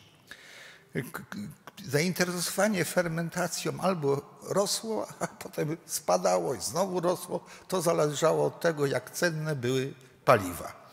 I ostatni taki mocny wzrost zanotowano w latach 70. minionego wieku i wtedy pojawiały się różne e, reklamy zachęcające ludzi, małych przedsiębiorców do fermentacji odpadów. Między innymi w Le Monde pokazał się taki rysun- rysuneczek. Kobieta krzyczy do gościa, który wychodzi, e, znamy z, z te e, domki z czerwonym serduszkiem, krzyczy, a co krzyczy? No krzyczy, wystarcza na jednego naleśnika, my mamy pięciu ludzi do wyżywienia, wracaj i przygotowuj surowiec w dalszej ilości. Natomiast jak się rozwijała fermentacja, pokazuje ten rysunek. Na osi X mamy lata, na osi Y przepustowość w tysiącach ton na rok wszystkich instalacji fermentacji odpadów, ale odpadów pochodzenia komunalnego. I niebieskie słupki pokazują, ile wynosiła przepustowość wszystkich działających instalacji, a czerwone, ile wybudowano w danym roku. Jak Państwo widzicie, e, takie prawdziwe zainteresowanie, prawdziwe, no, faktycznie zakłady przetwarzające odpady, biofrakcje z odpadów komunalnych powstały e, w latach 80. minionego wieku.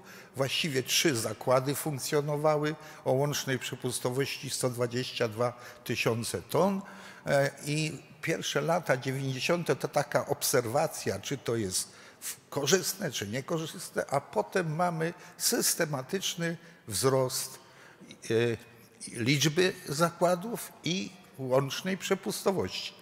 E, w roku 2021 przetwarzano łącznie 12 milionów ton odpadów ulegających biodegradacji pochodzenia komunalnego. E, teraz kilka słów, jakie surowce nadają się do fermentacji.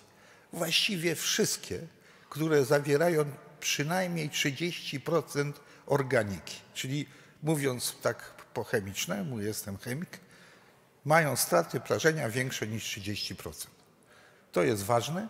Druga ważna rzecz, no bakterie lubią chleb i coś do chleba, czyli musi być tam azot i stosunek C do N powinno być wahać się od 15 do 1 do 35.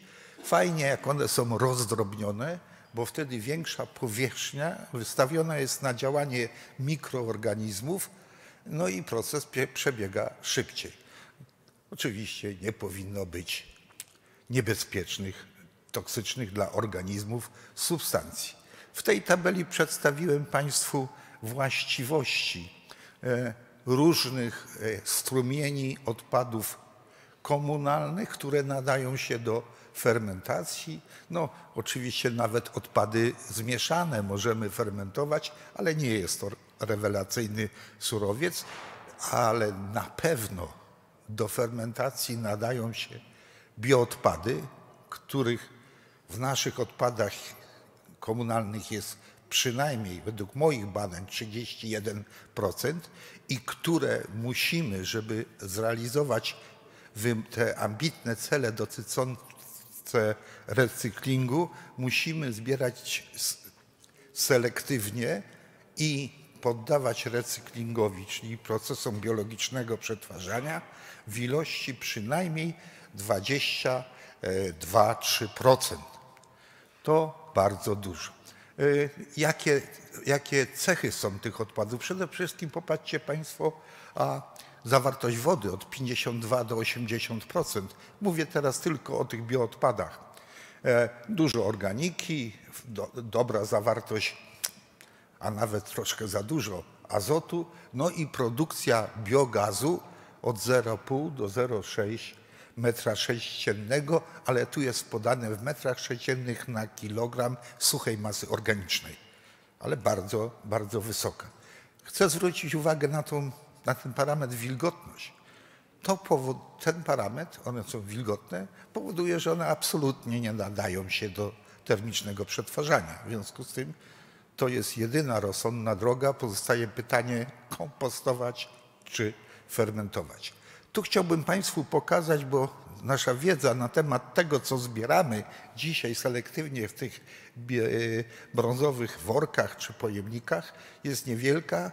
Ja prowadziłem w ubiegłym roku przez rok e, badania tego, co zbieramy pod względem ilości i składu w regionie o liczbie mieszkańców 200 tysięcy.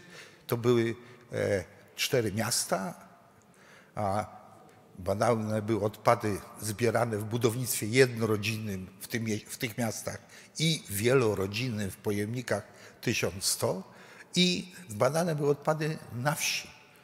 E, pokazuję tutaj skład. E, zielone pola to odpady ogrodowe, brązowe to spożywcze, takie pomarańczowe to marnowana żywność, a niebieskie, i na to prosiłbym zwrócić uwagę, to zanieczyszczenia. I jest takie wśród technologów przekonanie, że jeżeli zanieczyszczeń jest więcej niż 10%, to z tego odpadu nie zrobi się dobrego kompostu. W związku z tym taki odpad się nie nadaje specjalnie do e, recyklingu, bo usunąć te zanieczyszczenia jest szalenie trudno. E, Pracujemy nad tym, nad taką technologią, ale szanse są moim zdaniem niewielkie. I co to znaczy? Że te zabudowy wielorodzinnej mogą być problematyczne. E, A tu chciałbym pokazać Państwu, pokazuję Państwu, e, jak wygląda zużycie surowców do kompostowania i fermentacji w krajach Unii Europejskiej. A, e, i, i, może, oj, okej, myślałem, że na dole jest napisane, nie, nie jest napisane, więc powiem z pamięci. Do kompostowania a, trafia 12 milionów ton, a do, do, przepraszam, do fermentacji trafia 12 milionów ton, a do kompostowania 24 miliony ton, czyli dwie trzecie obecnie, ale proszę zwrócić uwagę, jakie odpa- odpady trafiają do kompostowania. Kuchenne e, i inne. To są odpady z tak zwanych wielkich kuchni, stołówek, czyli też troszkę byśmy nazwali, nazwali to kuchennymi, tylko z dużych kuchni i z przemysłu spożywczego. Ogrodowe nie za bardzo. Ogrodowe do, to tutaj jest termin zielony, do kompostowania i bioodpady jeszcze ciągle e, bardziej chętnie, te zmieszane ogrodowe plus kuchenne, bardziej do kompostowania. I na jedną jeszcze malutką cyfrę chcę zwrócić uwagę, 1%. Otóż w procesie fermentacji, o tym będę mówił, powstaje produkt stały i powinno się według mnie jako technologa poddawać go tlenowej stabilizacji, wtedy to będzie pełnowartościowy kompost. I tej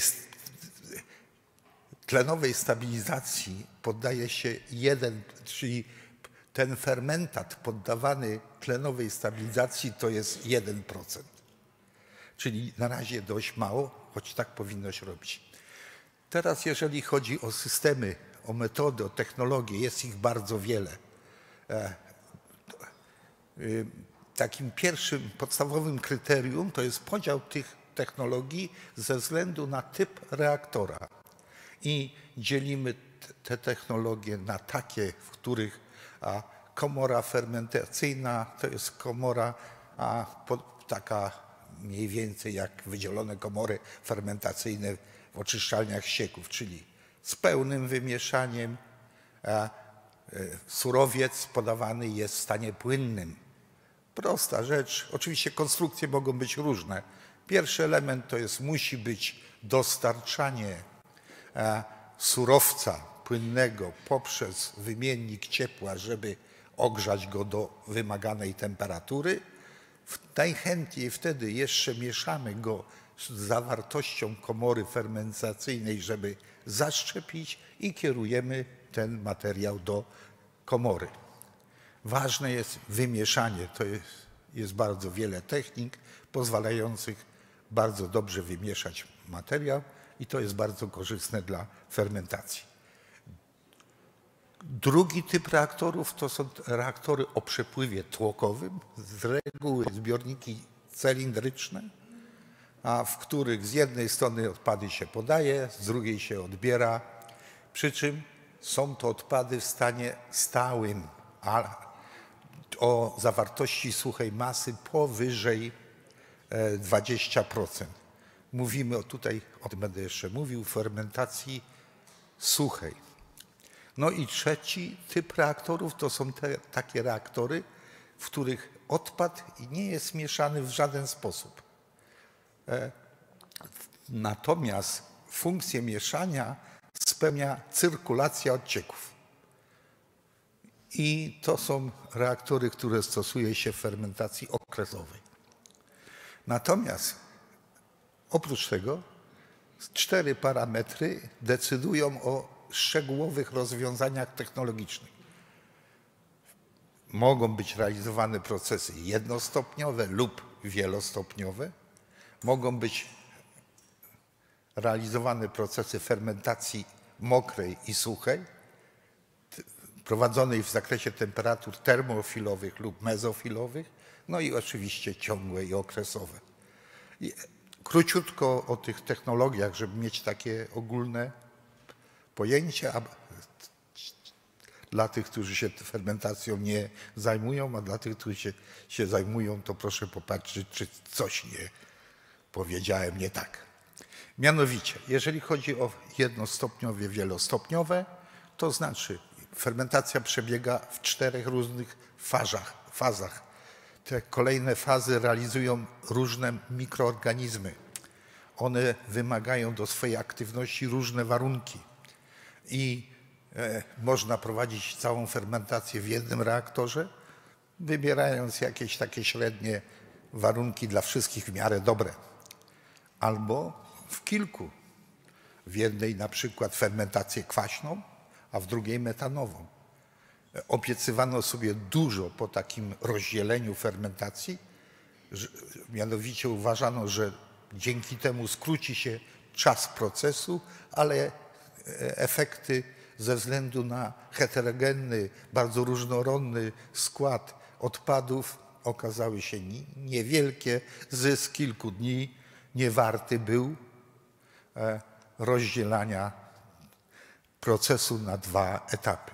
I ja dołączam do każdej takiego, do każdego opisu wady i zalety takiego rozwiązania. Jeżeli chodzi o metodę jednostopniową, będę czytał tylko zalety.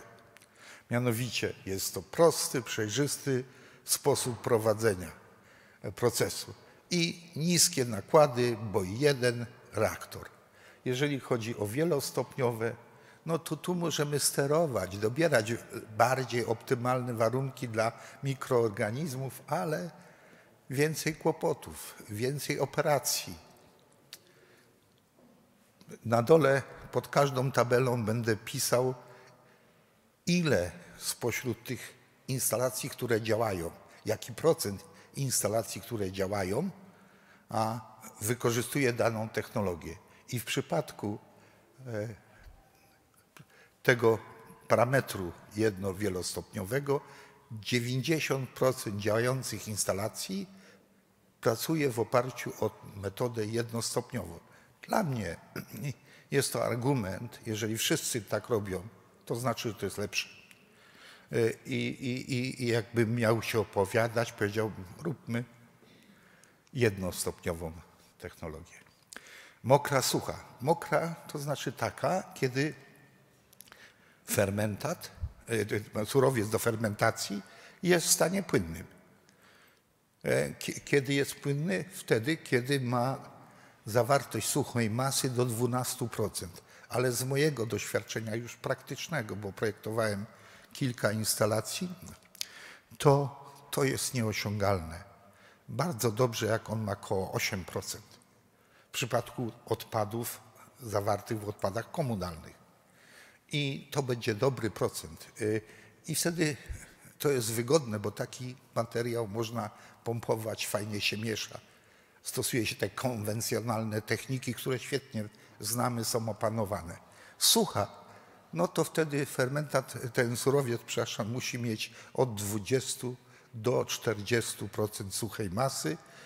Tyle w teorii, w praktyce 20-30, powyżej 40 fermentacja praktycznie nie przebiega z inżynierską prędkością, a między 30 a 40 przebiega słabo. I teraz jak taki układ jest zbudowany?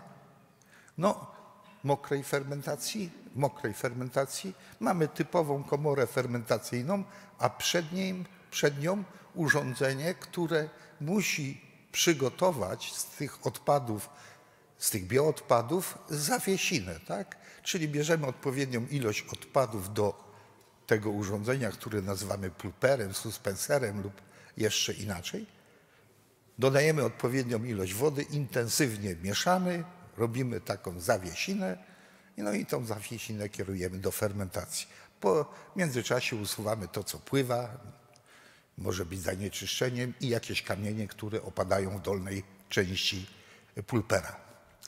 Technologia stosunkowo prosta. Jeżeli chodzi o reaktory stosowane do fermentacji suchej, to są, tak jak mówiłem, cylindryczne, te rzeczy mogą być. Rozróżniamy trzy podstawowe rodzaje. Najprostsze to stworzone przez firmę Dranko. Pionowy reaktor bez jakiegokolwiek mieszania. Z dołu odprowadzamy odpady, górą dostarczamy świeże, a częściowe mieszanie realizuje się w ten sposób, że odprowadza się więcej odpadów niż trzeba na dobę odprowadzić jako produkt i część zawraca się z powrotem na górę.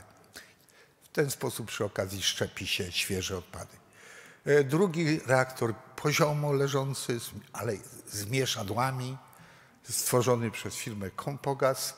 No i trzeci reaktor z taką przegrodą, w, e, z ścianą wzdłuż średnicy o długości 2 trzecie średnicy, w którym to z jednej strony do ściany wprowadza się surowiec, z drugiej się odprowadza, jednocześnie całość e, e, miesza się z prężonym gazem produkowanym w instalacji.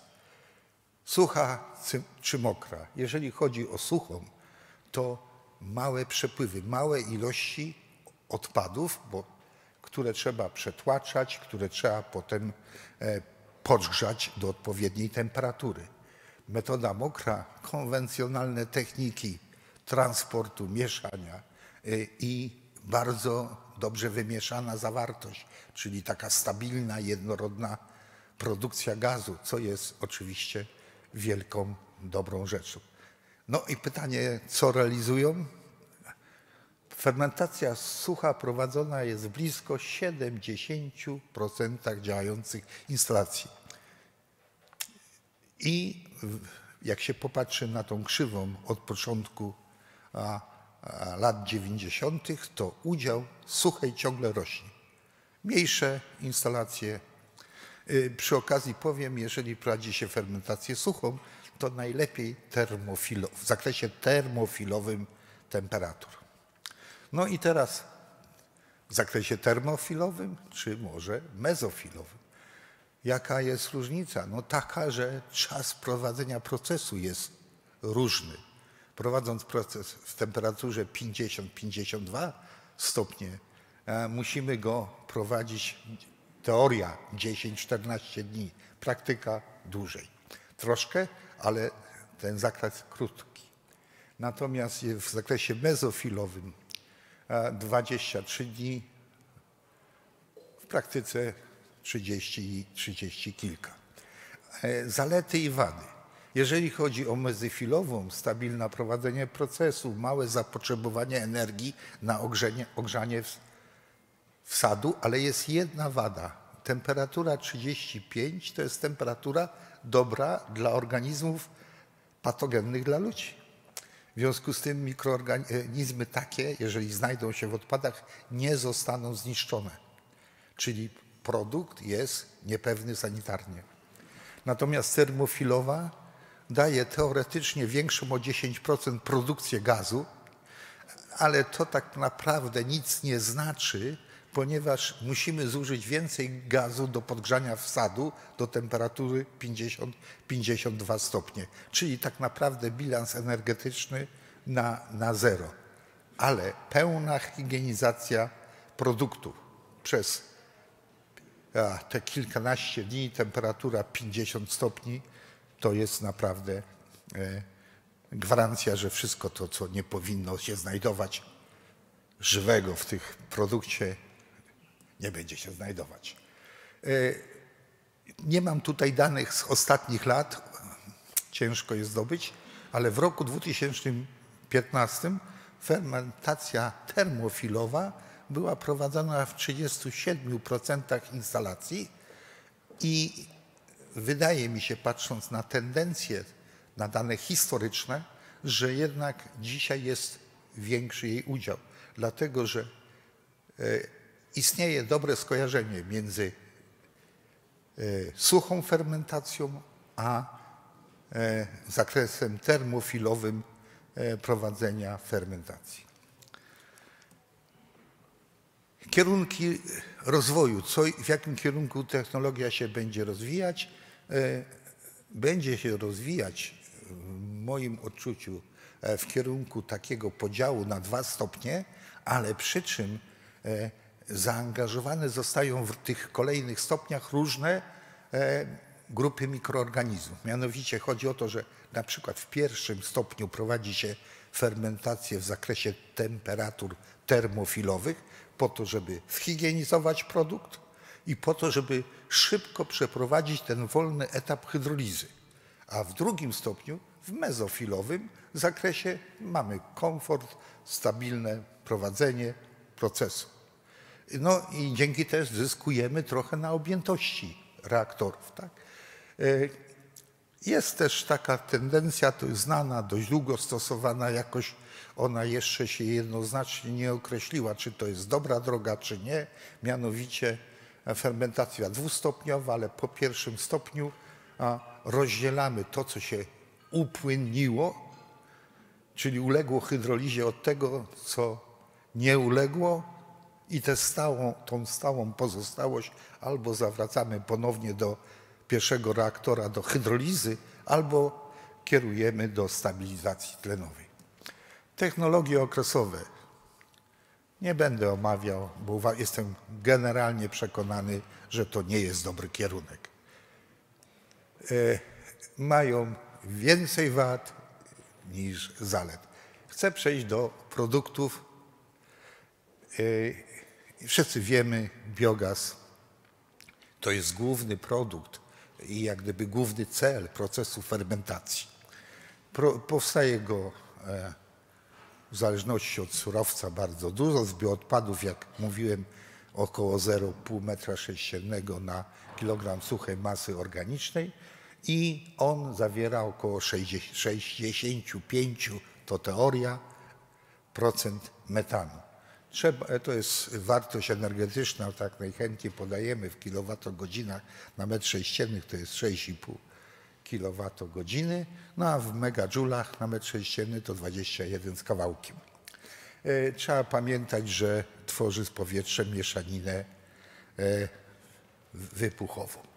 Jak wykorzystujemy biogaz, wszyscy Państwo na pewno wiecie, mianowicie są dwie drogi, albo bezpośrednio wykorzystujemy biogaz do produkcji ciepła i elektryczności, stosując silniki o spalaniu wewnętrznym, ko- kotły i, i turbiny parowe, ogniwa paliwowe.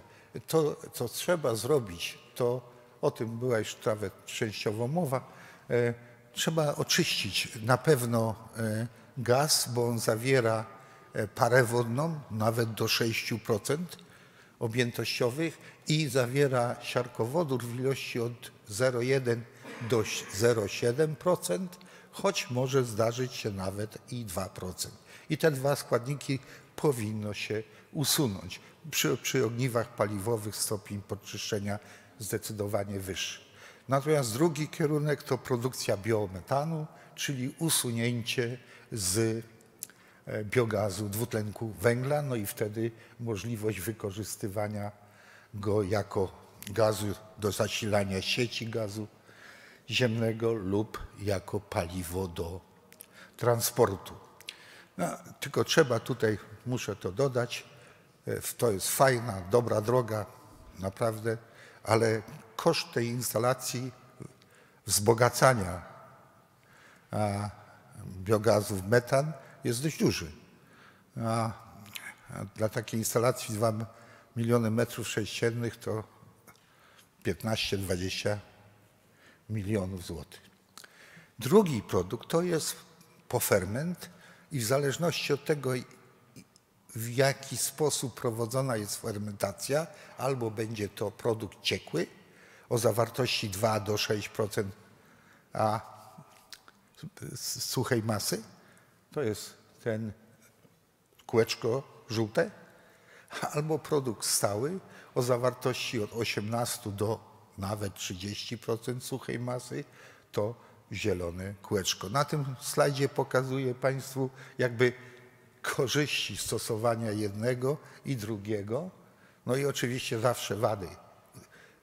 Nie wiem czemu tak jest, ale tak naprawdę jest. W odpadach czego nie dotkniesz się, to ma zalety i wady. I trzeba zrobić kompromis. Trudna sztuka. Jeżeli chodzi o stosowanie, no można stosować ten płynny i to jest bardzo korzystne, bo dostarczamy składniki odżywcze, ale także wodę, nawadniamy. Y, Da się to pompować, fajnie techniki w takim razie transportu. Jest jedna tylko wada, mianowicie mm, e, jeżeli to jest mokry, to on jest niewolny od patogenów, ten produkt.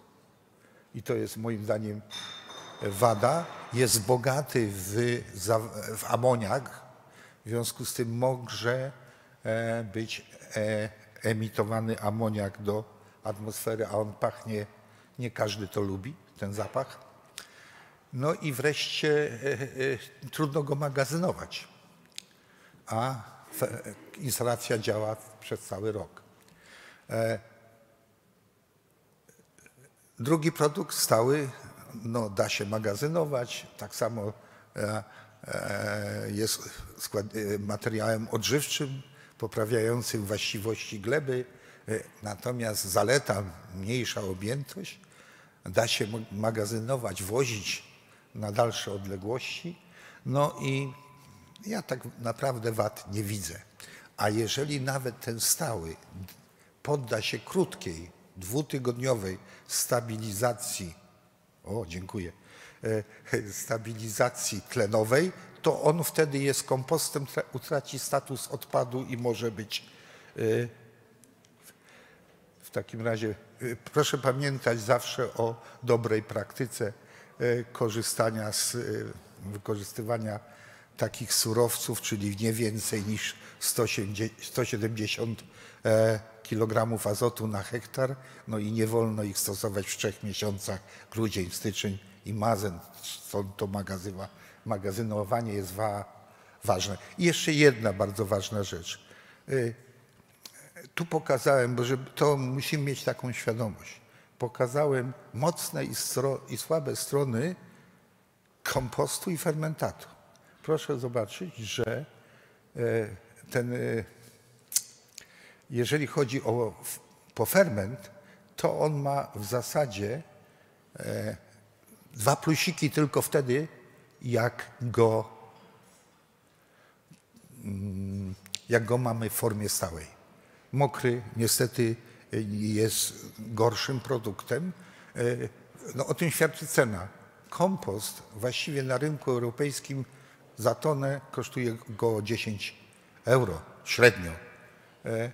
Fermentat odbiorca, a, znaczy nie zarabia producent nic. Czasami musi odbiorcy zapłacić. Natomiast jeżeli chodzi o potencjalny mm, wpływ na środowisko, w procesie fermentacji e, powstają ścieki, mniej więcej około pół metra sześciennego na tonę przerabianych odpadów. E, Te ścieki są stężonymi ściekami. E, One powstają w różnych miejscach z dostawy surowców, e, z odwadniania, jeżeli odwadniamy. Chyba, że nie odwadniamy, to wtedy tych ścieków nie ma, ale także spływy z dachów e, i terenów utwardzonych. Sama instalacja jest hermetyczna w zasadzie i nie emituje zanieczyszczeń do środowiska, ale ścieki są, trzeba mieć świadomość, że będziemy się z nich, nimi musieli uporać. To jest oczywiście możliwe, żadnych problemów nie ma, ale stężone, bo hazety są w gramach na litr. E, Jeżeli chodzi o emisję, podam, pokażę tylko kilka ważnych e, slajdów. Mianowicie tu po, e, generalnie emisja samej instalacji nie istnieje, jeżeli jest prawidłowo eksploatowana. Jeżeli rozładunek odpadów jest w zamkniętych halach, e, fermentacja w zamkniętych reaktorach musi być prowadzona, no więc jeżeli to jest wszystko robione zgodnie ze sztuką, na tym etapie emisji nie ma. Natomiast biogaz zawiera różne związki e, o bardzo różnych zapachach, od przyjemnych do bardzo nieprzyjemnych. Łącznie suma takich związków zanieczyszczeń biogazu to około e, w, miligramach na normalny metr sześcienny 2360. No i właściwie, jeżeli czasu już było niewiele, nie chcę nadużywać Państwa cierpliwości, chcę tylko powiedzieć, że technologia fermentacji to jest dobra technologia, sprawdzona. Zachęcam do prowadzenia tego procesu. Można budować instalacje do, teoretycznie dowolnej wielkości. Taka optymalna przepustowość to jest około 25 tysięcy ton bioodpadów. Nie wiem jak Państwo, ale ja zostałem zasypany taką ilością wiedzy, że w zasadzie e, będzie mi trudno z niej skorzystać, ale prezes e, Bąk e, powiedział, że Narodowy Fundusz przygotowuje publikację. E, Będzie ona w postaci drukowanej i każdy z uczestników e, e, tej konferencji dostanie takie streszczenie najważniejszych informacji, które były. Oprócz tego będzie też dostęp y, elektroniczny y, do wszystkich prezentacji i do tych danych i mam nadzieję, że w ten sposób e, dla e, wszystkich, którzy techniczne aspekty e, przetwarzania termicznego i fermentacji ostatni raz mieli w liceum, to dla tych wszystkich na pewno to źródło wiedzy będzie bardzo wartościowe, zwłaszcza kiedy przyjdzie w życiu podejmować decyzje e, dopuszczające takie inwestycje do e, użytku. E, Jeśli chodzi o opóźnienie, które mamy, bo niestety mamy opóźnienie, to zaraz po lunchu będzie, będzie wystąpienie pana doktora Manczarskiego e, i dlatego bardzo będę prosił e, o dyscyplinę i, e, i o to, żebyśmy ten lunch e, szybko e, przez przebiegli, przez ten e, lunch. E, Dlaczego mówię przebiegli? Dlatego, że musimy zmienić nieco lokalizację, musimy zejść e, pół piętra w dół, tak jak jest sala Tadeusza Mazowieckiego i przejść do sali bankietowej. Skręcamy w lewo e, i tam już jest sala bankietowa, e, w której jest przygotowany dla Państwa lunch. E, Bardzo zapraszam. O 13.45 e, zapraszam z powrotem na salę. Mieliśmy opóźnienie przed lunchem i nic się nie zmieniło. Nadal to opóźnienie mamy. Będę prosił o to, żeby e, pan dr Piotr Manczarski z Politechniki Warszawskiej e, e, jeszcze od strony takiej technicznej podsumował fermentację i term- termiczne przekształcanie w konkluzjach BAT.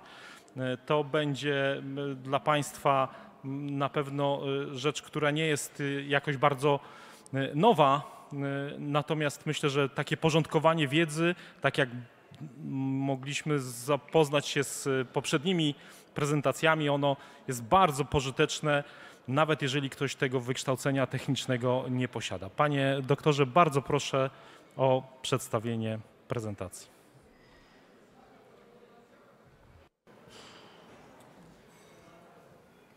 Panie ministrze, panie prezesie, szanowni państwo. Poproszono mnie o skrócenie mojej prezentacji i zgodnie z prośbą to wykonam, ponieważ tutaj wielu prawników czeka na bardzo istotne, a przecież mówimy o sprawach administracyjnych. Proszę państwa, jestem technologiem, zajmuję się gospodarką odpadami od lat, ale będę mówił o czymś, co jest stykiem pomiędzy technologią i wymaganiami. Najlepsze dostępne techniki i ich wymagania to coś, co jest niezmiernie istotne przy podejmowaniu decyzji administracyjnych w zakresie no, tych dwóch typów instalacji, o których dzisiaj mówimy. To jest z jednej strony termiczne przekształcanie i tu zaraz kilka słów dotyczących tego problemu oraz beztlenowe przetwarzanie e, odpadów. Ja skoncentrowałem się na selektywnie zebranych odpadach, ale wymagania są tożsame. E, Ta prezentacja jest bardzo długa, ale ponieważ obiecałem, że skrócę, to nie będzie ona w całości omówiona. Natomiast tak jak już zostało to obiecane, Państwo będziecie mieli dostęp zarówno do tej publikacji, która będzie szykowana e, po tym spotkaniu, jak i, e, jak i do prezentacji. E, Proszę Państwa, e, wszyscy Państwo, którzy zajmują się procesem decyzyjnym, a tu chciałbym podkreślić, że no oczywiście zaczynamy od decyzji środowiskowej, która również w przypadku instalacji, które podlegają pod wymagania pozwoleń zintegrowanych, e, no, wymaga to sprawdzenia, czy ta instalacja będzie spełniała wymagania. E, No ale oczywiście później na etapie wydawania pozwolenia zintegrowanego wszyscy Państwo, którzy zajmują się tą procedurą, znają konkluzje. Te konkluzje stanowią prawo w Polsce i we wszystkich krajach unijnych. I 17 sz- sierpnia 2018 zostały wydane konkluzje dotyczące przetwarzania odpadów. Ten dość obszerny 59-stronicowy dokument mówi punkt po punkcie, co należałoby spełnić. E, e, Natomiast 3 grudnia 2019 e, zostały opublikowane konkluzje dotyczące termicznego, do- dotyczące spalania odpadów. Spalania odpadów i nie bójmy się tego słowa, dlatego, bo zaraz powiemy o tym rozgraniczeniu. Kiedy na przykład technologie związane z pirolizem czy z gazowaniem podlegają pod wymagania konkluzji. E, Proszę Państwa, miałem przyjemność uczestniczyć jako jedna z osób w pracach technicznych grup roboczych zarówno w zakresie e, termicznego przekształcania, jak i wcześniej e, przetwarzania odpadów. E, I chciałbym mniej o numerkach, które będę pokazywał, a bardziej o kwestii interpretacyjnej numerków e, kilka słów Państwu powiedzieć i podzielić się pewnymi spostrzeżeniami. Ponieważ w trakcie e,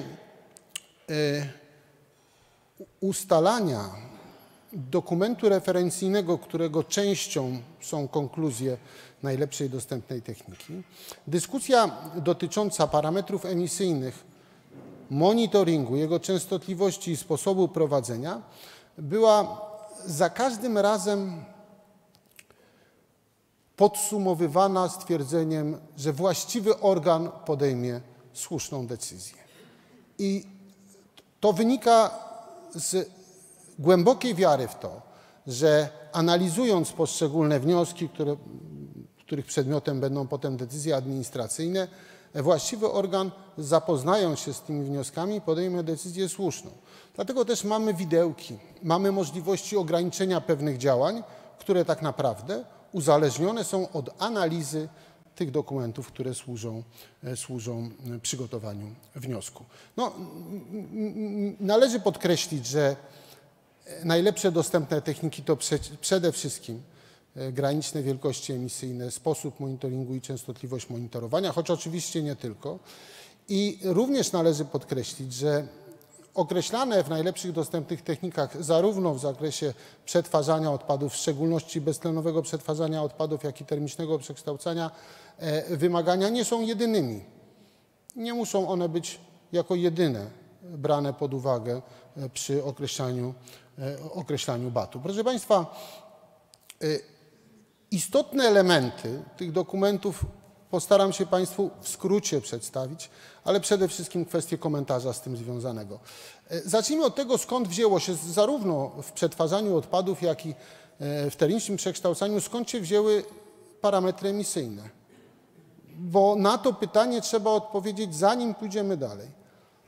One, proszę Państwa, były gromadzone na podstawie tak zwanych instalacji referencyjnych.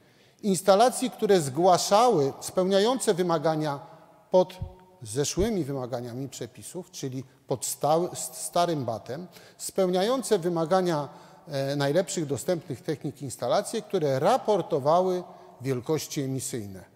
Na tej podstawie te 338 instalacji, które złożyły do Sewilli e, dokumenty, z tego 11 zostało e, wyciętych no, z uwagi na niekompletność lub niepodleganie pod przepisy najlepszej dostępnej techniki w tym zakresie. E, 327 docelowo, z tego 5 czyli 1,5% z Polski. E, To były przede wszystkim instalacje MBP, jedna instalacja związana z zagospodarowaniem złomu i jedna instalacja wytwarzająca paliwa z odpadów. E, Mało, ale e, te instalacje również były wzięte pod uwagę. I teraz, proszę Państwa, to co pojawia się w dokumencie e, referencyjnym, e, bardzo dobrze wyjaśniane jest, e, w konkluzjach bardzo dobrze jest wyjaśniane w dokumencie referencyjnym, a mianowicie Państwo dla każdej specyficznej technologii znajdziecie parametry, które możliwe są do osiągnięcia. I z tego powstały pewne wymagania co do, e, co do tej wielkości. No oczywiście e, bardzo ważny jest zakres i tu wszyscy z Państwa jesteście świadomi tego, że tylko część instalacji, w tym wypadku do przetwarzania odpadów, podlega pod wymagania najlepszych dostępnych technik, a z drugiej strony wymaga uzyskania pozwolenia zintegrowanego. Tu chciałbym podkreślić, że jeśli chodzi o fermentację, ta zdolność przerobowa to 100 ton dziennie, czyli więcej niż w przypadku innych instalacji do odzysku i unieszkodliwiania e, e, odpadów, innych niż niebezpieczne w przypadku obróbki biologicznej. E, Tych batów jest bardzo dużo, tych wymagań, ale proszę Państwa, część z nich jest troszeczkę zapominana zarówno z punktu widzenia wnioskodawcy, jak i z punktu widzenia e, organu właściwego do wydania decyzji. E, Wdrażanie systemów zarządzania dla nas jest sprawą jednoznaczną i oczywistą. E, Tylko tyle, że te wymagania dotyczące systemu zarządzania są dość jednoznacznie określone w tym BAT pierwszym. E, Jest ich bardzo dużo, znajdują się tu elementy, o których zaraz dwa słowa, które nie są powszechne, albo inaczej, nie były powszechne do tej pory e, w naszych działaniach. E, Bat trzeci, który wydaje się być najbardziej istotny z punktu widzenia wnioskodawcy, a często zapominany. Proszę Państwa, wykaz emisji i strumieni, które związane są z oddziaływaniem na środowisko. Przede wszystkim wody, powietrze, ale i też strumień zagospodarowanych i wytwarzanych odpadów. Zapominając o tym bacie, bardzo często nie, nie jesteśmy w stanie ograniczać chociażby częstotliwości czy sposobu i rodzaju substancji, które podlegają monitoringowi, a to, jak zaraz zobaczymy, jest bardzo precyzyjnie określone e, w wymaganiach. Dlatego identyfikacja tego strumienia wydaje się być kluczowym zadaniem. Oczywiście mówimy tu o instalacjach, które istnieją i na przykład dostosowane są do wymagań najlepszych dostępnych technik. Trudno określić taki strumień, a w przypadku instalacji planowanych do tego raport oddziaływania e, e, pokazuje pewne działania. E, Proszę Państwa, no oczywiście monitorowanie kluczowych parametrów, sposób monitorowania, on jest określony i on właściwie nie budzi zastrzeżeń. Chciałbym podkreślić, że metodyka monitoringu jest określana w momencie, kiedy są określone normy europejskie, to one stanowią bazę, ale bardzo często odwołanie jest również do innych metodyk, czy ewentualnie przy ich braku do e, norm krajowych, czy metodyk akredytowanych przez dane e, e, laboratoria. E, no, Oczywiście, proszę Państwa, ta częstotliwość i rodzaj parametrów, które podlegają monitoringowi, zależy od technologii przetwarzania odpadów. I w przypadku e, przetwarzania e, biologicznego odpadów, tu nie ma rozróżnienia na tlenowe czy beztlenowe metody. No mamy hazety, mamy, e, oczywiście mówię o ściekach, mamy hazety, mamy e, azot ogólny, e, węgiel organiczny oraz fosfor ogólny jako wymagania w większości raz w miesiącu. Ale i to oczywiście zawiesina jeszcze. I, i tu chciałbym podkreślić e, małymi literkami.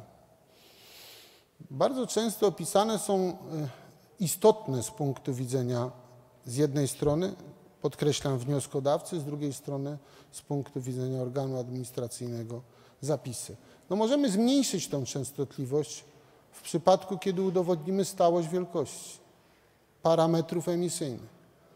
To udowodnienie pozwala nam ograniczyć monitoring.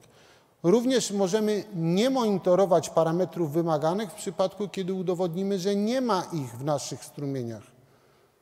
To też bardzo istotne, jeżeli takie dane są, są możliwe. E, e, no, Oczywiście, e, jeśli chodzi o emisję do powietrza, to tutaj no, bardzo specyficzna sprawa. Siarkowodór, amoniak, stężenia zapachu. No i tu widzimy przy siarkowodorze i amoniaku brak norm europejskich, przy stężeniu zapachu taka norma jest i tu uwaga, oczywiście możemy to robić zamiennie. To znaczy można siarkowodór, amoniak mierzyć albo stężenie zap- zapachów zamian. E, Częstotliwość e, tylko oczywiście dla metod biologicznych określona jest e, raz na pół roku. No i ten zapis, który mówi o wymienności.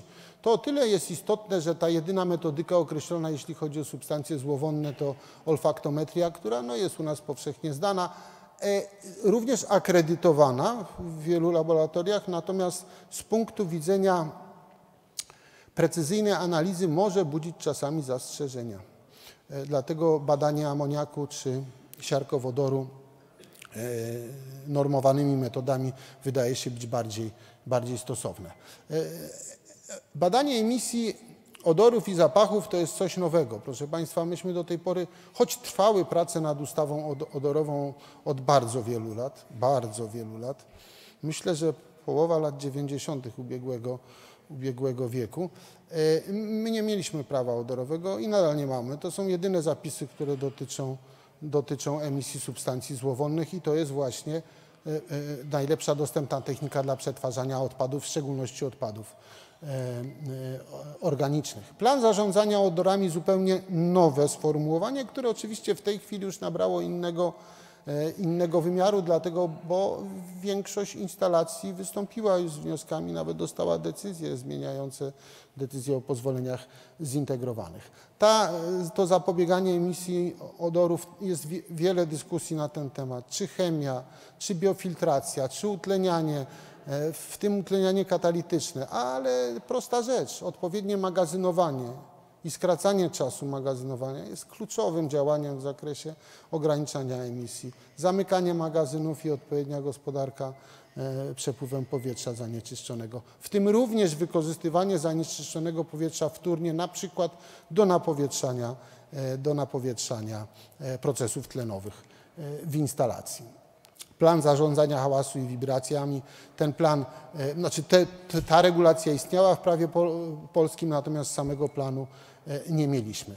E, Proszę Państwa, no i może dwa słowa o, o granicach. No mamy wymagania dotyczące zrzutu emisji bezpośredniej, bezpośredniej do wód, ogólny węgiel organiczny 10 do 60 mg na decymetr sześcienny. Którą wielkość wybrać?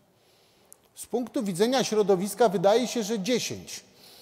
10, bo 10 jest mniejsze, czyli mniejsza szkoda środowiskowa. A z punktu widzenia wnioskodawcy może on by chciał 60, bo to też dopuszczalne, a łatwiej osiągalne. E, Sugeruję, żebyście Państwo analizowali informacje dotyczące danego typu instalacji. I te informacje zawarte są e, w dokumencie referencyjnym 820 parę stron, e, przetłumaczony na język polski, czyli ogólnie dostępny, oczywiście wersja, wersja oryginalna to w języku angielskim i tam możemy bardzo łatwo znaleźć instalacje tlenowe na danego typu, instalacje beztlenowe danego typu i parametry emisyjne, które były uzyskiwane. Stąd nie 10, pewnie nie 60, ale gdzieś znajdziemy się w środku w tej wielkości i to będzie wielkość właściwa dla danej instalacji. No i pozostałe parametry, które są Państwu znane. Nie ma wymagań, jeśli chodzi o zrzut pośredni dla przetwarzania biologicznego w ogóle. Założenie jest, że te ścieki nie będą na tyle uciążliwe, że jak trafią do kanalizacji, to już nie będzie problemu. O, przy innych metodach przetwarzania te wymagania są bardzo ostre. No bo w dużej mierze może to oddziaływać na istniejące oczyszczalnie ścieków, które są na końcu systemu kanalizacyjnego.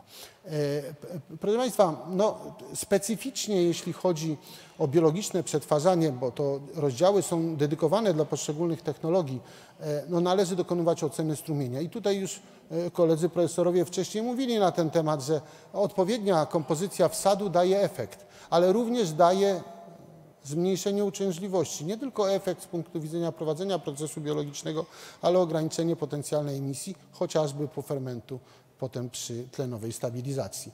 E, No i oczywiście są tu też określone metody ograniczenia emisji siarkowodór i amoniaku e, i stosowanie filtracji biologicznej jak najbardziej e, polecane i uzasadnione, choć nie zawsze spełniające wymagania. Te wymagania należałoby spełnić, no i one są tu podane, e, podkreślam, nie mamy wymagań dotyczących siarkowodoru. One biorą się z przepisów krajowych. BAT nie określa parametrów w zakresie siarkowodoru. Jest amoniak, jest stężenie zapachu. E, Pan profesor Jędrzak pokazywał Państwu, jakie te zapachy mogą być. E, Tysiąc, tysiąc górna granica, to bardzo mało. To jest bardzo mało, dlatego stosowanie odpowiednich urządzeń pozwoli na osiągnięcie tego parametru, ale bez oczyszczania jest to prawie niemo, niemożliwe. E, No oczywiście parametry procesów, jeśli chodzi o, o, o beztlenowe przetwarzanie i to technologicznie jest uzasadnione i zapewne e, ci, którzy występują z wnioskami, e, znając dany typ instalacji, o czym mówię, koledzy wcześniej mówili, e, dostosowują do tego zarówno strumień, jak i sposób prowadzenia, e, sposób prowadzenia procesu. Oczywiście to nie jest bez znaczenia środowiskowego. No i ta kontrola pH, temperatura w, w pracy w komorze, stężenie lotnych kwasów i tak dalej, i tak to są aspekty o charakterze technologicznym. Powinniśmy to monitorować, żeby ocenić właściwość prowadzenia, e, prowadzenia procesu. E, mamy opis technik, ale to nie na teraz. No, Też istotny, też istotny, ale nie, nie, nie na teraz.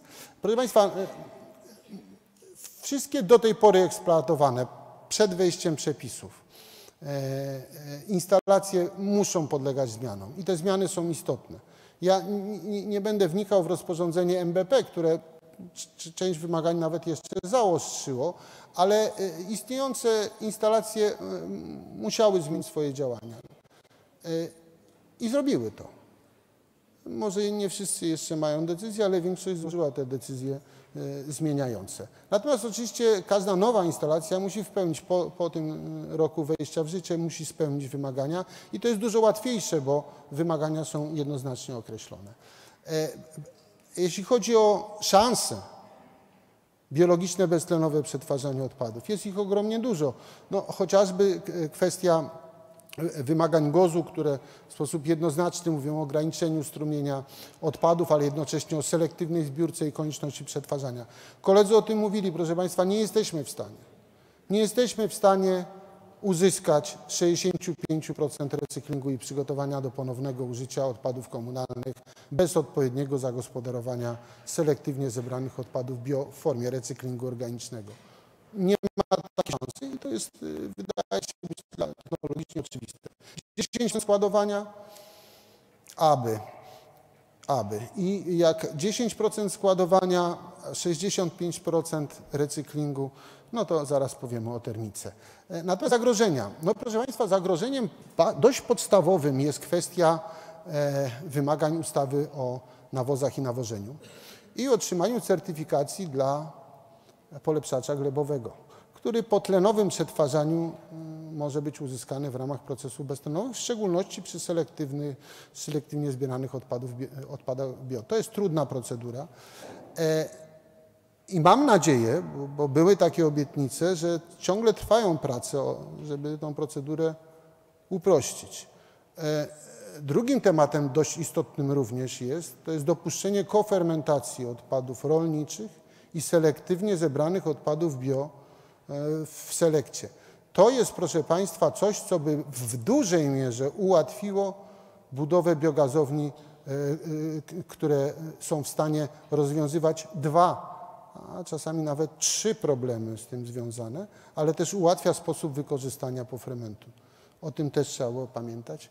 No, ograniczony rynek zbytu na polepszacze, e, na polepszacze to i może być problem, jeszcze dzisiaj nie jest, no ale na pewno wymagania BAT-u i stworzenie e, odpowiedniej instalacji jest pewnym ograniczeniem, co no, w dużej mierze w przypadku mniejszych biogazowni rolniczych no, może stanowić problem. Ta kofermentacja nie musi być atrakcyjna dla prowadzącego już instalację z uwagi na wprowadzane zmiany.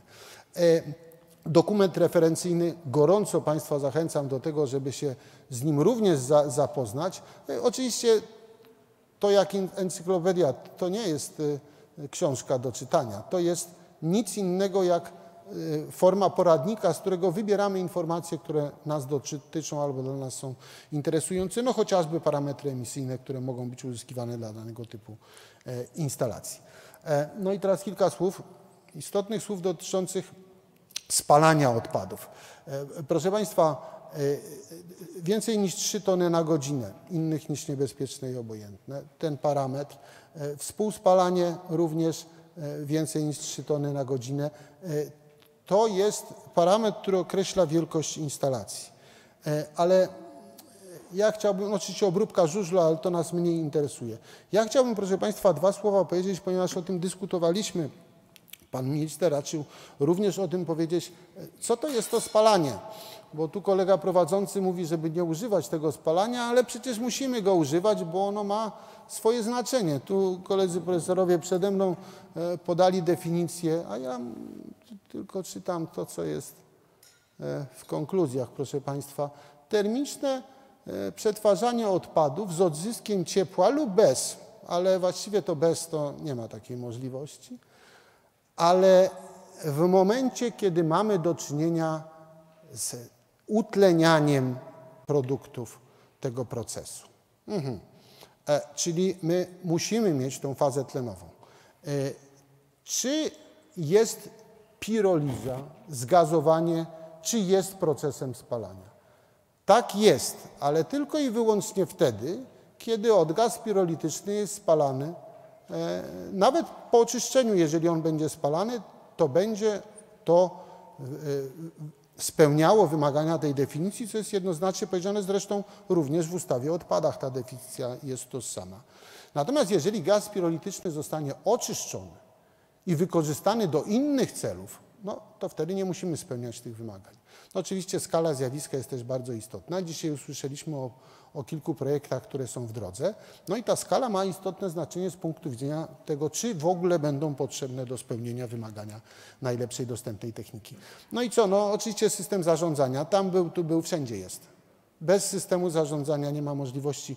W przypadku termicznego przekształcania ten system zarządzania jest ogromnie rozbudowany i stąd ja nawet nie będę próbował Państwu o nim mówić, ale e, Państwo wiecie, że tych punktów jest bardzo dużo, w tym również punkty związane z, z kreowaniem odpowiedniego systemu monitoringu, gospodarki strumieniem przychodzącym, od, e, kończącym instalację itd. itd. E, Natomiast no, plan zarządzania pozostałościami, kwestia, kwestia związana z awariami, planem za, zarządzania w przypadku wystąpienia awarii itd., itd. Hałas. E, Proszę Państwa, kluczowe parametry procesu i znowu tutaj pan doktor kilka słów Państwu o tym mówił, o technologii.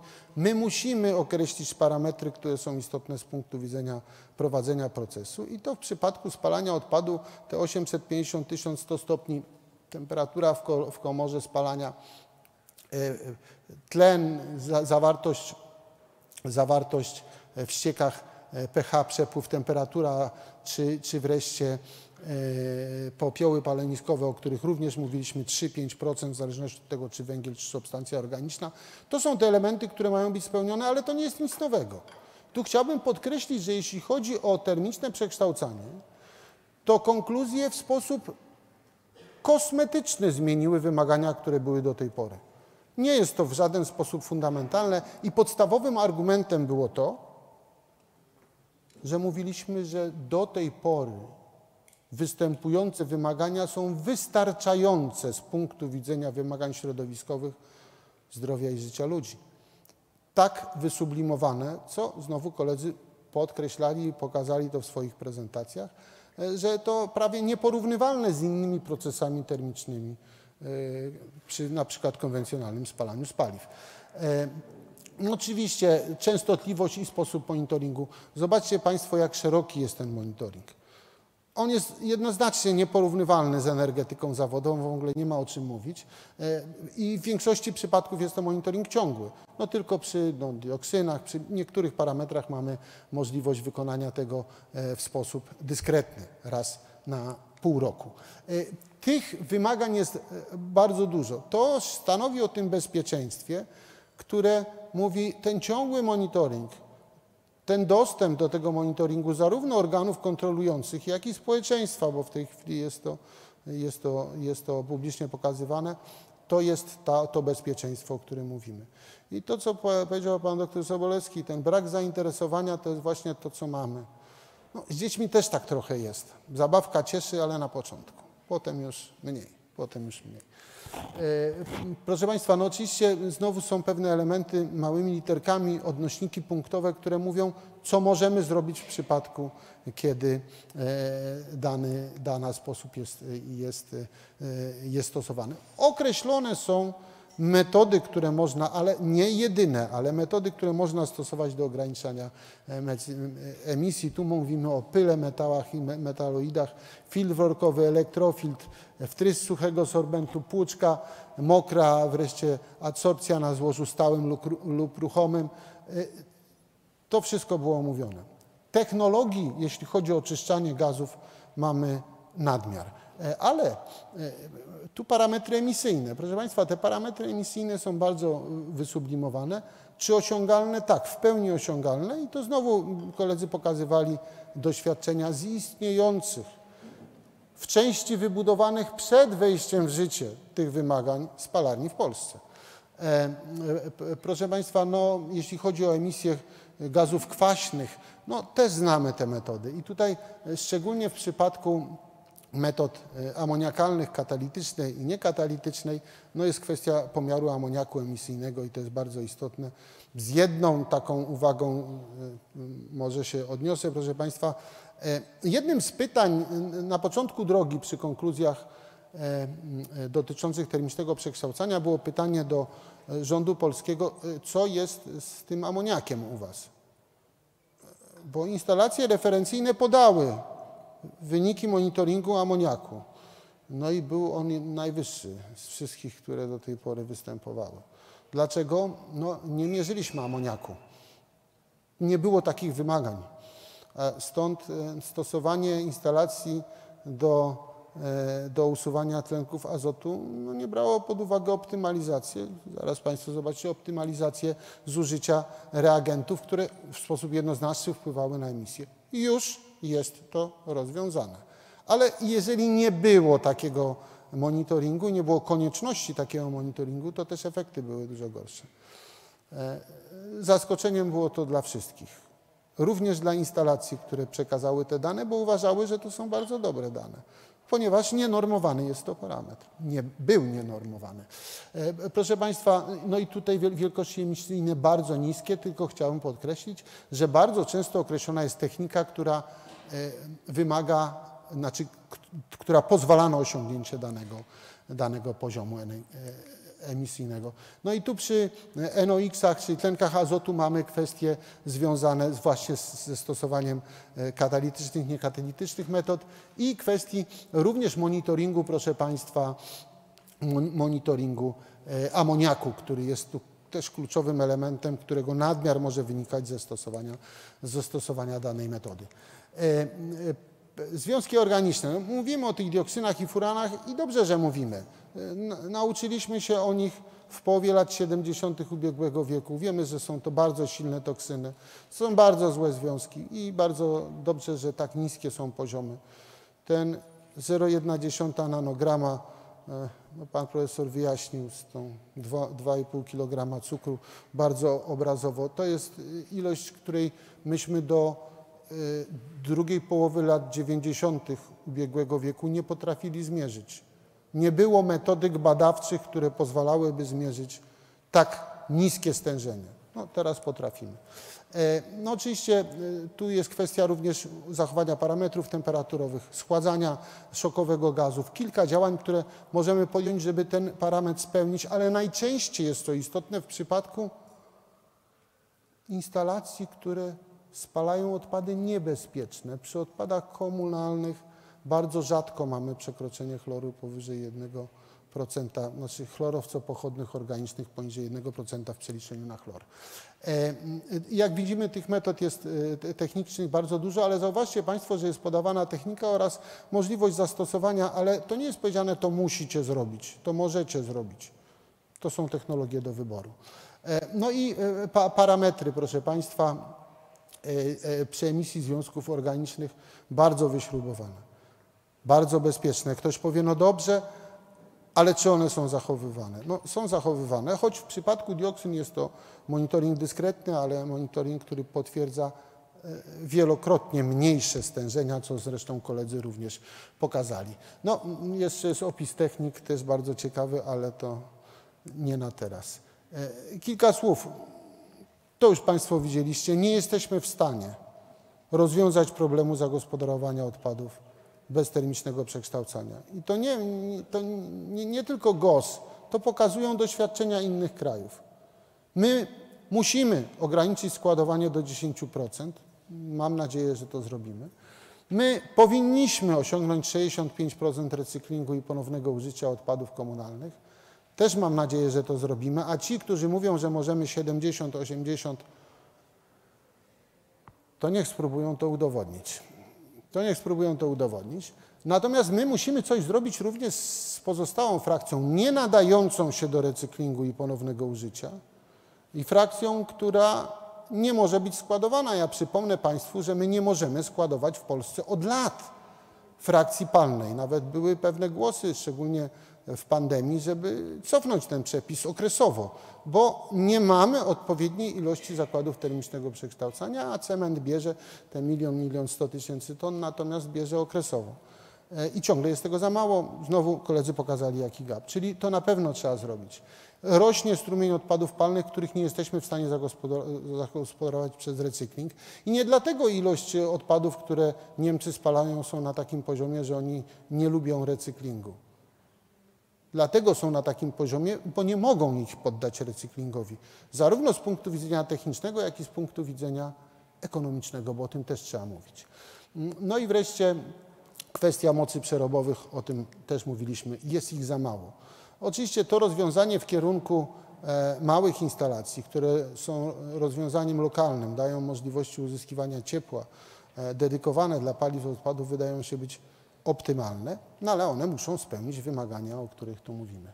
No problemy, protesty społeczne, też o tym mówiliśmy, proszę Państwa, te protesty społeczne bardzo często nie mają charakteru merytorycznego. Gdyby miały charakter merytoryczny, to ta dyskusja inny miałaby zupełnie e, cel. Natomiast nie mają charakteru merytorycznego i dlatego są trudne.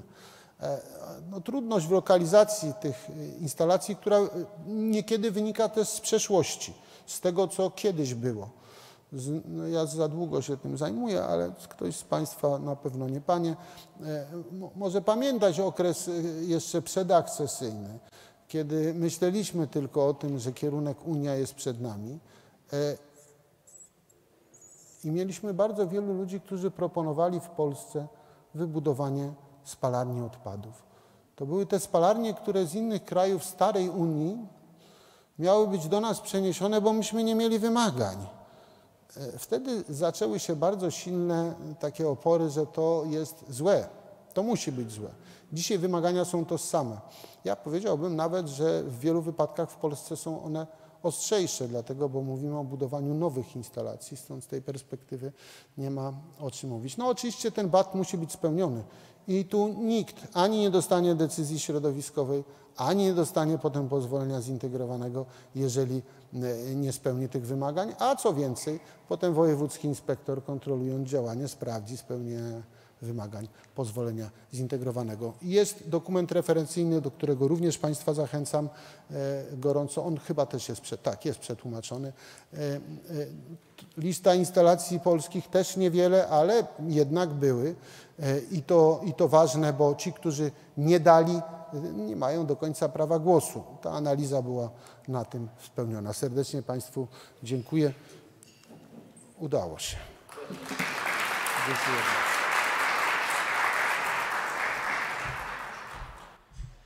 Dziękuję bardzo. Y, tak, udało się świetnie, to doskonale.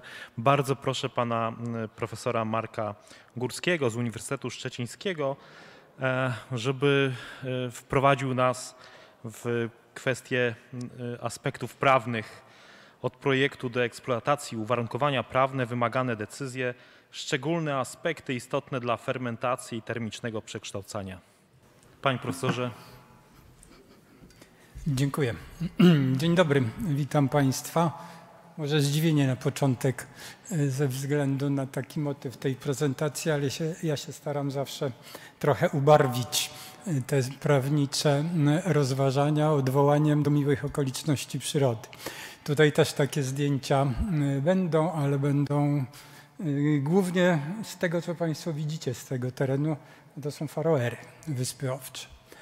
Ale to tak tylko na początek hasło dzisiejsze pozostaje mm, otwarte i ten mój referat jest jak gdyby bezpośrednim wejściem do tego głównego hasła dzisiejszego mm, spotkania. Ci z Państwa, którzy tymi zagadnieniami się zajmują, być może będą w pewnym sensie rozczarowani, bo ja starałem się tę prezentację przygotować w postaci takiego ogólnego spojrzenia na cały system przepisów regulujących proces inwestycyjny w zakresie instalacji związanych z gospodarowaniem odpadami, pokazując tam w niektórych miejscach pewne kłopoty, wątpliwości, w mniejszym może zakresie sposoby ich rozwiązywania, ponieważ no, to już jest dość skomplikowana sprawa i wymagałaby bardzo szczegółowych Y, szczegółowego wejścia w niektóre zagadnienia. Natomiast będę to y, też y, starał się Państwu pokazywać. Szybciutko przez akty prawne, które, do których będę się odwoływał, także i dlatego, żebyście potem Państwo korzystając z tej prezentacji wiedzieli, o czym jest mowa, bo ja potem oczywiście odwołuję się już tylko skrótowo do konkretnych aktów prawnych. Dwóch dyrektyw głównych dzisiaj mm, dla nas y, unijnych, czyli y, dyrektywy ramowej o odpadach i dyrektywy emisyjnej, czyli o emisjach y, przemysłowych będę się odwoływał. Będę się odwoływał do ustaw naszych oczywiście wewnętrznych, pośrednio oczywiście i do aktów wykonawczych, do tych ustaw, do rozporządzeń wykonawczych. Tutaj już ich nie wymieniam, ale pokazuję Państwu tutaj chociażby na tym przykładzie skróty, które potem będą wskazywały, który przepis której ustawy pochodzi. No na przykład DUOŚ to dostęp udziału oceny, czyli ustawa o tym długim y, tytule związana przede wszystkim dzisiejszego punktu widzenia y, z ocenami oddziaływania na środowisko. Prawo budowlane to akurat chyba y, prostsze. Poza tym będzie oczywiście ustawa prawo ochrony środowiska, będzie ustawa o odpadach, będzie ustawa o utrzymaniu czystości i porządku w gminach. To jest materiał bazowy jak gdyby do tego, co będę chciał Państwu dzisiaj powiedzieć. Natomiast najbardziej ogólnym podsumowaniem y, całego mm, y, zespołu wymagań, które w procesie inwestycyjnym należy spełniać, jest właśnie ta y, plansza. Macie Państwo podzielony cały ten proces inwestycyjny, według oczywiście mojego tutaj ujęcia, to każdy może mieć własny na to pomysł, na takie cztery główne etapy, w których to etapach różnego rodzaju y, przepisy odgrywają mniejszą lub y, większą rolę, o których trzeba y, pamiętać. I generalne założenie, które tutaj mm, chciałbym Państwu przekazać, jest takie: trzeba sobie, to zwłaszcza adresując do inwestorów, ale także i do pracowników aparatu administracji, którzy gdzieś tam w poszczególnych etapach y, funkcjonują. To jest całość. To jest pewna całość. Trzeba sobie zdawać sprawę, że przez cały ten proces trzeba przejść i zdawać sobie sprawę od razu na początku Wtedy nie będzie rozczarowań. Ja chciałbym za rok uruchomić instalację. Praktycznie rzecz biorąc nie jest to y, możliwe przy tego y, typu instalacjach i przy tym skomplikowanym systemie y, organizacyjno, organizacyjno-prawnym. Jeżeli to sobie uświadomimy, no to już troszeczkę łatwiej będzie. Natomiast dla pracownika jesteś tylko fragmentem tą decyzję, którą wydajesz w danym momencie, traktujemy jako pewien fragment całego y, systemu. Inwestor nie będzie się skupiał wyłącznie na tej konkretnej jednej decyzji. Ona powinna być wydana możliwie jak najsprawniej, z uwzględnieniem wszystkich okoliczności, które są y, do uwzględnienia, ale nie możemy skupiać się tylko i wyłącznie na tej jednej decyzji, bo żadna z tych decyzji nie jest najważniejsza. Wszystkie są jednakowo ważne z punktu widzenia idei całego procesu i uzyskania efektu tego procesu, no czyli efektu środowiskowego. Raz, funkcjonują odpowiednie instalacje, dwa, funkcjonują te instalacje w sposób bezpieczny. Mamy rozwiązane problemy środowiskowe. Oczywiście to jest idea idea, do której dobrze byłoby dążyć. A więc dlaczego taki akurat y, wyodrębniłem y, etap? Po pierwsze koncepcja. Z punktu widzenia inwestora to, to jest z reguły pewien projekt biznesowy, nawet biorąc pod uwagę gminy, które inwestują w określonego typu y, instalacji. Jest to pewien projekt biznesowy, to znaczy, że on musi się spinać także pod względem ekonomicznym i pod względem ekonomicznym musi się spinać cały proces inwestycyjny. To trzeba wziąć pod uwagę. Ale z prawnego punktu widzenia ta konkretna koncepcja od razu na tym pierwszym etapie powinna być skonfrontowana z planami gospodarki odpadami. To jest dokument, który u nas jest z jednej strony niedoceniany, z drugiej strony zwłaszcza osoby powiedzmy w moim wieku, czyli nieco mm, inaczej młode, mają pewne negatywne skojarzenia z planami, z gospodarką planową. Tutaj akurat ma to dosyć istotne znaczenie. Zresztą w całym tym systemie y, prawnej ochrony środowiska czy systemie ochrony środowiska unijnej na dokumenty typu koncepcyjnego, planowego dość, dużą, y, kładzi, dość duży kładzie się nacisk. Trzeba pewne rzeczy przemyśleć, a plany są po to, żeby przemyśleć i wybrać rozwiązania najkorzystniejsze. No i w te rozwiązania najkorzystniejsze dobrze jest się wpasować. Są z tym problemy, o których za moment. Po drugie, jak już wiemy, jakiego rodzaju inwestycja będzie realizowana, zakładamy, że ona się mieści w planach gospodarki odpadami, no to y, trzeba dla prawidłowego przebiegu procesu inwestycyjnego uświadomić sobie, jakiego rodzaju to jest inwestycja. Uświadomić sobie, jaki ma ona charakter z wielu różnych punktów widzenia, ale przede wszystkim z punktu widzenia potrzeby przeprowadzenia oceny oddziaływania na środowisko w trakcie procesu inwestycyjnego i z punktu widzenia rodzaju zgody, którą na oddziaływanie na środowisko musi mm, inwestor, mm, musi inwestor otrzymać. Kolejny etap lokalizacja i budowa, czyli ta, ten bezpośredni jak gdyby mm, proces inwestycyjny. On tutaj jest tylko jednym z etapów, ale do niego dochodzimy dopiero w pewnym momencie. I tutaj też będzie trzeba sobie odpowiedzieć na szereg pytań, to tak bardzo skrótowy sposób wyspecyfikowanych. Czy będzie konieczna decyzja o środowiskowych uwarunkowaniach? Czy będzie konieczna ocena oddziaływania na y, środowisko? W jaki sposób ma być lokalizowana ta inwestycja? Na podstawie miejscowego planu czy na podstawie decyzji y, lokalizacyjnej? Tutaj ją skrótowo określiłem jako decyzję o warunkach zabudowy i zagospodarowania terenu, ale to nie tylko ta decyzja, no i z punktu widzenia koniecznego pozwolenia na budowę. W skrócie przy tym ostatnim punkcie można powiedzieć, że praktycznie rzecz biorąc wszystkie te inwestycje będą wymagały y, pozwolenia na budowę. Tutaj uproszczona formuła zgody budowlanej w zasadzie nie wchodzi, y, nie wchodzi w grę. W momencie, kiedy skończymy ten proces inwestycyjny, dochodzimy do rozpoczęcia eksploatacji, ale żeby rozpocząć eksploatację, trzeba mieć zgodę budowlaną, czyli pozwolenie na użytkowanie obiektu budowlanego i trzeba mieć wymagane zgody środowiskowe. W zależności znowu od rodzaju obiektu, rodzaju inwestycji, te zgody środowiskowe są dosyć różne, ale z grubsza możemy powiedzieć, że będą to zgody związane z gospodarowaniem odpadami, i zgody związane z potencjalną emisją do środowiska. Praktycznie rzecz biorąc, ta emisja do środowiska zawsze tutaj w grę będzie wchodziła.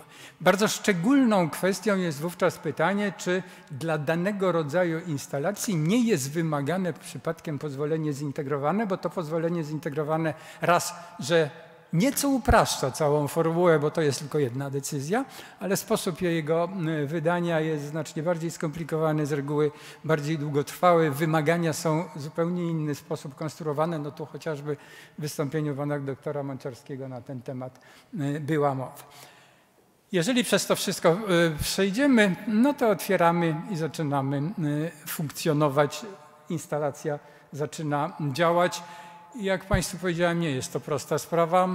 Nie da się jej niestety ze względu na stopień tego skomplikowania w wielu przypadkach przyspieszyć. Są sytuacje i tego rodzaju, że to dziesiątkach to może przesadzę, ale pod 10 lat realizacja tej inwestycji czasem potrafi, y, potrafi podchodzić z różnych, y, z różnych powodów. Wcale nie tak rzadko y, z powodów ekonomicznych, to znaczy z braku środków na zrealizowanie inwestycji i wszystkich wymagań, które powinny być przy tej inwestycji spełnione. Pierwsza rzecz, czyli ten projekt y, biznesowy, projekt tej inwestycji i powiązanie go z planami gospodarki odpadami. Jak Państwu powiedziałem, ten wymóg w gruncie rzeczy wynika z prawa y, unijnego przede wszystkim, bo ta idea planowości w ochronie środowiska jest bardzo mocno podkreślana. Gdyby nie to, to prawdopodobnie u nas planów by nie było, bo jeszcze w, na przełomie wieków, jak ten system był wprowadzany, to pamięć o dawnym systemie gospodarki planowej była na tyle e, świeża, że staraliśmy się unikać wówczas planów na wszelkie możliwe sposoby, no ale tutaj wyboru specjalnego nie było. Z tym się wiążą określone problemy, o których za moment dwa słowa też Państwu powiem. W chwili obecnej mamy do czynienia z uproszczonym systemem, systemem praktycznie rzecz biorąc tych planów, bo mamy do czynienia z y, Krajowym Planem Gospodarki Odpadami, mającym formalnie postać uchwały Rady Ministrów i wojewódzkimi planami gospodarki y, odpadami, które są samodzielnymi dokumentami urzędowymi, celowo nie używam tutaj określenia aktami prawnymi, i ale które muszą być zgodne y, z Krajowym Planem y, Gospodarki y, Odpadami. W ujęciu teoretycznym plan gospodarki odpadami, odpadami jako plan jest aktem zarządzania przez aparat administracji. W działaniach administracji jest znaną formą działania, ale podkreślam, formą działania o charakterze niewładczym. I z tym się wiążą dość daleko idące y, konsekwencje. Jeżeli forma działania o charakterze niewładczym, to bezpośrednio zawarte w planie postanowienia nie mogą oddziaływać na adresatów innych niż aparat administracji w sposób wiążący. Tak z teoretycznego y, punktu to y, wygląda. I tu jest od razu problem, bo dobrze by było, gdyby one jednak oddziaływały na adresatów, na tych, którzy realizują na przykład określonego rodzaju inwestycje. Stosuje się wtedy różnego rodzaju proteza, jak to bywa z protezami, posługiwanie się nimi nie jest taką rzeczą yy, prostą. Wobec powyższego ważne jest to podsumowanie. Plan nie jest aktem normatywnym w rozumieniu konstytucji i stąd konieczność szukania tych różnych yy, uzupełnień jak gdyby do planu. Konkretnie mamy do czynienia w tej chwili z planem krajowym, który jest planem w tej chwili na rok 2022. Będzie modyfikowany tak, żeby był na rok 2028. Nie wnikam bliżej w tę kuchnię, powiedzmy, przygotowywania y, krajowego y, planu i mamy do czynienia z wojewódzkimi planami, które przyjmowane są na podstawie ustawy o y, odpadach. I tutaj macie Państwo na razie skrótowo podane odwołania do odpowiednich przepisów ustawy y, o odpadach. Są przyjmowane przez Sejmik Województwa, powinny być zgodne z Krajowym Planem Gospodarki Odpadami. Konkretne przepisy to pokazują. Tryb przyjmowania jest o tyle istotny, że mm, co do zasady powinien uwzględnić tak zwaną strategiczną, strategiczną ocenę oddziaływania na środowisko. Zgodnie z ustawą o dostępie udziale ocenach jest to tego rodzaju dokument, który powinien być tej strategicznej ocenie y, poddany, co z jednej strony z punktu widzenia y, osób zainteresowanych oddziaływaniem tych planów daje możliwość wpływu jakąś tam powiedzmy na treść tego planu, bo mają y, możliwość włączenia się w ramach udziału społeczeństwa w tej strategicznej ocenie w kształtowanie treści planu, składając odpowiednie uwagi bądź y, wnioski. Dla inwestora również, no bo w ten sposób inwestor teoretycznie widząc, że plan jest kształtowany, może próbować lobbować za takim bądź innym y, rozwiązaniem, układając sobie powiedzmy cały ten system lobbystyczny, że tak ładnie powiem. Jak to w szczegółach wygląda, to dzisiaj pominę. Mm, I teraz kolejna kwestia techniczna. Będą się pojawiały takie plansze z tą wielką czerwoną kropką, które oznaczają, że dzisiaj one przelatują, ale w zestawie macie Państwo już je gotowe i potem jak będzie ten zestaw moich slajdów dostępny z innymi, to możecie Państwo w sposób szczegółowy już do tych kwestii zajrzeć. Po prostu nie zdążę, bo jest prawie setka tych y, slajdów. I kilka następnych slajdów też tylko tak Państwu króciutko y, pokażę. Y, Przechodząc potem do jak gdyby podsumowania y, tych kwestii związanych z planami, o trybie przyjmowania to w zasadzie już mówiłem. Wymagania dotyczące treści są dosyć istotne, mm, pokazane w tych przepisach, natomiast na dwie istotne rzeczy, które w treści planu będą się znajdowały, chciałbym Państwu zwrócić uwagę, bo one dla nas dzisiaj mają znaczenie. A mianowicie w planie powinny być wskazane instalacje komunalne na obszarze województwa. Na pewno nie jest to określenie dla państwa obce. I teraz pytanie dla inwestora bardzo podstawowe jest takie, czy jego instalacja będzie miała charakter instalacji komunalnej. Bo jeżeli tak, to ma z tego tytułu określone profity, że tak trochę ładniej powiem, zachęcająco, natomiast ma niestety też sporo różnych y, obowiązków. A problem główny y, w praktyce leży w tym, że trzeba się znaleźć na liście instalacji komunalnych i to już nie jest taka sprawa zupełnie oczywista. Samo udowodnienie charakteru y, tego, że jest to instalacja komunalna, takim automatem do wpisu na listę y, niestety mm, nie jest. I drugi taki bardzo istotny mm, fragment tego mm, planu, traktowany jako jego załącznik, to tak zwany plan inwestycyjny. I to jest ta proteza, o której Państwu mówiłem, bo umieszczenie inwestycji w planie inwestycyjnym ma bardzo istotne znaczenie dla sposobu finansowania tej y, inwestycji, czyli jeżeli zależy projektodawcom planu na tym, żeby y, powstawały instalacje określonego rodzaju, to przede wszystkim poprzez umieszczanie ich w planie inwestycyjnym, ponieważ, jak powiedziałem, ma to y, wpływ na inwestowanie. Będzie o obu tych elementach jeszcze trochę y, więcej y, później. Natomiast jest ten środkowy punkt jeszcze w praktyce też dosyć y, istotny, chociaż może nie, y, nie w tej chwili, ale też nie zawsze, bo instalacji niespełniających wymagań ochrony środowiska to da się wskazać trochę. I w planie powinien być też plan zamykania instalacji niespełniających wymagań ochrony środowiska, których modernizacja nie jest możliwa i tak. I tu jest problem prawny dosyć istotny, bo umieszczenie w planie z pozoru powinno skutkować automatycznym zamknięciem. A to nie jest oczywiste, dlatego że ta norma planowa nie ma charakteru wiążącego, o czym Państwu powiedziałem wcześniej, ale to jest problem dla y, marszałków przede wszystkim i jeżeli marszałkowie będą chcieli o tym podyskutować, no to przy innej okazji, bo dzisiaj zdaje się, byśmy stracili na to dość dużo y, czasu. Ten plan inwestycyjny jest obowiązkowym elementem, wymaga uzgodnienia z ministrem, y, w tej chwili właściwym do, skla- do spraw y, klimatu przede wszystkim.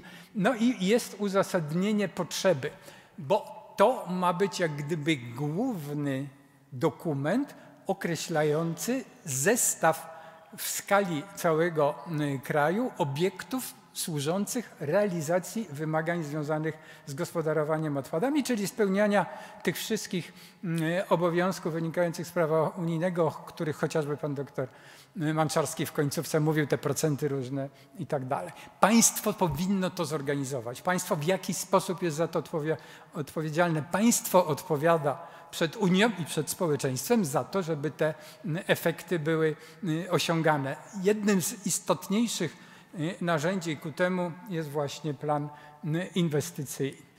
I żeby mm, w tym planie inwestycyjnym y, wprowadzić merytorycznie, że tak powiem, właściwe instalacje, to jest jedna rzecz. Natomiast, żeby niejako wymusić inwestowanie w te właściwe instalacje, mamy bardzo istotne zastrzeżenie zawarte w artykule 35 ustęp 9, zakładający, to jest ustawa o odpadach cały czas, y, zakładający, y, że warunkiem dopuszczalności finansowania inwestycji w gospodarce odpadami, sk- skracając to w tej chwili, związanych z zagospodarowaniem tych y, odpadów, finansowania ze środków unijnych i z funduszy ochrony środowiska jest ujęcie tychże dane, tego typu inwestycji w planie y, inwestycyjnym. No i teraz pytanie, czy dana inwestycja znajdzie się w planie inwestycyjnym, jest też pytaniem w sumie otwartym, ponieważ decyzja o tym, czy się znajdzie, czy nie, to jest kompetencja organu przygotowywującego projekt planu i ostatecznie organu przygotowywującego, ostatecznie organu przyjmującego y, ten plan. Czy zainteresowany, chcąc coś realizować, ma możliwość wprowadzenia swojej inwestycji do y, planu inwestycyjnego, to jest to sprawa w gruncie rzeczy otwarta i dlatego wspomniałem Państwu o tych ewentualnie możliwych naciskach lobbystycznych. Jeżeli potraficie Państwo wykazać przydatność, potraficie wykazać potrzebę budowy tej akurat instalacji z punktu widzenia y, spełniania wymagań przepisów dotyczących gospodarowania odpadami, jeśli chodzi o jakość ochrony środowiska, jeśli chodzi o osiąganie efektów środowiskowych, no to jest wtedy szansa przy pracy nad planem ją, że tak powiem, zgłosić i walczyć o to, aby ona się w planie y, znalazła. Natomiast jeżeli plan mamy zamknięty, to jak tam moment wcześniej Państwo widzieliście, co 6 lat on jest teoretycznie y, modernizowany, aktualizowany. Wobec powyższego w trakcie to wprowadzenie jest już nie taką oczywistą y, rzeczą. Ja to mówię dosyć enigmatycznie i z pewnymi takimi podtekstami, ale dlatego, że praktyka no, często odbiega od tych teoretycznych założeń, o których Państwu mówię. Plan co do zasady powinien być stały. Plan zmieniany zbyt często jest po części zaprzeczeniem całej idei, całej konstrukcji tego aktu zarządzania przez administrację. Trzeba się trzymać pewnych pomysłów, które się y, przyjęło. Można je modyfikować, no ale zbyt częste modyfikacje nie są mm, rzeczą przydatną. Z planami wiąże się jeszcze jeden problem, który tu chciałbym Państwu zasugerować i którego nie będę w tej chwili ani rozwiązywał, y, ani y, odpowiadał na ewentualne pytania, bo to znowu jest dość skomplikowana prawa, sprawa, a mianowicie ustawa o odpadach zakłada, że posiadacz odpadów jest zobowiązany do postępowania z odpadami w sposób zgodny między innymi z planami gospodarki odpadami. I teraz tamto pytanie, jeżeli one nie mają charakteru normatywnego, to jak od posiadacza odpadów wyegzekwować? No nie egzekwuje się, ustawodawca zdawał sobie jak gdyby y, z tego sprawę, mimo że takie próby wcześniej były. Stąd przepisy egzekucyjne, tu macie Państwo powołany artykuł 176 ustawy mm, o odpadach, gdzie jest, mamy do czynienia z odpowiedzialnością karną i być może Państwo jeszcze o tym też y, będziecie mówić, nie odwołują się do sprzeczności z planami gospodarki y, odpadami w działaniach y, posiadaczy odpadów. Natomiast w artykule 46 jest znacznie kłopotliwsza prawnie sprawa, y, ponieważ mamy do czynienia tutaj z instytucją odpowiedzialności administracyjnej y, faktycznie, y, pośrednią odpowiedzialności, dlatego że przepis zakłada, że nie wydaje się zezwolenia na zbieranie odpadów lub zezwolenia na przetwarzanie odpadów, odmawia organ, to nie jest fakultatywne.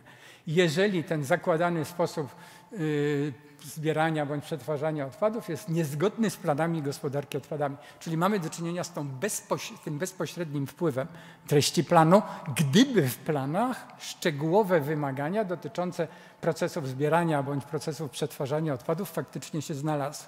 Tak szczegółowych wymagań nie ma. Wobec powyższego praktycznie nie spotkałem się e, z decyzją administracyjną, która by odmawiała wydania zezwolenia na podstawie wyłącznie niezgodności z planami gospodarki odpadami.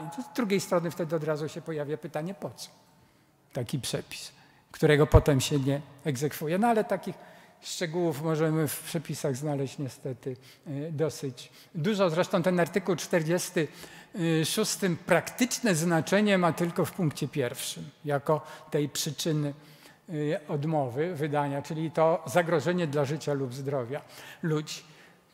Punkt trzeci jest absolutnie oczywisty. Nie można wydać decyzji administracyjnej sprzecznej z prawem, w tym z prawem miejscowym. Przynajmniej tak teoretycznie należy y, założyć. Kwalifikacja inwestycji. Inwestycja jako przedsięwzięcie, inwestycja jako instalacja, inwestycja jako instalacja komunalny.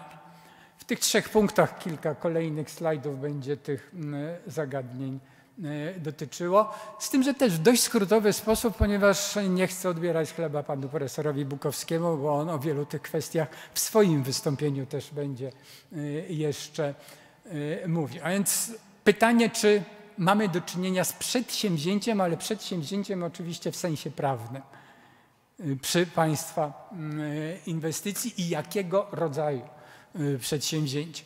Że mamy do czynienia z przedsięwzięciem, to jest taka kwestia z gatunku oczywistości. Na pewno będzie przedsięwzięciem, ale istotne pytanie uzupełniające jest, czy będzie to przedsięwzięcie zwykłe, w cudzysłowie oczywiście dużym, bo prawnie to pojęcie nie funkcjonuje, zwykłe przedsięwzięcie, czy też przedsięwzięcie mogące znacząco oddziaływać na środowisko. Jeżeli mamy do czynienia z przedsięwzięciem mogącym znacząco oddziaływać na środowisko, to niejako automatem musimy mieć decyzję o środowiskowych uwarunkowaniach, wydaną z procedurą oceny oddziaływania na środowisko albo tylko na podstawie karty informacyjnej przedsięwzięcia. To są znowu już dość szczegółowe sprawy i prawdopodobnie się w wystąpieniu profesora Bukowskiego nie konsultowaliśmy tego ze sobą y, pojawi.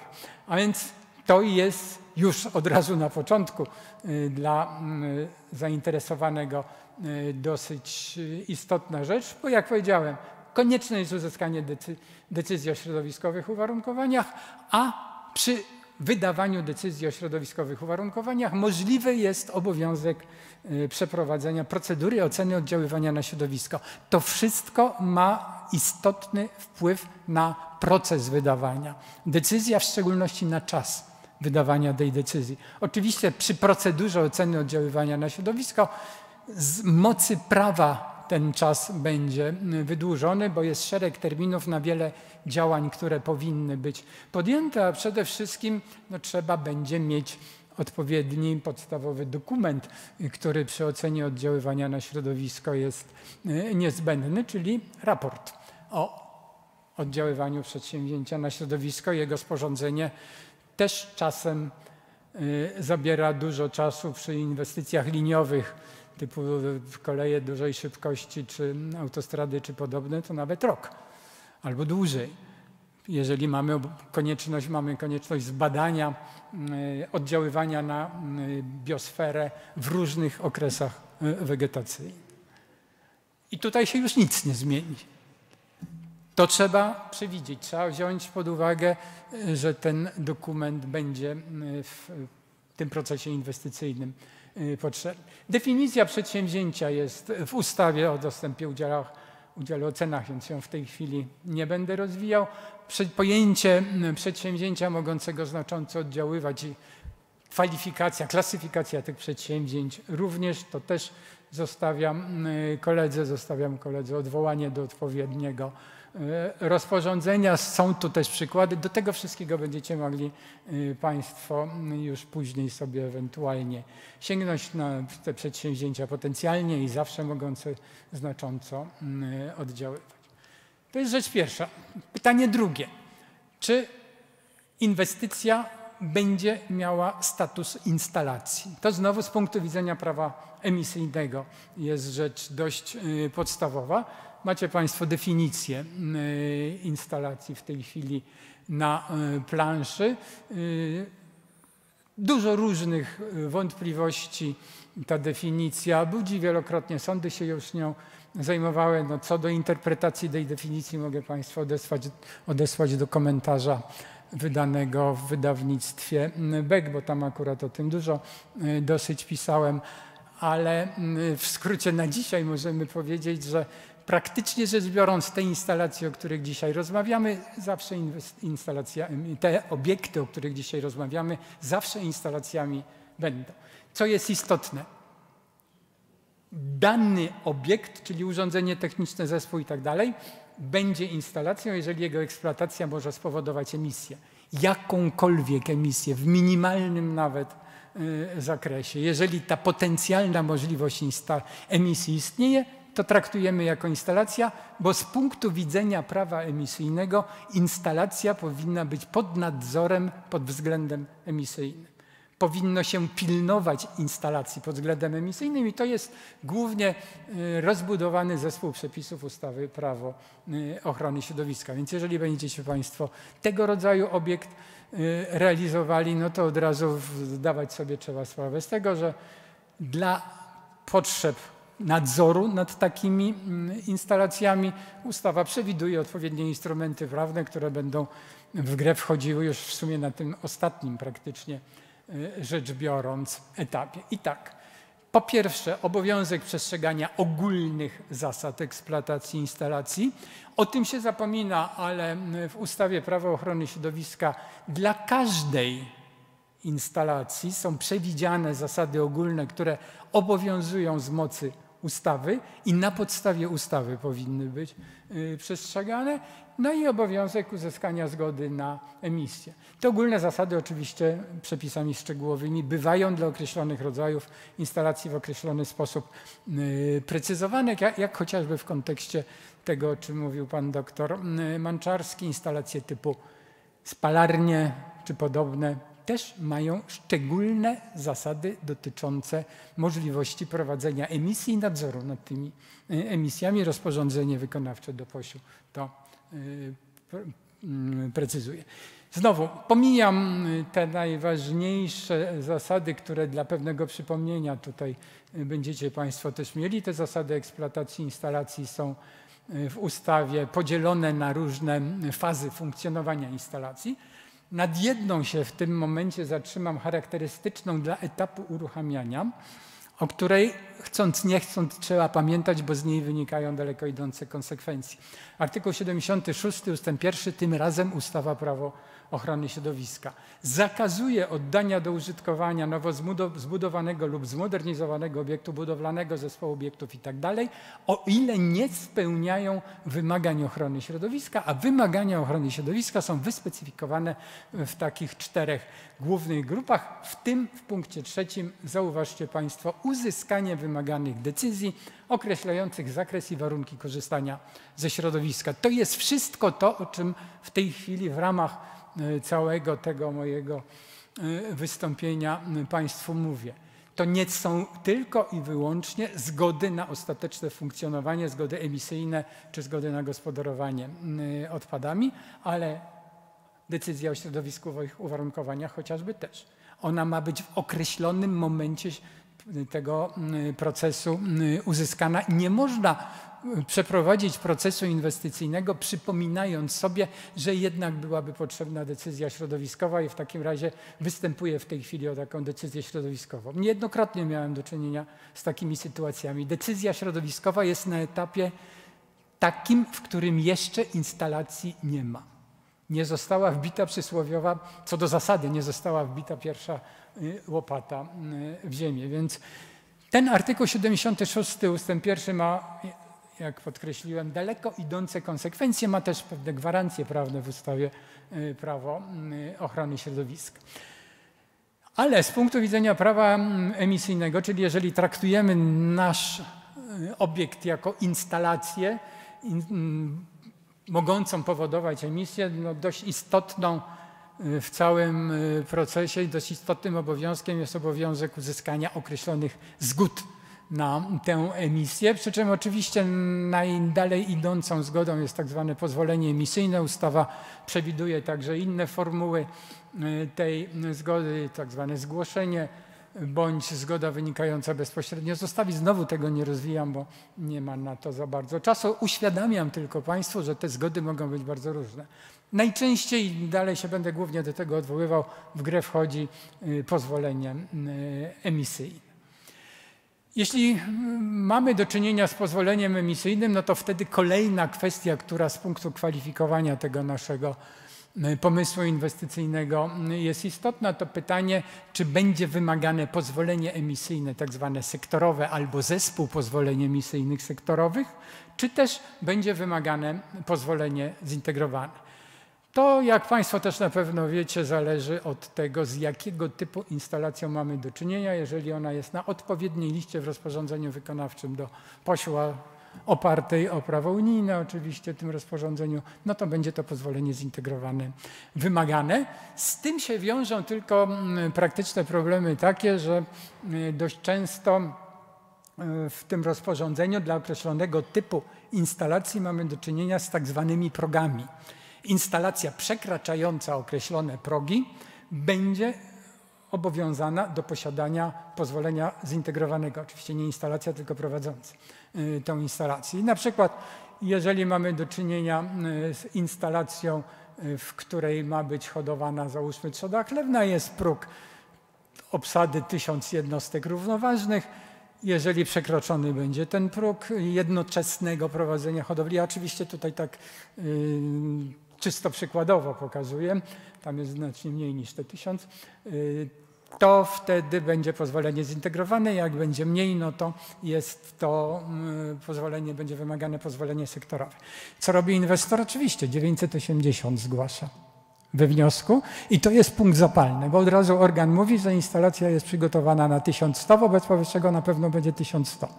Inwestor zgłasza 980 i spór, dyskusja mm, i tak. Z mojego punktu widzenia wniosek inwestora powinien być wiążący, Organ, jeżeli ma wątpliwości, czy będzie przestrzegany, ma odpowiednie środki nadzorcze. I w trakcie sprawdzania, jeżeli stwierdzi, że przekroczony został ten próg, ma możliwość zastosowania różnego rodzaju konsekwencji y, prawnych w stosunku do y, tego prowadzącego instalację, który wymóg ograniczenia ilości, czyli nieprzekraczania tego progu y, naruszył. Ale w praktyce to nie jest aż takie proste, jak tu Państwu w tej chwili powiedziałem. Y, jeżeli mamy do czynienia z instalacją wymagającą pozwolenia zintegrowanego, no to rzeczą najważniejszą jest to, że pozwolenie zintegrowane jest taką decyzją kompleksową założenia i od razu na samym początku w pierwszej dyrektywie tak zwanej IPPC z 1996 roku to założenie było y, przyjęte. Teraz dyrektywa AID którą tu powołuję, czyli ta emisjach y, przemysłowych. I z naszego punktu widzenia, jeżeli skupiamy się dzisiaj na odpadach, no to rzeczą bardzo ważną jest to, że w pozwoleniu zintegrowanym będą się znajdowały rozstrzygnięcia dotyczące raz emisji w postaci odpadów, czyli pozwolenie na wytwarzanie odpadów i rozstrzygnięcia dotyczące postępowania z odpadami, a w szczególności gospodarowania odpadami. I to jest pole do bardzo wielu różnych y, sporów, które się w ostatnich zwłaszcza czasach pojawiają pomiędzy organami a y, osobami y, zainteresowanymi, ponieważ rozbieżności w interpretacji tych przepisów są dość daleko, daleko idące, przede wszystkim w kontekście pytania, na ile pozwolenie zintegrowane ma wpływ, fakt wymagania pozwolenia zintegrowanego i na przykład posiadania pozwolenia zintegrowanego ma wpływ na y, konieczność uzyskania decyzji o środowiskowych uwarunkowaniach itd. Tak itd. Tak Więc też tego w tym momencie nie rozwijam. O tym akurat w paru miejscach pisałem, będzie chyba nawet w przeglądzie sejmowym dość rozbudowany artykuł tej ostatniej kwestii yy, dotyczący.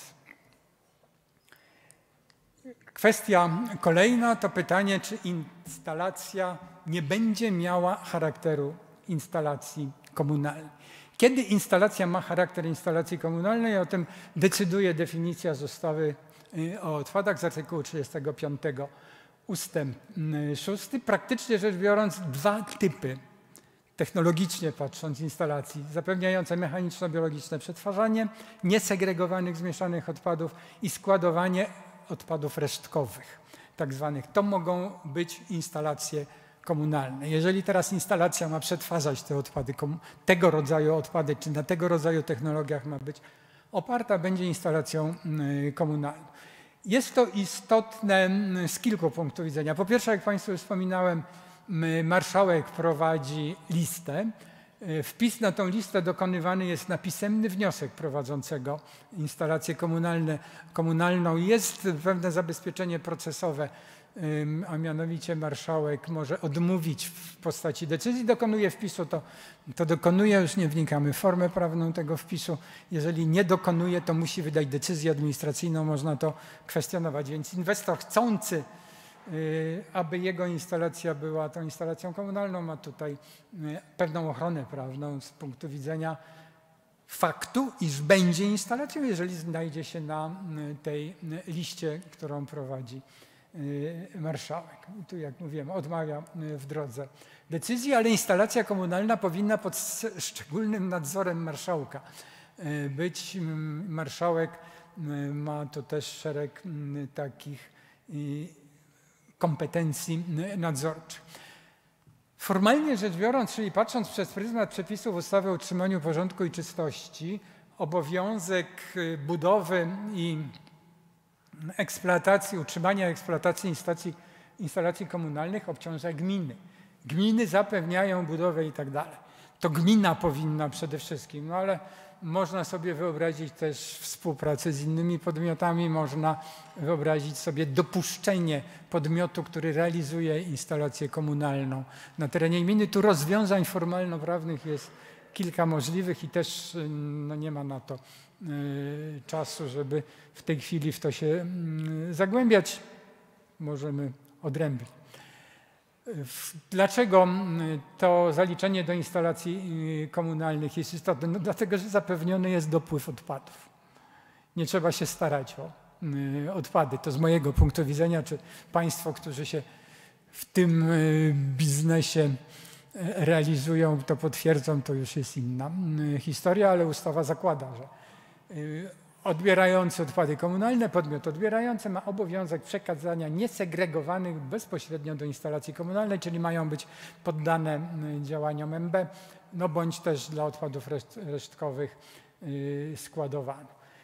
Za to są pewne szczegółowe obowiązki, na przykład obowiązek przedstawiania, mm, przedstawienia mm, kalkulacji y, kosztów i ten szczególny nadzór, a mianowicie y, wójt, burmistrz, prezydent może y, podejmować pewne działania restrykcyjne w odniesieniu y, do mm, tych, którzy prowadzą y, instalacje komunalne przy naruszeniu zakazów związanych z przyjmowaniem na przykład przekazanie niesegregowanych odpadów y, komunalnych do instalacji innych niż instalacje komunalne, więc to wspomaga jak gdyby mm, pozycję prowadzącego instalacje komunalne. To były te mm, kwalifikacje istotne z punktu widzenia całego procesu inwestyc- inwestycyjnego. Jak wyglądają te formalne procedury y, inwestycyjne? Na etapie lokalizacji, na etapie budowy, na etapie oddawania do y, użytkowania. Pytanie dość podstawowe to pytanie już wcześniej przeze mnie zadane, a mianowicie o ocenę oddziaływania na środowisko. Y, Ocena jest pewną procedurą, co oznacza, że wymagany jest czas do jej przeprowadzenia. W zależności od tego, z ilu etapów i w jakim zakresie się składa, no to ten czas może być, jak mówiłem Państwu, dosyć y, długi. Jest to ocena bądź projektu dokumentu, bądź zamierzonego przedsięwzięcia y, oddziaływującego na środowisko i stąd wyróżniamy procedurę strategiczną, procedurę przeze mnie nazywaną indywidualną. To nie jest określenie ustawowe. W ustawie mówi się o procedurze dotyczącej przedsięwzięć. No ja tak dla uproszczenia używam tego określenia. Plus procedura oceny transgranicznej, która może wejść jako dodatkowy etap, bądź być też oceną mm, samodzielną. W procedurze indywidualnej mamy procedurę podstawową, ponowną bądź naturową. Główne, główną rolę odgrywają dwie pierwsze, to znaczy przede wszystkim podstawowa bądź procedura ponowna. Procedura naturowa jest dość specyficzną, przewidzianą tylko dla określonego rodzaju przedsięwzięć innych niż mogące y, znacząco y, oddziaływać na środowisko. Profesor Bukowski myślę, że o tym też będzie jeszcze y, sporo mówił. Procedury są przede wszystkim istotne dlatego, że wpływają na treść decyzji środowiskowej, a treść decyzji środowiskowej w wielu elementach kształtuje treść tak zwanych decyzji e, realizacyjnych, czyli decyzji wymaganych dla możliwości wszczęcia i przeprowadzenia danego etapu e, realizacji inwestycji, etapu lokalizacji bądź etapu e, budowy. Te decyzje realizacyjne macie Państwo tutaj powymieniane, też to nie będę w sposób szczegółowy omawiał. Jeśli chodzi o lokalizację, to dość ważną rzeczą jest uświadomienie sobie dwóch formalnych możliwości lokalizacji. W oparciu o miejscowy plan zagospodarowania przestrzennego bądź w oparciu o tak zwaną decyzję lokalizacyjną. Ja do tych decyzji zaliczam dwie. O lokalizacji inwestycji celu publicznego i decyzji o warunkach zabudowy i zagospodarowania y, terenu. Sprawa do końca nie jest oczywista, ale o tym jeszcze za moment na podstawie rozstrzygnięcia podejmowałem, podjętego kiedyś przez, nie tak dawno przez NSA. Prostszą sprawą jest oczywiście ta pierwsza, ponieważ to nie inwestor przeprowadza wszystkie działania, które związane są z wyrażeniem zgody na lokalizację, to organ właściwy do przyjęcia miejscowego planu zagospodarowania przestrzennego przyjmuje takie, a nie inne rozstrzygnięcie. Inwestor ma to podane na tacy, albo on się mieści w planie, albo się nie mieści. No być może dlatego tych planów jest tak mało. Zdaje się, że 10-12% ciągle się mówi obszarów gmin objętych jest miejscowymi planami zagospodarowania przestrzennego. Jeszcze dawno, dawno, jak działałem w Radzie Miejskiej w Łodzi, no to kolegę prezydenta namawiałem, żeby zwiększać ilość planów. No, niechętnie do tego podchodził, bo to jednak trochę samorządy w swobodzie decyzji o lokalizowaniu określonych obiektów ogranicza. Jest to prostsze poprzez tę y, decyzję lokalizacyjną. Natomiast patrząc na rolę planów, teoretycznie rzecz biorąc, miejscowy plan zagospodarowania przestrzennego powinien tu według mnie główną rolę odgrywać. No ale stopień skomplikowania przy przyjmowaniu jest tego rodzaju, że gminy tylko wtedy, gdy muszą chyba te plany y, przyjmują. I teraz to pytanie, które Państwu zadałem. Co to jest takiego ta inwestycja celu publicznego?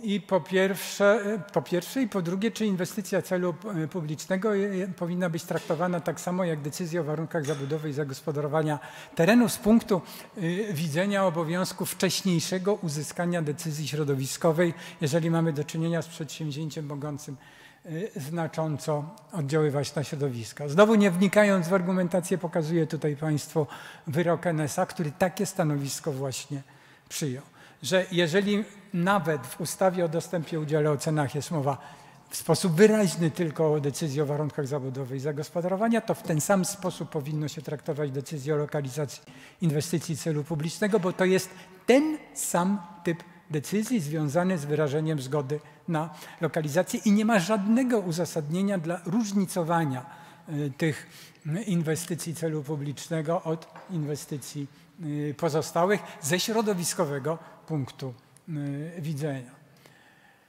Y, co to jest inwestycja celu y, publicznego? To rozstrzyga definicja z ustawy o planowaniu i zagospodarowaniu przestrzennym, odwołująca się do ustawy o gospodarce nieruchomościami. I macie Państwo tutaj pojęcie celu publicznego. Wyjąłem tylko jeden fragment. Praktycznie rzecz biorąc, wiele a właściwie większość obiektów, o których tutaj rozmawiamy, możemy traktować, możemy traktować jako inwestycje celu publicznego, ponieważ są związane z utrzymywaniem, budową, utrzymywaniem urządzeń służących do ochrony y, środowiska. Pomijamy procedurę oceny strategicznej, pomijamy to, bo będzie mówił o tym profesor Bukowski, y, te podziały przedsięwzięć, o których Państwu y, wspominałem, i etap budowy. Z mojego punktu widzenia, czyli patrząc na kwestię od strony środowiskowej, powołuję Państwu jeden z ważniejszych, moim zdaniem, przepisów ustawy prawo budowlane. Kwestie wymagań ochrony środowiska powinny być zawsze z tyłu głowy i przed oczami organów administracji architektoniczno-budowlanej praktyce nie jest to sprawa taka zupełnie oczywista. Dość często traktowane są trochę po macoszemu, że tak powiem, organy administracyjne, administracji architektoniczno-budowlanej patrzą z takimi klapkami na oczach przez pryzmat ustawy prawo budowlane, a co resztę poza prawem budowlanym jest, to już nie ma nie ma specjalnego znaczenia. Stąd ten przepis został w pewnym momencie do ustawy y, wprowadzony.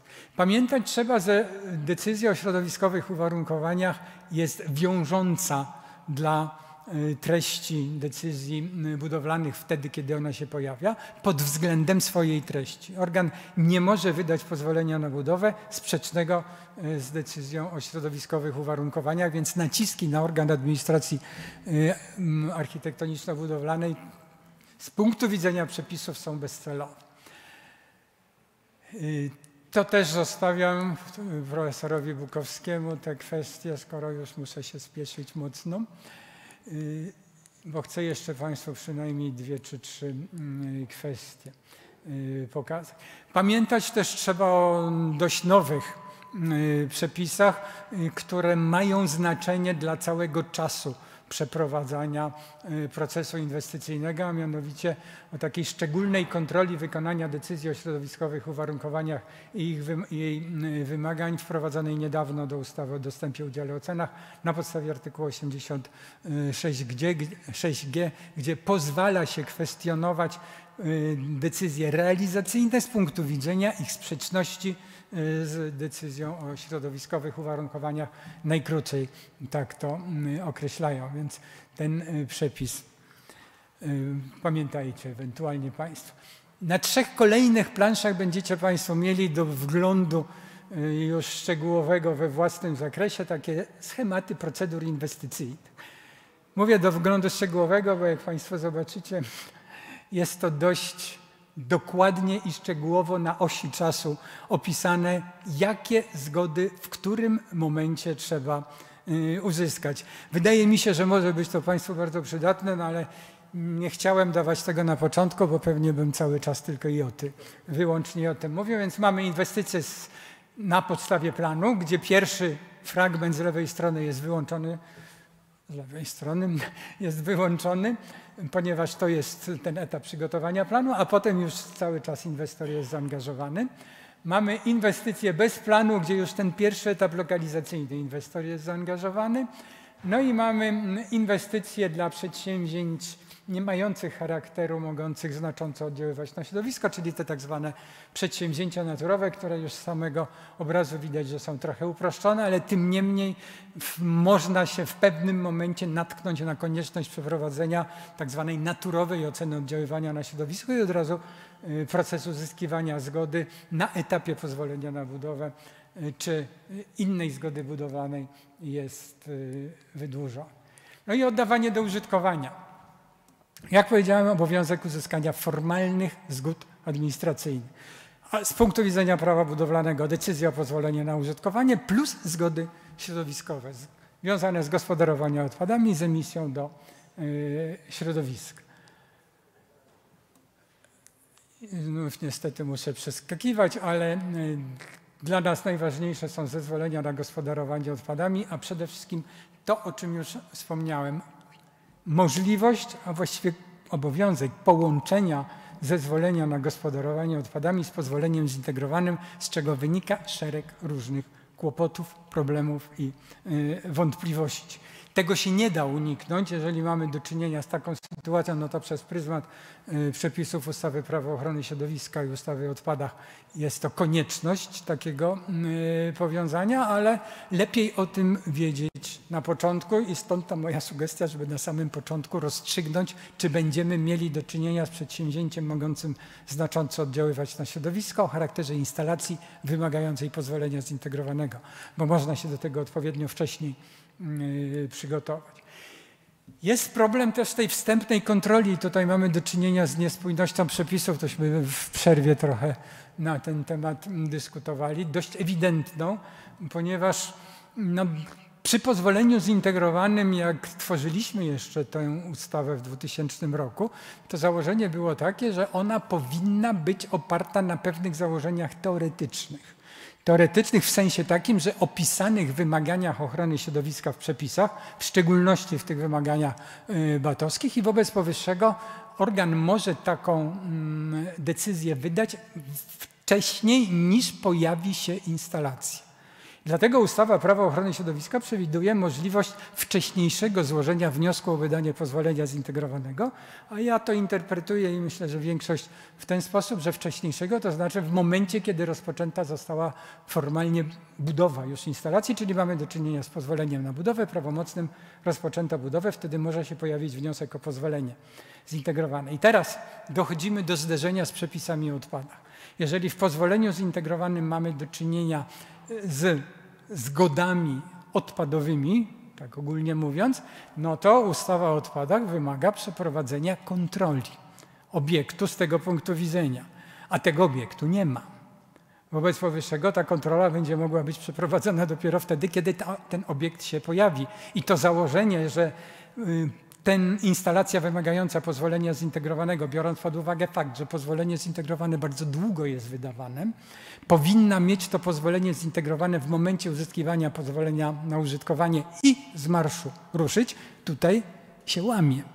Będzie musiał poczekać, aż zostanie przeprowadzona y, kontrola. Więc na razie bez zmiany przepisów tutaj żadnego wyjścia z sytuacji nie ma, ale być może mm, będzie to przemyślane i te, ta zmiana przepisów się y, pojawi.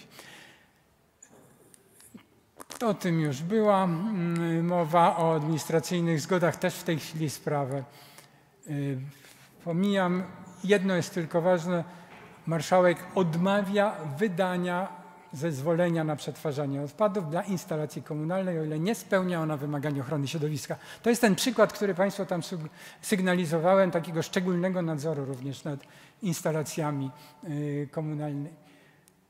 O tym też mówiłem, że będzie można poczytać o wymaganiach emisyjnych, kształtowaniu, pozwoleniu, no to już nie będziemy się nad tym zatrzymywać, do poczytania y, we własnym y, zakresie. I króciutkie podsumowanie. Jest tego mnóstwo, niewątpliwie. Skrócić y, cały ten proces, mm, moim zdaniem w chwili obecnej, poprzez eliminację z niego poszczególnych etapów, jest rzeczą niemożliwą. Można go skrócić tylko wtedy, kiedy po pierwsze inwestor się do tego w odpowiedni sposób przygotuje, z góry będzie wiedział, jakiego rodzaju wymagania będą wobec niego stawiane, i drugi y, sposób, ale to już jest znacznie szersza y, kwestia, od, poprzez odpowiedni sposób aparatu działania administracji i o tym wspominał też pan doktor Manczarski. Te przepisy unijne są konstruowane raczej na zasadzie pewnej swobody kształtowania treści wymaganych zgód w określonych prawem granicach przez organy administracji. Więc organ musi o tym wiedzieć, musi chcieć i musi umieć ukształtować czyli kwestia odpowiedniej, mm, odpowiedniego wyposażenia aparatu administracji w fachowców, którzy by y, we właściwy y, sposób potrafili y, te decyzje konstruować, ale stąd między innymi jest też ten długi czas na wydanie pozwolenia zintegrowanego. No i trzecia kwestia, o której wspominałem, to kwestia też usunięcia tych różnego rodzaju niespójności i barier. Dałoby się tych wskazać wiele. Zasygnalizowałem Państwu może cztery, może pięć, ale pewnie jeszcze ze dwa razy tyle mm, takich różnych szczegółowych kwestii można byłoby podnieść. No i to na tyle. Dziękuję uprzejmie. Przedłużyłem to nieco. Odsyłam Państwa do tej y, prezentacji. Myślę, że parę wieczorów można nad tym spełnią, spędzić, szykując się do snu, bo może usypiać. Dziękuję panie profesorze. Wypłynęliśmy na obszar oceanu, spraw prawnych. Myślę, że musimy dalej podążać e, ku jakiemuś brzegowi i poproszę pana profesora Zbigniewa Bukowskiego, który był już e, tutaj anonsowany kilkakrotnie przez profesora Górskiego, o to, żeby nas dalej prowadził do tej latarni i brzegu. E, panie Ministrze, Panie Prezesie, Szanowni Państwo, e, postaram się zwrócić uwagę na pewne kwestie związane z decyzjami o środowiskowych uwarunkowaniach e, w kontekście realizacji instalacji gospodarki odpadami. Oczywiście no, nie sposób powiedzieć o wszystkich niuansach, biorąc pod uwagę, że cały system ocen oddziaływania na środowiska, wydawania decyzji o środowiskowych uwarunkowaniach to jest jedną z najbardziej skomplikowanych kwestii w naszym systemie prawa ochrony środowiska. Zresztą myślę, że było to widać po prezentacji y, pana profesora Górskiego, który bardzo często y, do różnych instrumentów prawnych y, związanych z ocenami oddziaływania na środowisko odwoływał się. Dlatego nie tyle dzisiaj kwestia w szczegółach, co może bardziej spojrzenia na ten system z punktu widzenia pewnych pryncypiów. Pryncypiów prawnych ochrony środowiska, pryncypiów prawnych gospodarki odpadami i pryncypiów no, zasad ogólnych prawa tak abyśmy mm, e, e, spróbowali sobie powiedzieć, jak, jak te instytucje występujące w ramach oceny oddziaływania na środowisko do nich się, do nich się mają. E, oczywiście oceny oddziaływania na środowisko mają swój historycznie już dość długotrwały charakter. One powstały na przełomie lat 60., 70., końcówka lat 60. w Stanach Zjednoczonych po to, żeby dostarczyć różnym podmiotom wiedzę o środowiskowych konsekwencjach inwestycji. To jest ten moment, kiedy ochrona środowiska zaczęła być takim tematem popularniejszym medialnie, społecznie. Po to, żeby nie tylko inwestor miał wiedzę o środowiskowych uwarunkowaniach tego, co chce zrealizować, ale żeby taką wiedzę miały także organy administracji różnych poziomów i różnych szczebli oraz żeby taka wiedza dostarczona została społeczeństwu po to, żeby uniknąć konfliktów społecznych. Jak Państwo wiecie, cały szereg różnych rodzajów działalności powoduje konflikty konflikty społeczne, z których wiele wynika z niewiedzy.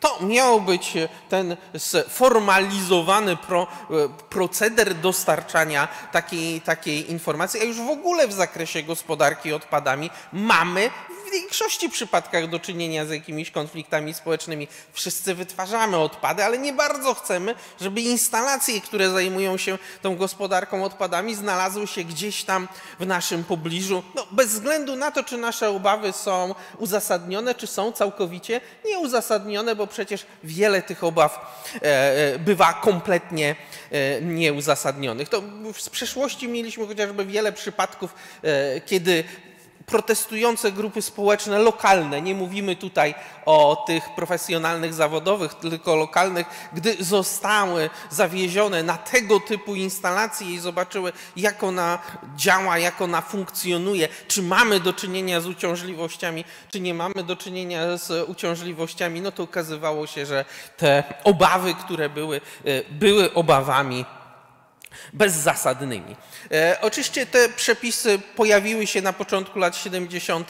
w krajach Europy Zachodniej. No i dzisiaj mamy do czynienia z dość skomplikowanym systemem. Ja go nie będę omawiał, tylko sygnalizuję systemem, który ma swoje uwarunkowania międzynarodowe. Mm, mamy umowy międzynarodowe, konwencje dotyczące problematyki ocen oddziaływania na środowiska. Dla nas oczywiście bardzo istotne e, jest to, co jest w prawie Unii Europejskiej. Tutaj ta pierwsza dyrektywa z 1985 roku. Abstrahuję od ocen strategicznych, ja ich poruszać nie będę. E, oceny oddziaływania na obszary Natura 2000 to dyrektywa e, z 1992 roku. No dzisiejsza wersja dyrektywy ocenowej, tej indywidualnej, związanej, moglibyśmy powiedzieć, z decyzjami o środowiskowych uwarunkowaniach, to 2011. Moglibyśmy powiedzieć z decyzjami o środowiskowych uwarunkowaniach, e, gdyby nie jeden fakt. To, nasz, to oczywiście nasza aktualna e, ustawa o najdłuższym tytule, jaki tylko mamy w naszym systemie prawnym. Skrótowo będę mówił ustawa o ocenach oddziaływania na środowisko, choć jest to tylko jeden z elementów, który się w nim, który się w nim e, e, pojawia. Oczywiście ustawa implementuje, transponuje dyrektywę.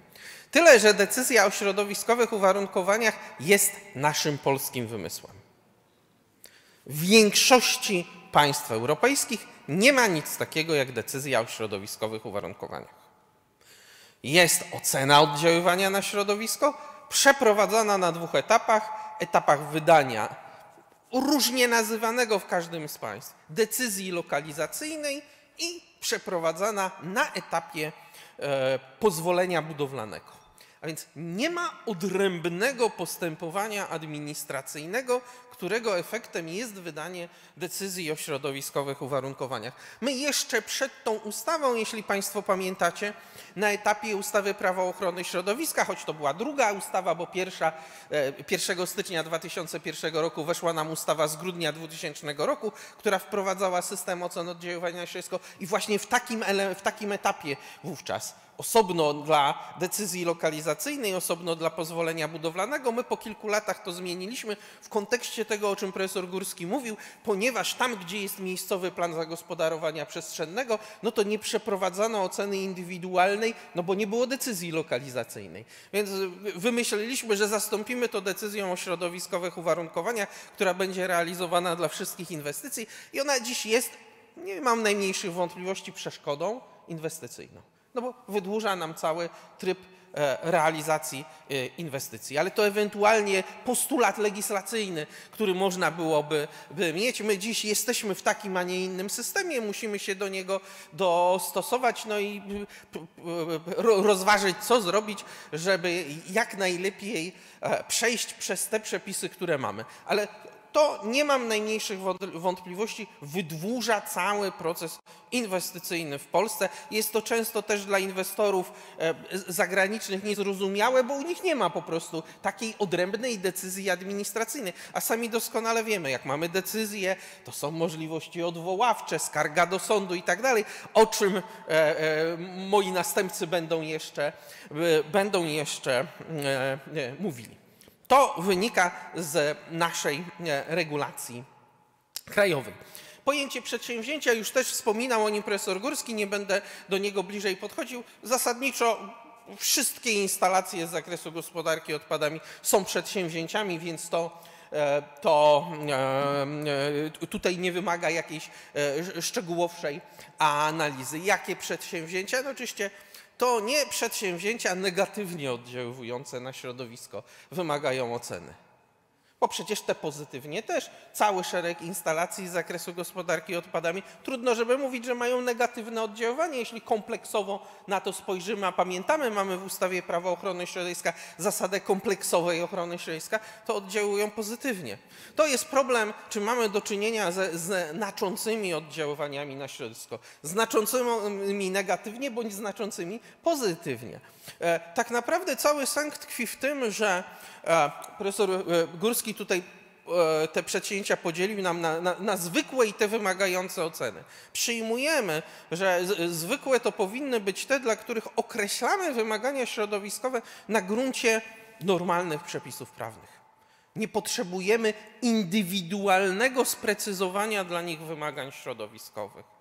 Natomiast z oceną mamy do czynienia z decyzją o środowiskowych uwarunkowaniach, o tak idąc z tym naszym torem, wtedy, gdy przedsięwzięcie wymaga pewnego zindywidualizowania. I oczywiście na tym tle pojawiają nam się te, te, te, te dwie grupy wyróżniane na tle ustawy i wyróżniane na tle rozporządzenia zawsze znacząco oddziałujące na środowisko. Tu jakby przyjmujemy, że w drodze rozporządzenia legislator uznał, że to są te, dla których zawsze należy przeprowadzić szczegółową procedurę wydania decyzji o środowiskowych uwarunkowaniach z oceną oddziaływania na środowisko i ta nasza druga grupa mogących potencjalnie e, oddziaływać na... Ja coś wyłączyłem? Nie? Coś się tutaj włączyło? A... na, na, na środowisko. E, I zwróćcie Państwo uwagę, jeśli chodzi o te potencjalnie oddziaływujące na, na środowisko, to, to jest jakby e, problem. Czy to konkretne przedsięwzięcie wymaga pełnej oceny z raportem, czy nie? Czy wymaga, a tak naprawdę odpowiedź na pytanie, czy wymaga, aby w decyzji określić dla niego jakieś szczególne uwarunkowania środowiskowe wykraczające poza to, co wynika z ogólnych przepisów prawa zawartych w ustawach czy w rozporządzeniach. I to jakby dano organowi prowadzącemu te postępowanie, no zdecydowanej większości wójtowi, burmistrzowi, prezydentowi do rozstrzygnięcia, choć oczywiście zasięga opinii e, e, regionalnego dyrektora ochrony środowiska czy innych organów, o których będziemy, będziemy jeszcze sobie mówili. E, No i ta indywi- indywidualizacja może być, no, może mieć swoje bardzo rozmaite, może mieć swoje bardzo rozmaite uwarunkowania, bo one mogą być związane bądź z samym charakterem przedsięwzięcia, e, bądź e, z obszarem, na którym e, są realizowane te przedsięwzięcia w zakresie gospodarki odpadami. Więc może się zdarzyć, że dwa identyczne przedsięwzięcia, ale realizowane na różnym terenie, jeden będzie tym przedsięwzięciem, dla którego raport będzie wymagany, a w, w przypadku drugiego wystarczy nam karta, e, karta informacyjna. Eee, No właśnie, te dwie grupy, mogące zawsze znacząco, mogące potencjalnie oddziaływać na środowisko, choć dla obu wydajemy decyzje o środowiskowych uwarunkowaniach. No jeszcze niedawno, no, już kilka lat, e, mówiliśmy, że ta druga decyzja to decyzja pusta, ale to tak do końca nie musi być pusta, prawda, bo w tej chwili przepisy umożliwiają nam wprowadzenie do niej nie, pewnej konkretnej, pewnej konkretnej treści. Ale ja pozwoliłem sobie e, zacząć od problemu odmowy wydano właściwie odmowy zgody na realizację przedsięwzięcia, e, ponieważ ma, mam wrażenie, że zwłaszcza akurat w zakresie inwestycji z gospodarki, związanych z gospodarką odpadami pojawiają się, nie są standardem, ale pojawiają nam się takie głosy medialne, społeczne, niektórych mediów, nie wydać decyzji o środowiskowych uwarunkowaniach. Niech ten organ nie wyda. My nie chcemy tej inwestycji, niech nie wyda decyzji o środowiskowych uwarunkowaniach. Nie można nie wydać. Tej decyzji, i abstrahuję, zaraz powiemy sobie, kiedy nie można, prawda? Ale zasadniczo jej nie można nie wydać. Bo dla każdego przedsięwzięcia my jesteśmy w stanie określić, jakie warunki środowiskowe te przedsięwzięcie ma spowodować. Mylona jest decyzja o środowiskowych uwarunkowaniach ze zgodą lokalizacyjną. No, z tymi decyzjami, o których przed momentem profesor Górski mówił, ze zgodami lokalizacyjnymi. Decyzja o środowiskowych uwarunkowaniach nie jest zgodą lokalizacyjną. Prawda? To jest decyzja, to w rozumieniu dyrektywy i naszych krajowych przepisów to ma być fachowa decyzja wskazująca, jakie uwarunkowania środowiskowe ma spełnić przedsięwzięcie i tyle. A nie ma to nic wspólnego z tym, czy wyrażamy zgodę na realizację tej inwestycji, czy nie. Czy wyrazimy zgodę, o tym zdecydujemy bądź w miejscowym planie zagospodarowania przestrzennego i możliwe, że ta zgoda już jest, albo zdecydu- zdecydujemy w indywidualnej decyzji lokalizacyjnej, znów, gdy zostaną spełnione przesłanki przewidziane przepisami prawnymi, prawda? Przecież cały nasz system prawny opiera się na tym, że wydajemy decyzje na podstawie przepisów prawa. Jeśli decyzja spełnia wszystkie przesłanki z przepisów prawa, to musimy ją wydać. Jak nie spełnia, to nie wolno nam jej wydać, prawda? No, ten głos społeczny, głos medialny nie jest elementem uwzględnianym w rozstrzygnięciu, wydać czy nie wydać. Jest czymś, co przy postępowaniu powinniśmy wziąć pod, e, pod uwagę, bo, bo e, oczywiście to pytanie, czy w ramach udziału społeczeństwa zostaną zgłoszone jakieś uwagi i wnioski, ale nie co do ostatecznego wydania, co ostatecznego wydania decyzji, prawda? Bo wówczas nie, nie żylibyśmy w państwie prawa, prawda? A istotą państwa prawa od XIX wieku w kontekście decyzji administracyjnych jest to, żeby wydać je. O, teraz już. że, że, że, żeby wydać je wówczas, gdy te przesłanki z. Ja nie muszę w razie czego, to wolałbym, żeby tutaj ten, ten obraz. O, jest, okej, pojawił się. E, żeby wydać tę decyzję wtedy, gdy przesłanki określone w przepisach prawnych z, zostały, zostały spełnione. I myślę, że taki sam jest pogląd każdego, bo oczywiście ja mogę powiedzieć, że e, patrzę na to też z punktu widzenia administracji publicznej, bo w niej pracuję. Pozdrawiam mojego szefa wojewódzkiego inspektora ochrony środowiska z Bydgoszczy, który jest na sali, ale, e, ale, ale oczywiście myślę, że każdy inwestor też wolałby mieć taką pewność, że jak spełni przesłanki z przepisów prawa, to dostanie decyzję, a nie żeby administracja działała uznaniowo, prawda? Wydam czy nie wydam. My mamy sytuację uznaniowego działania administracji, no ale to skrajne akurat. Prezydent, prawda, nadaje obywatelstwo polskie bądź odmawia nadania, e, nadaje ordery i odznaczenia. Tam mamy do czynienia z takim, taką swobo, swobodnym uznaniem, ale w większości przypadków nie. No i dlatego, kiedy można odmówić? No odmówić można wtedy, jak miejscowy plan zagospodarowania przestrzennego uniemożliwia realizację takiego przedsięwzięcia. No bo po co mamy wówczas wymyślać uwarunkowania środowiskowe, skoro plan już mówi, nie, nie, sorry, tam nie może być tego przedsięwzięcia. No to jest, to jest jasne, prawda, zbędna praca administracyjna. E, kiedy ten wariant zaproponowany przez wnioskodawcę byłby niemożliwy do zrealizowania, a inwestor mówi nie, no mimo, że podałem w raporcie inne warianty, to ja ich nie chcę realizować. No to okej, okay. bardzo rzadka zresztą sytuacja, prawda? To, to, to, to, to skrajnie rzadka. No, negatywne oddziaływanie na obszar Natura 2000, ja już bym tutaj nie chciał bliżej wkraczać, bo to jakby też olbrzymi, prawda, temat. Tu mamy te szczególne przepisy, kiedy istotne jest jest to, czy są te negatywne oddziaływania, czy tych negatywnych oddziaływań nie ma. I też y, no, no, mamy od tego jeszcze pewne wyjątki w ustawie o ochronie przyrody, bądź y, wodne cele środowiskowe, choć akurat nie słyszałem, żeby w gospodarce odpadami jakaś odmowa się zdarzyła w związku z niezrealizowaniem wodnych celów środowiskowych, więc myślę, że to akurat tutaj większego znaczenia e, nie miało, nie miałoby.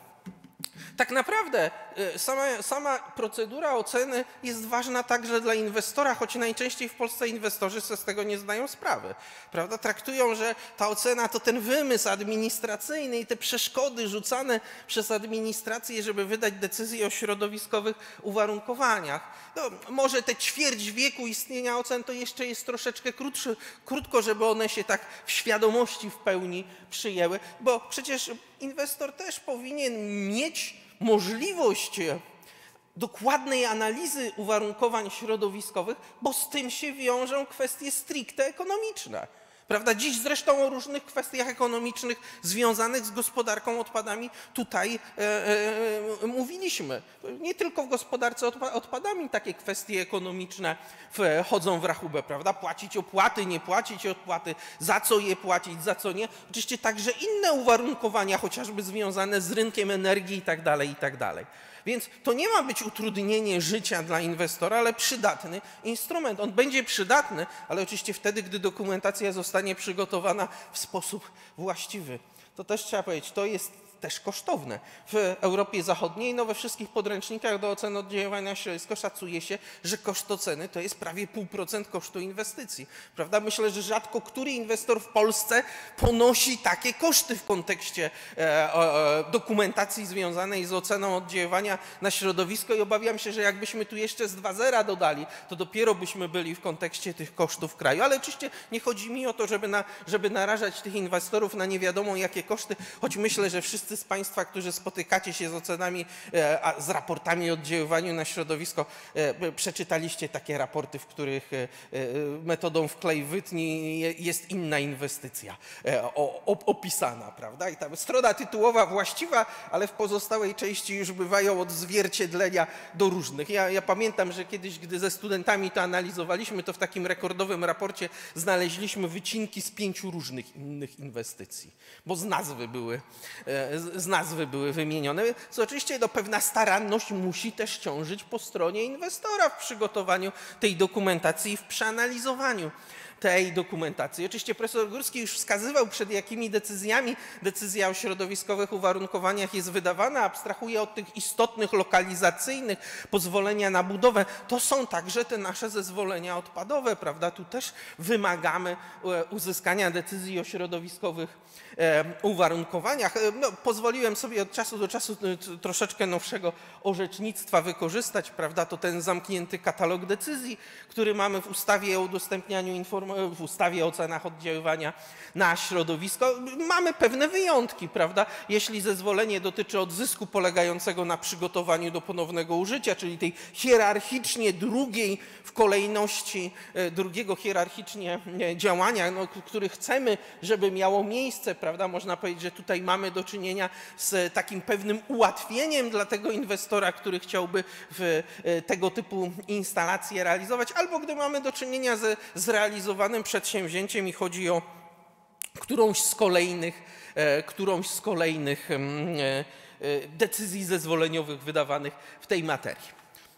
No, w pewien sposób możemy powiedzieć nowość. Pojawił nam się wniosek o wydanie decyzji o środowiskowych uwarunkowaniach po, po znowelizowaniu ustawy, prawda, od 27 stycznia mamy e, wniosek ze wzorem określanym przez ministra właściwego do spraw środowiska, podawanym do publicznej wiadomości w Biuletynie Informacji Publicznej. Tam, ta, tak e, no, wygląda ten wniosek. On oczywiście zawiera te wszystkie elementy, które były do tej pory, natomiast możliwe, że dla obu stron będzie łatwiej prawda, e, wstawić odpowiednie dane w, w odpowiednie, w odpowiednie rubryki. No, te, te, ten podział prawda, na te mogące zawsze znacząco i te potencjalnie, to oczywiście ta różnica. Raport dla mogących y, zawsze znacząco albo tych potencjalnych, dla których zostało nakazane przygotowanie raportu, no i karta informacyjna dla tych potencjalnie. Mam wrażenie, że akurat w sferze gospodarki odpadami e, dominuje żądanie raportu. Znaczy albo mamy przedsięwzięcie z pierwszej grupy, albo, ma, albo w dominujący sposób, jednak ze względu na to oddziaływanie społeczne, środowiskowe i tak dalej, występuje raport. Ja znam oczywiście parę przedsięwzięć, gdzie, gdzie no, no mógłbym powiedzieć, śmiały wójt, burmistrz, prezydent zdecydował, że wystarczą informacje przedstawione w kartach, ale to też jest pytanie o to, jak wygląda ta karta, prawda? Ja już widziałem takie karty, które są właściwie prawie, że odzwierciedleniem e, e, raportu. Jeśli karta liczy 200, 200 kilkadziesiąt stron e, tego tekstu, znaczy widać, że inwestor się już przygotowywał każą mi zrobić raport, więc ja już z góry przygotuję pewien zakres informacji. No i potem może dobrze, że powiedziano, ok, ten zakres informacji, który mi w tej materii przedstawiono, jest dla mnie wystarczający, ale to oczywiście dotyczy tylko tych przedsięwzięć, które mogą być potencjalnie no, problem stron, jeden z ciekawszych e, z takiego punktu widzenia administracyjnego stron e, e, problemów w całym tym postępowaniu, ponieważ tu nie stosujemy przepisów kodeksu postępowania administracyjnego.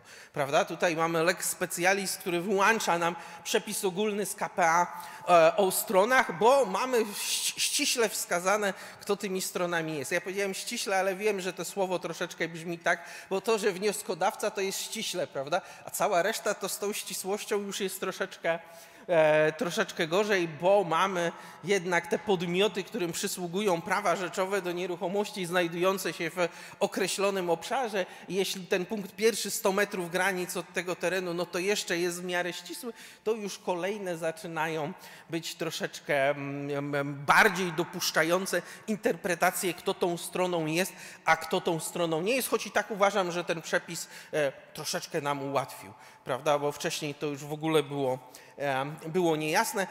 Co więcej, widać, że on budzi żywe zainteresowanie, bo mamy naprawdę dużo, jak na, jak na e, orzecznictwo, akurat w tej materii mamy dość dużo, dużo orzeczeń. Tu oczywiście takie potwierdzenie, że to przepis szczególny w stosunku do 28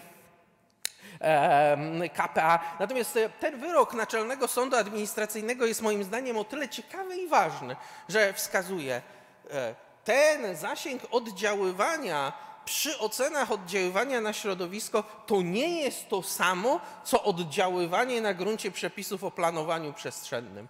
Teren oddziaływania, obszar znaczącego oddziaływania architektonicznego z ustawy o planowaniu przestrzennym, który jednak czasem obejmuje obszary znajdujące się w odległości kilkuset metrów albo i kilometra, półtorej i więcej, to nie jest to samo, o czym mowa jest w ustawie o ocenach oddziaływania na środowisko. Ja wiem, że wyroki, o ile nie są uchwałami prawnymi, no nie mają tej mocy powszechnie obowiązującej, ale wiecie Państwo, no przecież wszyscy patrzymy na te tezy, prawda, bo sądy administracyjne w innych podobnych sprawach w większości przypadków będą rozstrzygały ta, ta, ta, tak samo. Ja wiem, że my często mówimy, zdarzają się rozbieżności w orzecznictwie, ale to tak naprawdę sięgamy do jakiegoś promila spraw, w których nam się takie rozbieżności zdarzają. W dominującej większości tych rozbieżności nie ma, a przecież czasem nawet e, widać, jak jeden sąd od drugiego zrobi wytnij w klej.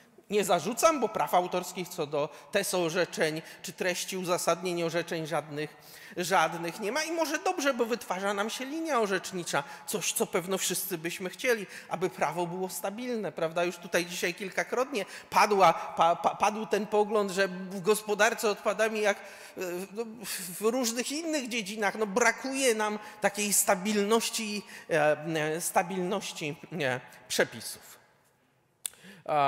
Okej, okay, tutaj są kolejne tezy, no właśnie, że to prawidłowe ustalenie terenu to jest tą jedną z kluczowych rzeczy dla ustalenia stron. Co więcej, powiedziałbym, że mam wrażenie, że ustawa o ocenach oddziaływania na środowisko jest, e, a w niektórych elementach e, powinna być poligonem doświadczalnym związanym z procedurą administracyjną. No, wszyscy Państwo wiecie, że kodeks postępowania administracyjnego ma swoje lata i był przyjmowany, no powiedzmy, e, nie mam nawet na myśli kwestii ustrojowej, ale w, innych, e, w okresie innych stosunków społeczno-gospodarczych i innych wniosków o wydanie decyzji administracyjnej. I dziś moim zdaniem pewna gama przepisów w nim się znajdująca nie przystaje do e, aktualnego aktualnego prawa materialnego ochrony, e, zakresu ochrony e, środowiska. Wrócę za moment do do tego, ale tutaj przecież fantastyczna rzecz, kwestia przepisów związanych ze zbyciem nieruchomości wtedy, gdy zostanie wszczęte postępowanie. Normalnie to przecież katastrofa, prawda? Wszystkich od nowa powiadamiać i tak dalej. A tu jest jasno powiedziane, nabywca, zbywca obowiązani do zgłoszenia. Jak nie dokonają zgłoszenia, to nie stanowi to podstawy do wznowienia postępowania administracyjnego. No bo tą podstawą byłoby to, że strona bez własnej winy nie wzięła udziału w postępowaniu, ale tutaj powiedzieliśmy, powiedzieliśmy to nabywca i zbywca są zobligowani do tego, żeby o określonych faktach powiadomić mm, organ. Albo kwestia nieuregulowanego czy nieujawnionego stanu prawnego nieruchomości jako przeszkoda w podjęciu postępowania, prawda? No mamy takie postępowania spadkowe, które toczą się latami, prawda? Albo nie zostały w ogóle wszczęte, prawda? Albo nie możemy ustalić osób, do których należy, do którym przysługują określone prawa rzeczowe, tu akurat nie stanowi to, e, nie stanowi to e, przeszkody w podejmowaniu takich postępowań. Więc z drugiej strony też trzeba zwrócić uwagę, mamy przepisy ułatwiające życie i inwestorom, i organom administracji w związku z tą jedną szczególną decyzją. No, powiedzieliśmy sobie, my ją sami wymyśleliśmy, więc zjadamy tą żabę, którą wymyśleliśmy, próbując e, e, znaleźć pewne obejścia istniejących przepisów, ale może warto na tym tle takie instytucje, które by się sprawdziły, zastosować także w stosunku do innych postępowań administracyjnych. Pan profesor e, Górski wskazywał e, w swoich slajdach na ten, na ten problem terminu ważności, o ile możemy tak nazwać, decyzji o środowiskowych uwarunkowaniach, pamiętając o tym, prawda, że to ta decyzja poprzedza pozostałe. E, jak była dziś też już o tym wielokrotnie mowa, no czasem ten proces inwestycyjny jest u nas dość długotrwały z bardzo różnych powodów, także tych ekonomicznych, prawda. Te, te, ten pierwszy element tego slajdu profesora Górskiego stworzenie tej koncepcji przedsięwzięcia. No, bywa, że od decyzji o środowiskowych uwarunkowaniach do decyzji następczych, lokalizacyjnej, budowlanej mija trochę, trochę czasu. No, co 6 lat mamy, prawda? 6 lat co do zasady co do zasady jest, a w szczególnych sytuacjach możliwość wydłużenia do 10 lat, jeśli są no, no, aktualne te warunki realizacji przedsięwzięcia, o, czym e, rozstrzyga w drodze postanowienia ten organ, który wydał decyzję o środowiskowych uwarunkowaniach, więc tutaj akurat, e, więc tutaj akurat e, takie ułatwienie także jest. No i znów orzecznictwo wskazujące nam, że ten termin jest terminem materialnym, a nie terminem proceduralnym, co, co też ma swoje e, rozmaite konsekwencje. E, tutaj, no, jak Państwo widzicie, większość tych orzeczeń to zeszłoroczne, tak starałem się z ostatniego e, czasu te najnowsze wziąć, e, wskazujące, że właśnie tą kluczową rzeczą, którą organ winien przeanalizować, decydując o tym, czy wydłuży termin ważności decyzji o środowiskowych uwarunkowaniach, czy nie, to jest kontekst zmian elementów środowiska w odniesieniu do tego terenu, na którym jest realizowane przedsięwzięcie. E, no, tutaj właśnie kwestia procesowa, przedłużenie ważności, e, przesłanki merytoryczne z tym się wiążące. I e, tutaj bardzo ważne jest moim zdaniem to, o czym jest na samym końcu, jeśli to widać, że ten termin w związku z tym, że jest materialnym, nie może być przedłużany ani przywracany proceduralne by mogły, ale ponieważ tutaj uznano go za termin materialny, no to już jak minie, to niestety nie ma takiej możliwości, więc warto tutaj, prawda, ale to znów bardziej możemy powiedzieć w kontekście inwestora, no bo cóż organy, organy mogą reagować tylko i wyłącznie na wnioski, które nam się, e, wnioski, które nam się pojawiają. Treść decyzji treść decyzji o środowiskowych uwarunkowaniach, chciałbym zwrócić Państwu uwagę tylko na pewne elementy związane z tą treścią decyzji, no, co ma zostać w niej określone. Mamy takie elementy fakultatywne, mamy pewne elementy e, obligatoryjne, fakultatywne. To jest właśnie trochę pytanie, na ile decyzja o środowiskowych uwarunkowaniach jest decyzją e, związaną, a nie uznaniową, a jeśli jest decyzją związaną, to skąd my mamy te elementy do, do niej przenieść? Prawda? E, I tutaj bezwzględnie bardzo istotnym tym elementem jest raport o oddziaływaniu na, na środowisko, do czego za chwileczkę będę chciał jeszcze e, powrócić rodzaj i miejsce realizacji przedsięwzięcia. Zaraz pokażę Państwu kilka orzeczeń odnoszących się do zwłaszcza miejsca realizacji przedsięwzięcia. E, istotne warunki korzystania ze środowiska w fazie realizacji, eksploatacji lub użytkowania. I tu często traktujemy decyzję środowiskową, o czym zresztą też była mowa na, e, w prezentacji profesora Górskiego, jako tą wyznaczającą ramy, dla kolejnych decyzji, prawda, lokalizacyjnej budowlanej, ale to jest głównie ten punkt C, prawda, te wymagania do uwzględnienia w dokumentacji e, związanej z wydawaniem decyzji lokalizacyjnej lub budowlanej. Oprócz tego decyzja o środowiskowych uwarunkowaniach może mieć swoją własną autonomiczną treść, która nie zostanie przeniesiona do decyzji, do decyzji następczej. Widzimy to chociażby przecież po przepisach o administracyjnych karach pieniężnych, gdzie właśnie taka administracyjna kara pieniężna może przez wojewódzkich inspektorów ochrony środowiska zostać nałożona no i tutaj jest ciekawe, bo właściwie na każdego, kto realizuje tą decyzję, e, a nie tylko na tego, kto, kto, kto ją otrzymał, za niespełnienie no, niektórych z tych elementów autonomicznych, ale właśnie mamy tam odwołanie do tych istotnych warunków e, korzystania ze, ze, ze, ze, środowiska. Bardzo mocno analizowano w, orze, w orzecznictwie, co to właśnie oznacza miejsce realizacji przedsięwzięcia, patrząc na to także z takiej perspektywy, że ta decyzja o środowiskowych uwarunkowaniach jest tą pierwszą w całym procesie inwestycyjnym.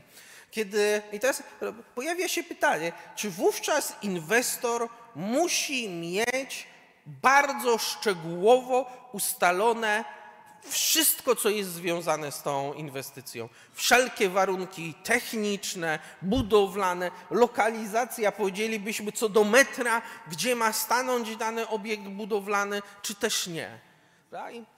Patrząc na istotę oceny oddziaływania na środowisko, przecież na to, że decyzja o środowiskowych uwarunkowaniach jest decyzją wiążącą i przy decyzjach lokalizacyjnych, i przy decyzjach pobudowlanych, jedna decyzja o środowiskowych uwarunkowaniach i zdajemy sobie sprawę, że ten e- etap projektowania przedsięwzięcia, na którym uzyskuje się decyzję o środowiskowych uwarunkowaniach, bywa czasem dość wczesny kiedy inwestor jeszcze nie podjął decyzji, że w tym miejscu wbije łopatę. No działkę ma wyznaczoną, ale te miejsce to, to niekoniecznie, albo prawda, ma kilka działek i też nie ustalił, to e, to orzeczenie, ono już jest sprzed kilku lat, bo właściwie ma, ma, ma, ma swoje, swoje pięciolecie, jest moim zdaniem dosyć, dosyć istotne wskazujące, że w decyzji o środowiskowych uwarunkowaniach powinny być, ja pozwolę sobie to podkreślić, uwzględnienie odpowiednich rezerw terenowych, bo on dopiero na etapach lokalizacyjnych i budowlanych będzie musiał wskazać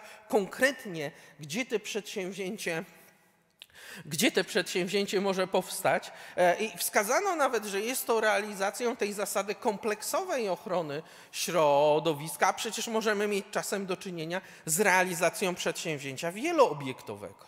Prawda? Niekoniecznie musi być to przedsięwzięcie e, jednoobiektowe. E, to jest czasem takie pytanie, czy muszą się w decyzji o środowiskowych uwarunkowaniach znaleźć numery działek, czy e, ko konkretnych, gdzie się coś ma znaleźć, czy możliwe jest inne wskazanie miejsca.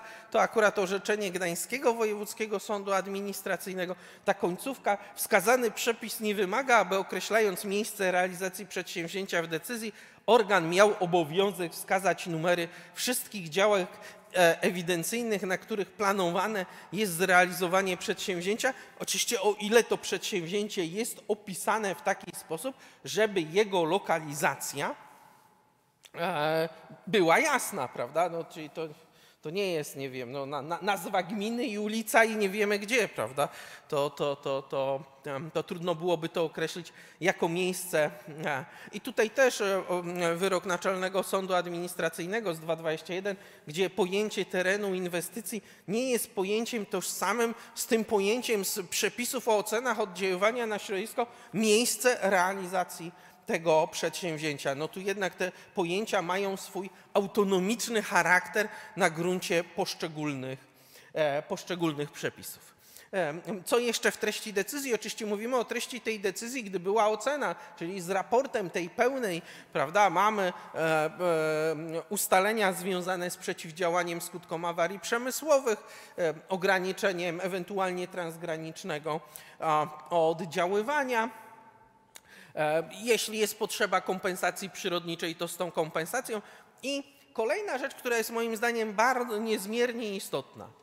Unikanie, zapobieganie, ograniczenie oddziaływania przedsięwzięcia na środowisko nakłada obowiązek tych działań. Moim zdaniem to jest ten jeden z tych elementów fakultatywnych, gdzie organ w przypadku, gdy z oceny wynika taka potrzeba, czyli on na gruncie przeprowadzonej przez siebie oceny oddziaływania na środowisko ma stwierdzić, czy występuje potrzeba wprowadzenia takich środków, które mają e, e, spowodować uniknięcie, zapobiegnięcie czy ograniczenie oddziaływania przedsięwzięcia na środowisko i wreszcie nałożenie obowiązku, e, nałożenie obowiązku monitorowania. Ja tu w tym kontekście Taki przykład chciałbym przytoczyć, który zresztą jest istotny, powiedziałbym, dwustronnie i dla organu administracji, i dla inwestora wokół obiektu i to akurat między innymi związanego z gospodarką odpadami pojawiło się w decyzji o środowiskowej, e, o środowiskowych uwarunkowaniach e, taki nakaz wykonania strefy zielonej. No i oczywiście obiekt został oddany do użytkowania, strefy nie było. Ale teraz inwestor bronił się w ten sposób, że mówił, no, ja jeszcze nie skończyłem realizacji tego przedsięwzięcia.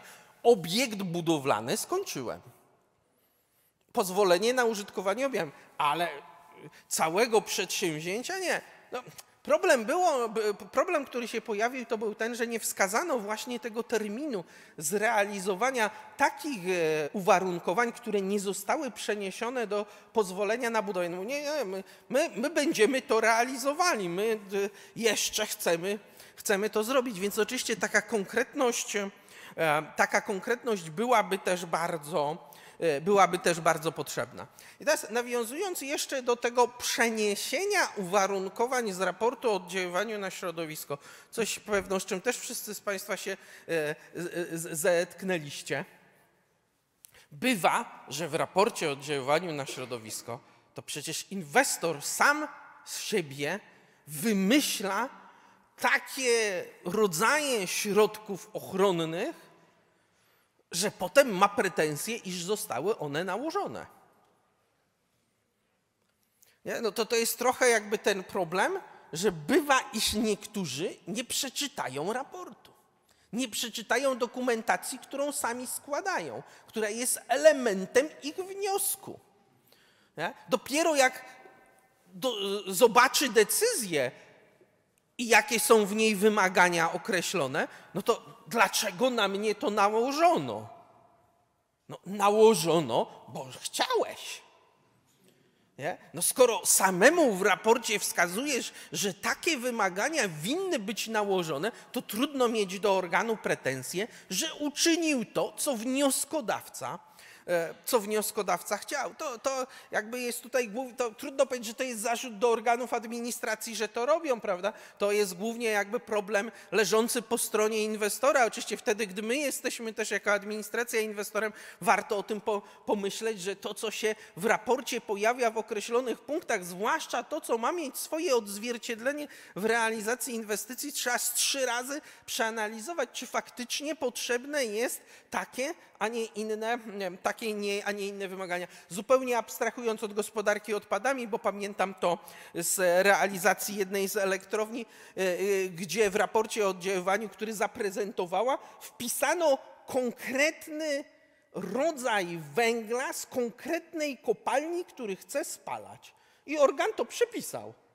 Po czym później, gdy zmieniono w wyniku zresztą zamówień publicznych, no to pojawił się problem, czy jest to zgodne z decyzją, czy nie jest to zgodne z decyzją. No ale to właśnie jakby jest ten problem, gdy ktoś nie doczyta, prawda, tego, co sam w dokumentacji przez siebie przedłożonej, przedłożonej wskazuje. Oczywiście kolejna rzecz to te stanowisko, czy ma być ponowna ocena, czy tej ponownej oceny nie ma, nie, nie ma być. No, możliwość nałożenia przedstawienia analizy porealizacyjnej, no żebyśmy sprawdzili, jak się ma rzeczywistość z planami, prawda? No bo musimy powiedzieć, raport to jest etap projektowania, planowania. Jak to wszystko zacznie działać, to sprawdźmy, jak to działa w rzeczywistości. No plus oczywiście charakterystyka przedsięwzięcia, ten ob, też obligatoryjny element, element decyzji. No, tutaj mamy te elementy, które w tym stanowisku dotyczącym ponownej oceny powinniśmy wziąć pod uwagę. To jest właśnie, zwróćcie Państwo uwagę, ustawodawca dopuszcza, żebyśmy na etap, żeby na etapie składania wniosku nie było jeszcze takiej konkretności, która wymagana jest dla projektu budowlanego. Prawda? I mówimy, to wówczas trzeba zrobić ponowną e, ocenę na etapie projektu budowlanego. Więc ta ogólność, najczęściej z taką ogólnością nie mamy do czynienia, ale ogólność wniosku na etapie decyzji o środowiskowym uwarunkowaniach może być mm, dość znaczna. No właśnie tu przesuwamy to na późniejszy etap procesu inwestycyjnego, bo przedkładane są tylko pewne ogólne informacje. Związana, ja nie mam wątpliwości, gro decyzji o środowiskowych uwarunkowaniach ma charakter związany. O analizie już wspominaliśmy. No, gdy nie ma oceny, ta decyzja pusta, no ona już niekoniecznie jest pusta, bo mamy ten 1A, prawda, umożliwiający organowi określenie jednak pewnych wymagań środowiskowych, dla, także dla tych przedsięwzięć, e, które tylko e, były z kartą informacyjną i gdzie organ nie chciał, e, nie chciał e, pełnej oceny oddziaływania na, na środowisko. E, Terminy. No, to jest dla mnie też jeden z tych elementów, które pokazują niedostosowanie kodeksu do dzisiejszej sytuacji.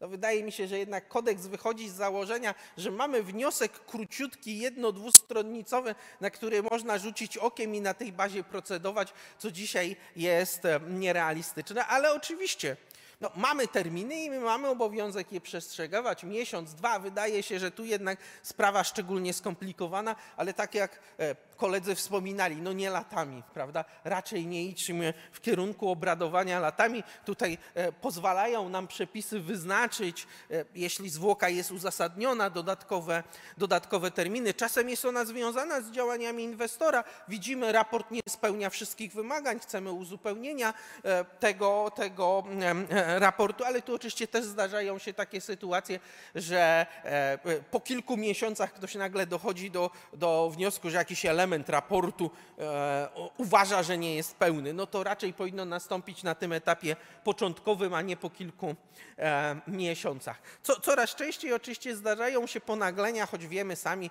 że raczej gro podmiotów to tak z organami, prawda, woli w ten sposób nie, e, nie postępować. Właściwość, no tutaj głównie dla nas to jest ta kwestia wójta, burmistrza, prezydenta.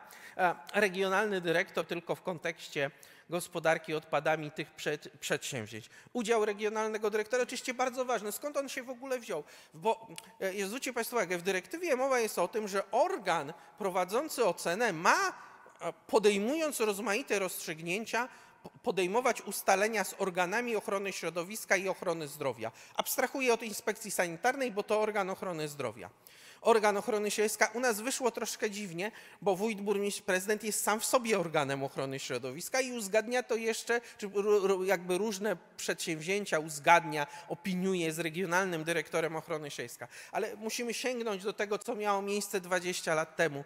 E, zresztą cały czas w niektórych gminach, prawda, mamy pracownika, który zajmuje się wszystkim. No nie ma aż takiej specjalistycznej wiedzy z zakresu ochrony środowiska. Dlatego ten regionalny dyrektor ochrony środowiska ma być w tym wszystkim jako ten organ specjalizujący się stricte w ochronie środowiska, pomagający wójtowi, burmistrzowi, prezydentowi w ustaleniu treści decyzji czy innych działań, no bo to, to, to oczywiście e, mamy te i wydanie decyzji, i udział w postępowaniu, przeprowadzanie ponownej oceny, no a już zwłaszcza ocena Natura 2000, no bo przecież to e, dyrekcje ochrony środowiska są w Polsce tymi organami zarządzającymi obszarami Natura 2000. Ja już tutaj tylko przybliżam te różne elementy związane z udziałem regionalnego dyrektora, nie będę je bliżej e, omawiał. I wreszcie udział społeczeństwa.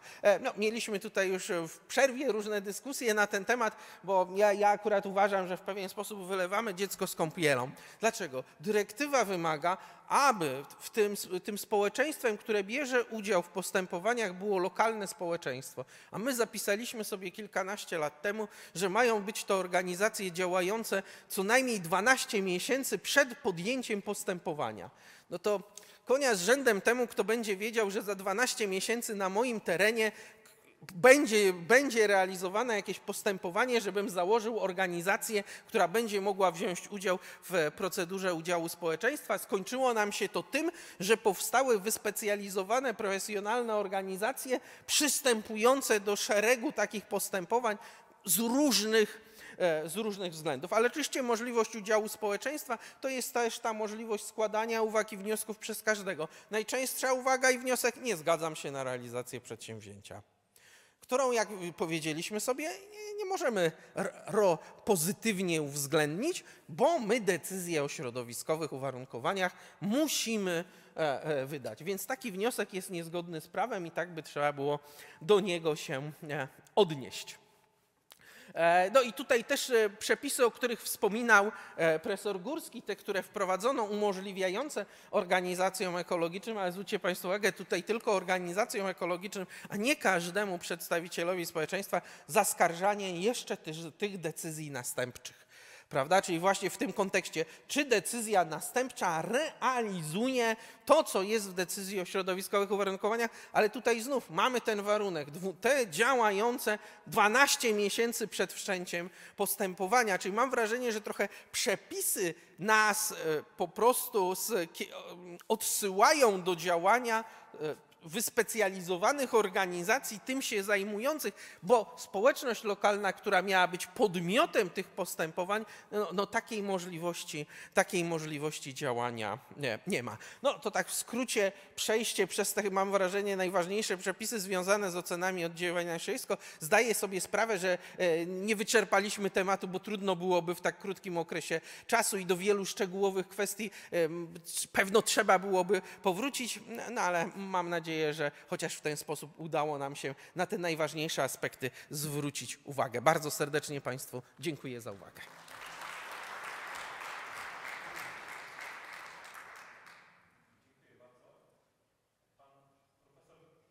Powoływał się do mm, mm, wyroków. Skoro były wyroki, to musiały się pojawić odwołania i skargi. E, Poproszę pana mecenasa Macieja Kiełbusa i panią mecenas Joannę Kostrzewską, żeby e, odnieś, odnieśli się, jeśli chodzi o e, właśnie kwestie odwołań i skarg e, i podzielili się z nami swoimi przemyśleniami. Podzielimy się mikrofonami. na wstępie. Żeby z koleżanką się podzielić. Fantastycznie. E, Panie ministrze, szanowni państwo, po pierwsze bardzo serdecznie dziękujemy za zaproszenie. Po drugie, jesteśmy szczerze wzruszeni tak dużą frekwencją, biorąc pod uwagę, która godzina naszych obrad. Po trzecie, zgodnie z harmonogramem za 10 minut powinniśmy skończyć nasze wystąpienie, więc zgodnie z planem, który układaliśmy z koleżanką jadąc do państwa rano z Poznania, chcieliśmy państwa o tej porze prosić o zapięcie pasów, przygotowanie się do lądowania, bo będziemy podsumowywać. Tymczasem właśnie kołujemy, żeby e, wystartować.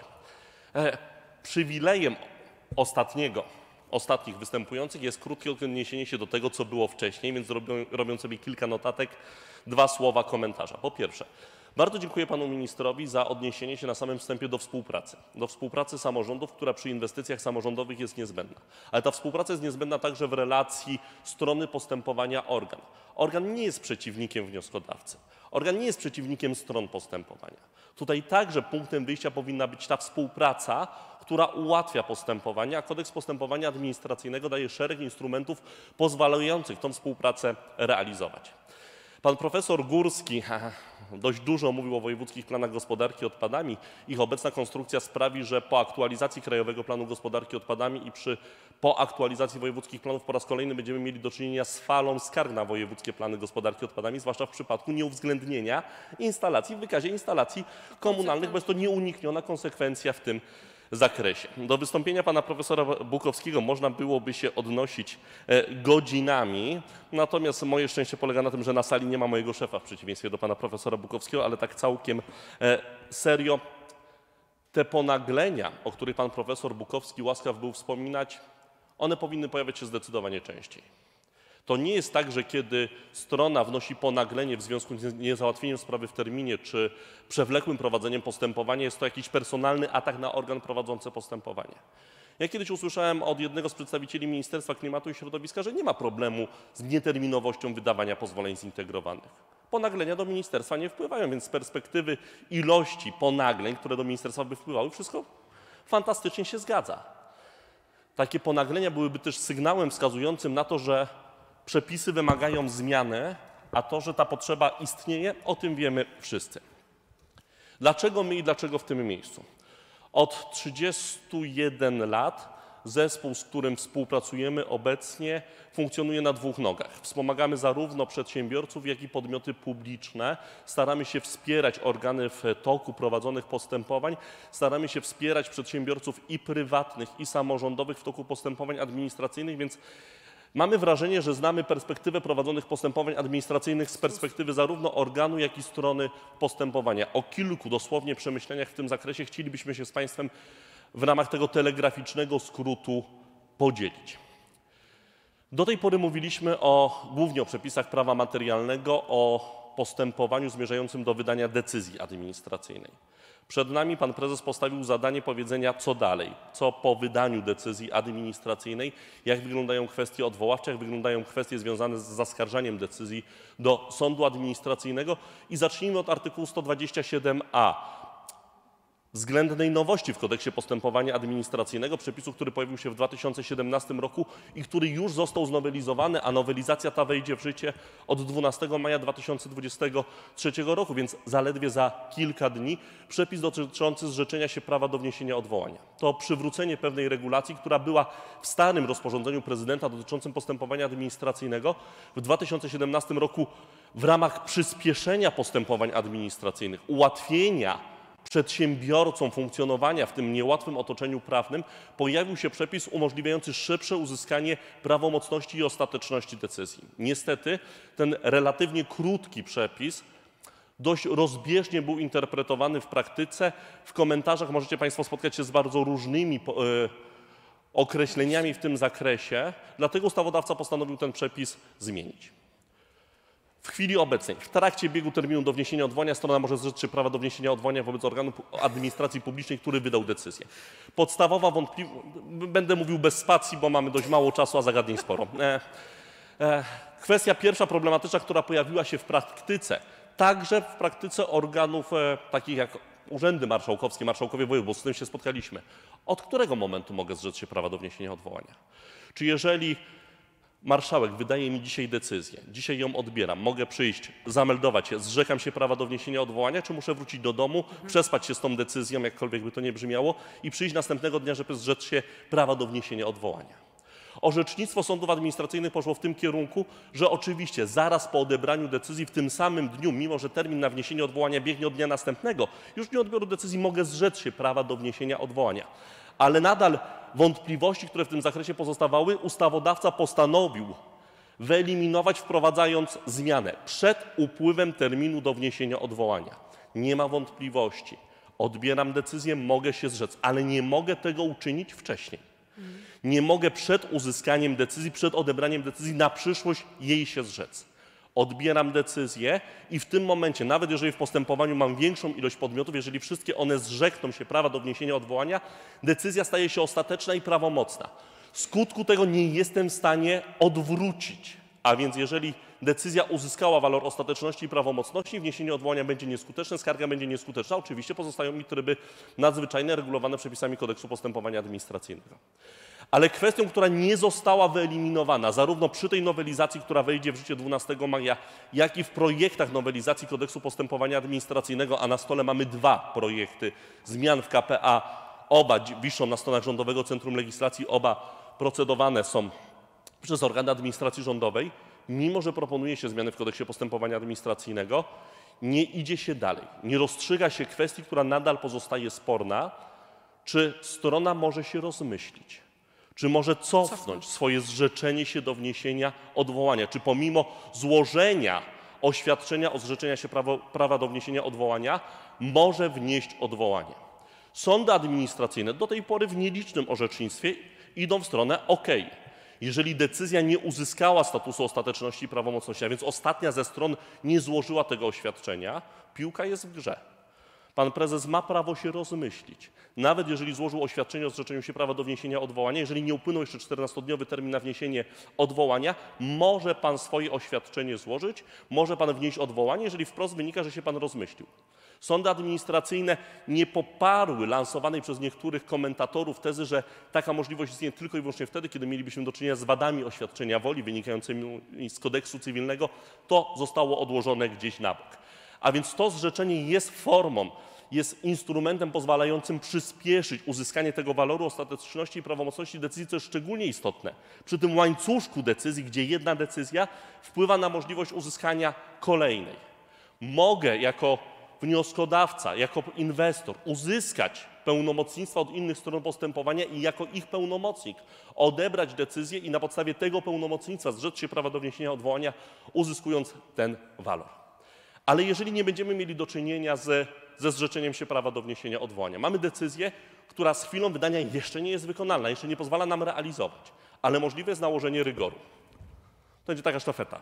Drodzy Państwo, tak, dzisiaj dużo już y, padło i z ust profesora Górskiego, profesora Bukowskiego na temat aktywności różnych podmiotów trzecich, które próbują przeszkodzić w realizacji różnego rodzaju inwestycji, kluczowych z punktu widzenia, no powiedzmy sobie, celów strategicznych. Jeśli mówimy o gospodarowaniu odpadami, są to inwestycje dzisiaj kluczowe, żeby załatać choćby tą oszacowaną no już parę lat temu lukę inwestycyjną w zakresie brakujących instalacji. I takich przyjaciół, powiedzmy sobie, e, podmiotów, osób trzecich, organizacji społecznych, które próbują włączyć się do postępowania jest e, zawsze sporo.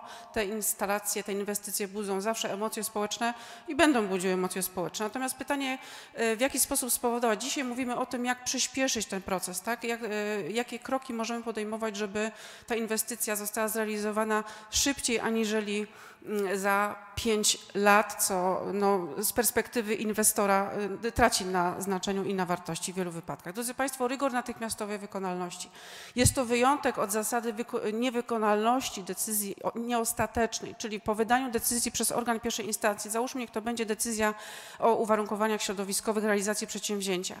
Decyzja wydana w pierwszej instancji jest nieostateczna do momentu, aż nie zostanie rozstrzygnięte ewentualnie złożone odwołanie, a prawomocna w sytuacji, w której nie, nie y, odniesie się do niej y, sąd, sąd administracyjny, o ile taka skarga zostanie złożona. Natomiast, drodzy Państwo, jest opcja wydania w stosunku do decyzji rygoru natychmiastowej wykonalności.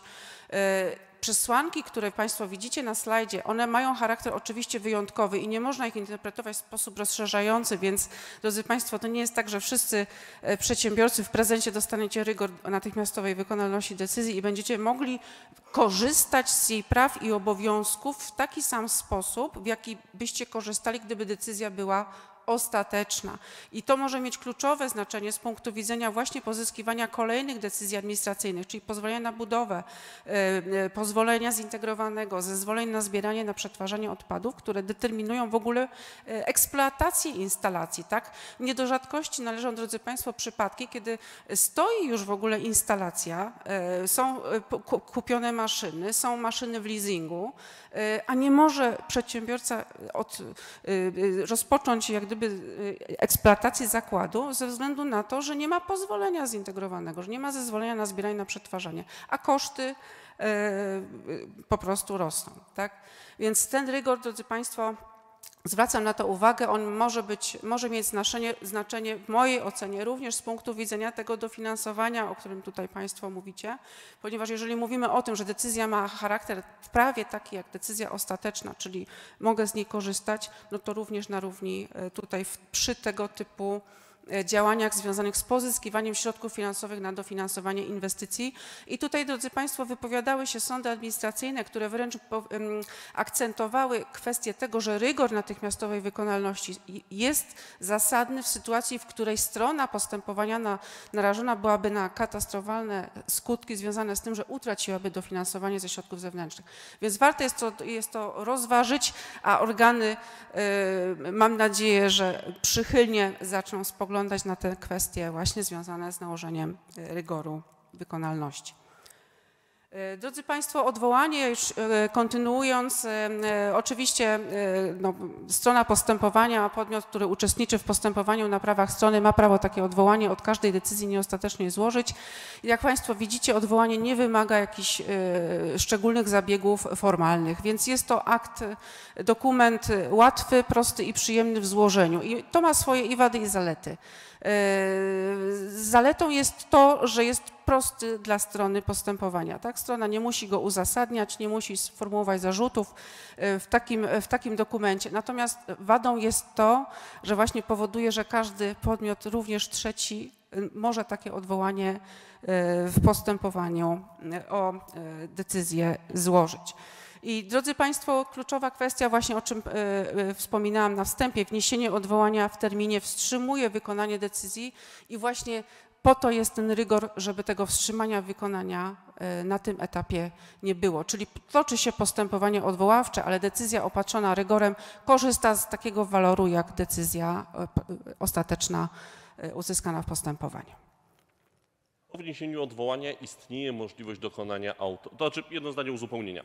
Oczywiście odwołanie może być uzupełniane. To, że nie mam obowiązku sporządzenia uzasadnienia do odwołania, nie mam w tym zakresie żadnych terminów, nie mam w tym zakresie żadnej prekluzji, więc w tym momencie mogę wnieść gołe odwołanie, które następnie zostanie uzas- e, uzupełnione. Zarówno przed przesłaniem akt do organu drugiej instancji, jak i dopiero na etapie postępowania drugoinstancyjnego. Do zakończenia tego postępowania strona postępowania może uzupełniać odwołanie, może składać kolejne pisma procesowe. Pojawia się na stole odwołanie. Kodeks postępowania administracyjnego przewiduje możliwość autorefleksji ze strony organu, który wydał decyzję. Rzeczywiście, czasami zdarzają się dość oczywiste błędy i to nie jest tak, że zawsze trzeba przekazywać akta, czekać na rozstrzygnięcie organu drugiej instancji, który niekiedy bywa sprawiedliwy, nigdy nie bywa rychl- rychliwy. E, W związku z czym organ pierwszej instancji może powiedzieć: Dobra, popełniłem błąd. Tylko na to niestety na dzień dzisiejszy ma 7 dni, bo tryb autokontrolny może być zastosowany w terminie 7-dniowym. Po 7 dniach organ ma obowiązek przekazać e, odwołanie wraz z aktami postępowania do organu drugiej instancji. I tutaj istotna uwaga. Wśród tych dwóch nowelizacji kodeksu postępowania administracyjnego, które mamy na stole, które procedowane są przez organy administracji rządowej, z którymi możecie się Państwo zapoznać na stronach Rządowego Centrum Legislacji, jedna ze zmian przewiduje wydłużenie tego okresu z 7 do 14 dni na przekazanie odwołania wraz z aktami do organu drugiej instancji, a to oznacza, że termin na autokontrolę także wydłuży nam się o te 14 dni, co może być elementem istotnym. W przypadku uwzględnienia odwołania w całości organ wydaje nową decyzję. Uchyla decyzję dotychczasową, zmienia decyzję e, zaskarżoną. Oczywiście od tego rozstrzygnięcia wydanego w trybie autokontroli także przysługuje nam odwołanie w tym zakresie, pod warunkiem, że odwołanie zostało wniesione przez wszystkie strony lub wszystkie strony na taką zmianę się zgodzą. Jeżeli któraś ze stron postępowania powie OK, decyzja, która została wydana mi odpowiada, w tym momencie zastosowanie trybu autokontrolnego nie jest możliwe. Jedziemy dalej. Postępowanie odwoławcze. Postępowanie odwoławcze nie jest postępowaniem kontrolnym. To nie jest postępowanie, które zmierza do zweryfikowania prawidłowości decyzji organu pierwszej instancji. To nie jest tak, że organ odwoławczy prowadzi postępowanie w ramach zarzutów czy uzasadnienia zarzutów podniesionych w odwołaniu. Organ po raz wtóry ma rozpoznać sprawę w granicach sprawy, przeprowadzając w razie potrzeby uzupełniające postępowanie dowodowe, przy czym nowelizacja roku 2017 poszerzyła możliwość przeprowadzenia uzupełniającego postępowania dowodowego przez organ odwoławczy.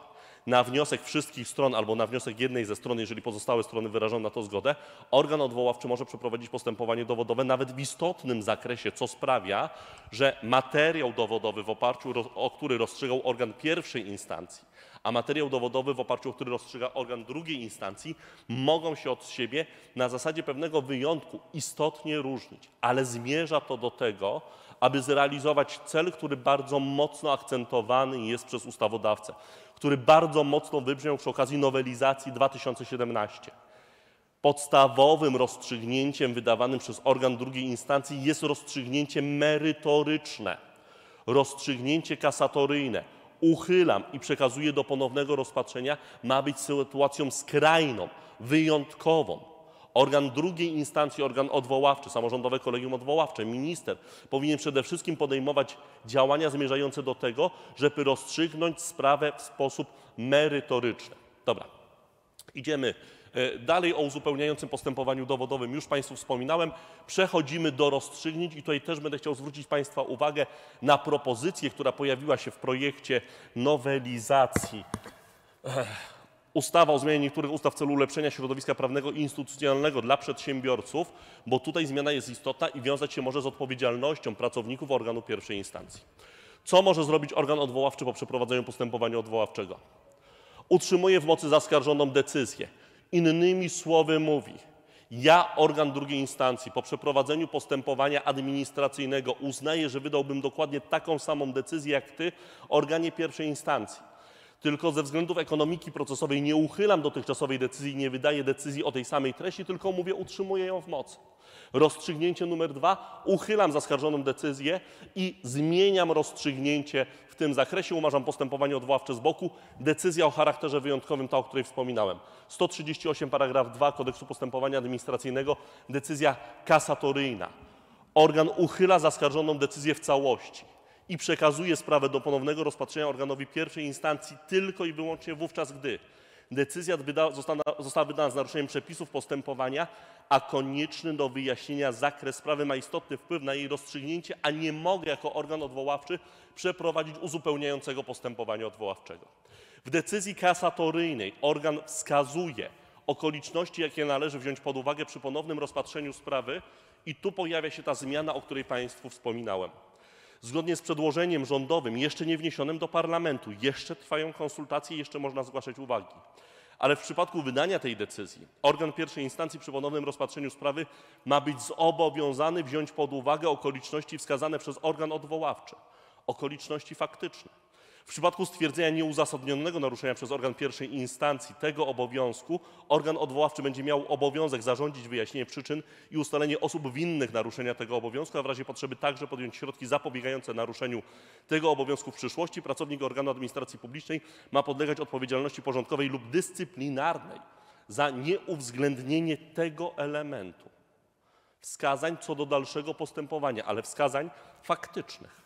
Bo drugim elementem, który pojawia się w decyzji kasatoryjnej, jeżeli organ pierwszej instancji dokonał w zakresie zaskarżonej decyzji błędnej wykładni przepisów prawa, które mogą znaleźć zastosowanie w sprawie, organ odwoławczy określa także wytyczne w zakresie wykładni tych przepisów.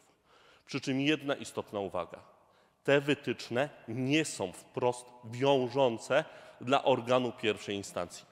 Nie mamy w kodeksie postępowania administracyjnego przepisu nakazującego uwzględnić te wytyczne. To jest inna sytuacja niż w przypadku wyroków sądów administracyjnych, gdzie artykuł 153 PPSA, będziemy o nim jeszcze mówili, jeżeli czas na to pozwoli, wiąże organ administracji publicznej, którego dotyczy wyrok, wskazaniami co do dalszego postępowania i wytycznymi dotyczącymi wykładni przepisów. Tutaj tego wskazania nie mamy. Nowelizacja też tego nie obejmuje. To jest sygnalizacja, pomarańczowa lampka mówiąca organie pierwszej instancji. Jeżeli wydasz ponowną decyzję i inaczej zinterpretujesz przepisy niż do tej pory, licz się z tym, że ja jako organ odwoławczy będę związany swoimi wytycznymi przez pryzmat zasad ogólnych kodeksu postępowania administracyjnego i w tym momencie zinterpretuję te przepisy tak, jak zasygnalizowałem Ci we wcześniejszej decyzji kasatoryjnej. Kolejnym elementem związanym z tym usprawnieniem postępowania administracyjnego jest wprowadzenie sprzeciwu od decyzji kasatoryjnej, o którym powie za sekundę Asia, bo jedno zdanie. Do tej pory, przed nowelizacją 2.17, szczytem desperacji po stronie przedsiębiorcy było zaskarżenie do sądu na zasadach ogólnych decyzji kasatoryjnej ze 138. Organ wydawał decyzję, uchylam i przekazuję do ponownego rozpatrzenia. Inwestor stawał na rozdrożu. Albo spuszczam łeb po sobie, wracam do organu pierwszej instancji, mając nadzieję, że teraz uda się dostać tą decyzję, na której mi zależy, albo idę do sądu. I być może za rok, za dwa, za cztery, bo mniej więcej tyle czekało się na rozstrzygnięcie Naczelnego Sądu Administracyjnego, będę wiedział, czy decyzja kasatoryjna była dobra, czy nie czy organ drugiej instancji powinien orzec merytorycznie, czy słusznie uchylił i przekazał do ponownego rozpatrzenia. Aby uwolnić przedsiębiorców od tego typu sytuacji, aby pomóc organowi drugiej instancji w tym, czy ma orzec merytorycznie, czy nie, wprowadzono sprzeciw. Dokładnie tak, drodzy Państwo. Miało być szybciej, po to był ten przepis wprowadzony. Za chwilę będzie 5 lat, bo to liczymy od czerwca 2017 roku, więc minie 5 lat od kiedy obowiązuje. Czy jest szybciej? Za chwilę na konkretnym przykładzie postaram się Państwu y, y, powiedzieć. Natomiast generalnie zauważcie Państwo, że terminy rozpatrywania sprzeciwu, właśnie po to, żeby y, ten inwestor, o którym Maciej mówił, nie czekał 5 lat na rozstrzygnięcie od, ze strony formalnej, tak? bo tak naprawdę wracamy do punktu wyjścia, jeśli chodzi o uchyłkę decyzji i przekazanie do ponownego rozpoznania przez organ pierwszej instancji. Więc zaczynamy zabawę od początku. Żeby nie czekał 15, 5 lat, wprowadzono krótkie terminy rozpoznania sprzeciwu. Zauważcie Państwo, e, po pierwsze jest przekazanie przez organ pierwszej instancji sprzeciwu do organu wyższej instancji w terminie 14 dni. Sąd rozpoznaje sprzeciw od decyzji na posiedzeniu niejawnym, czyli też w składzie jednoosobowym, bez przeprowadzania rozprawy, posiedzenia sądu w terminie 30 dni. E, I dalej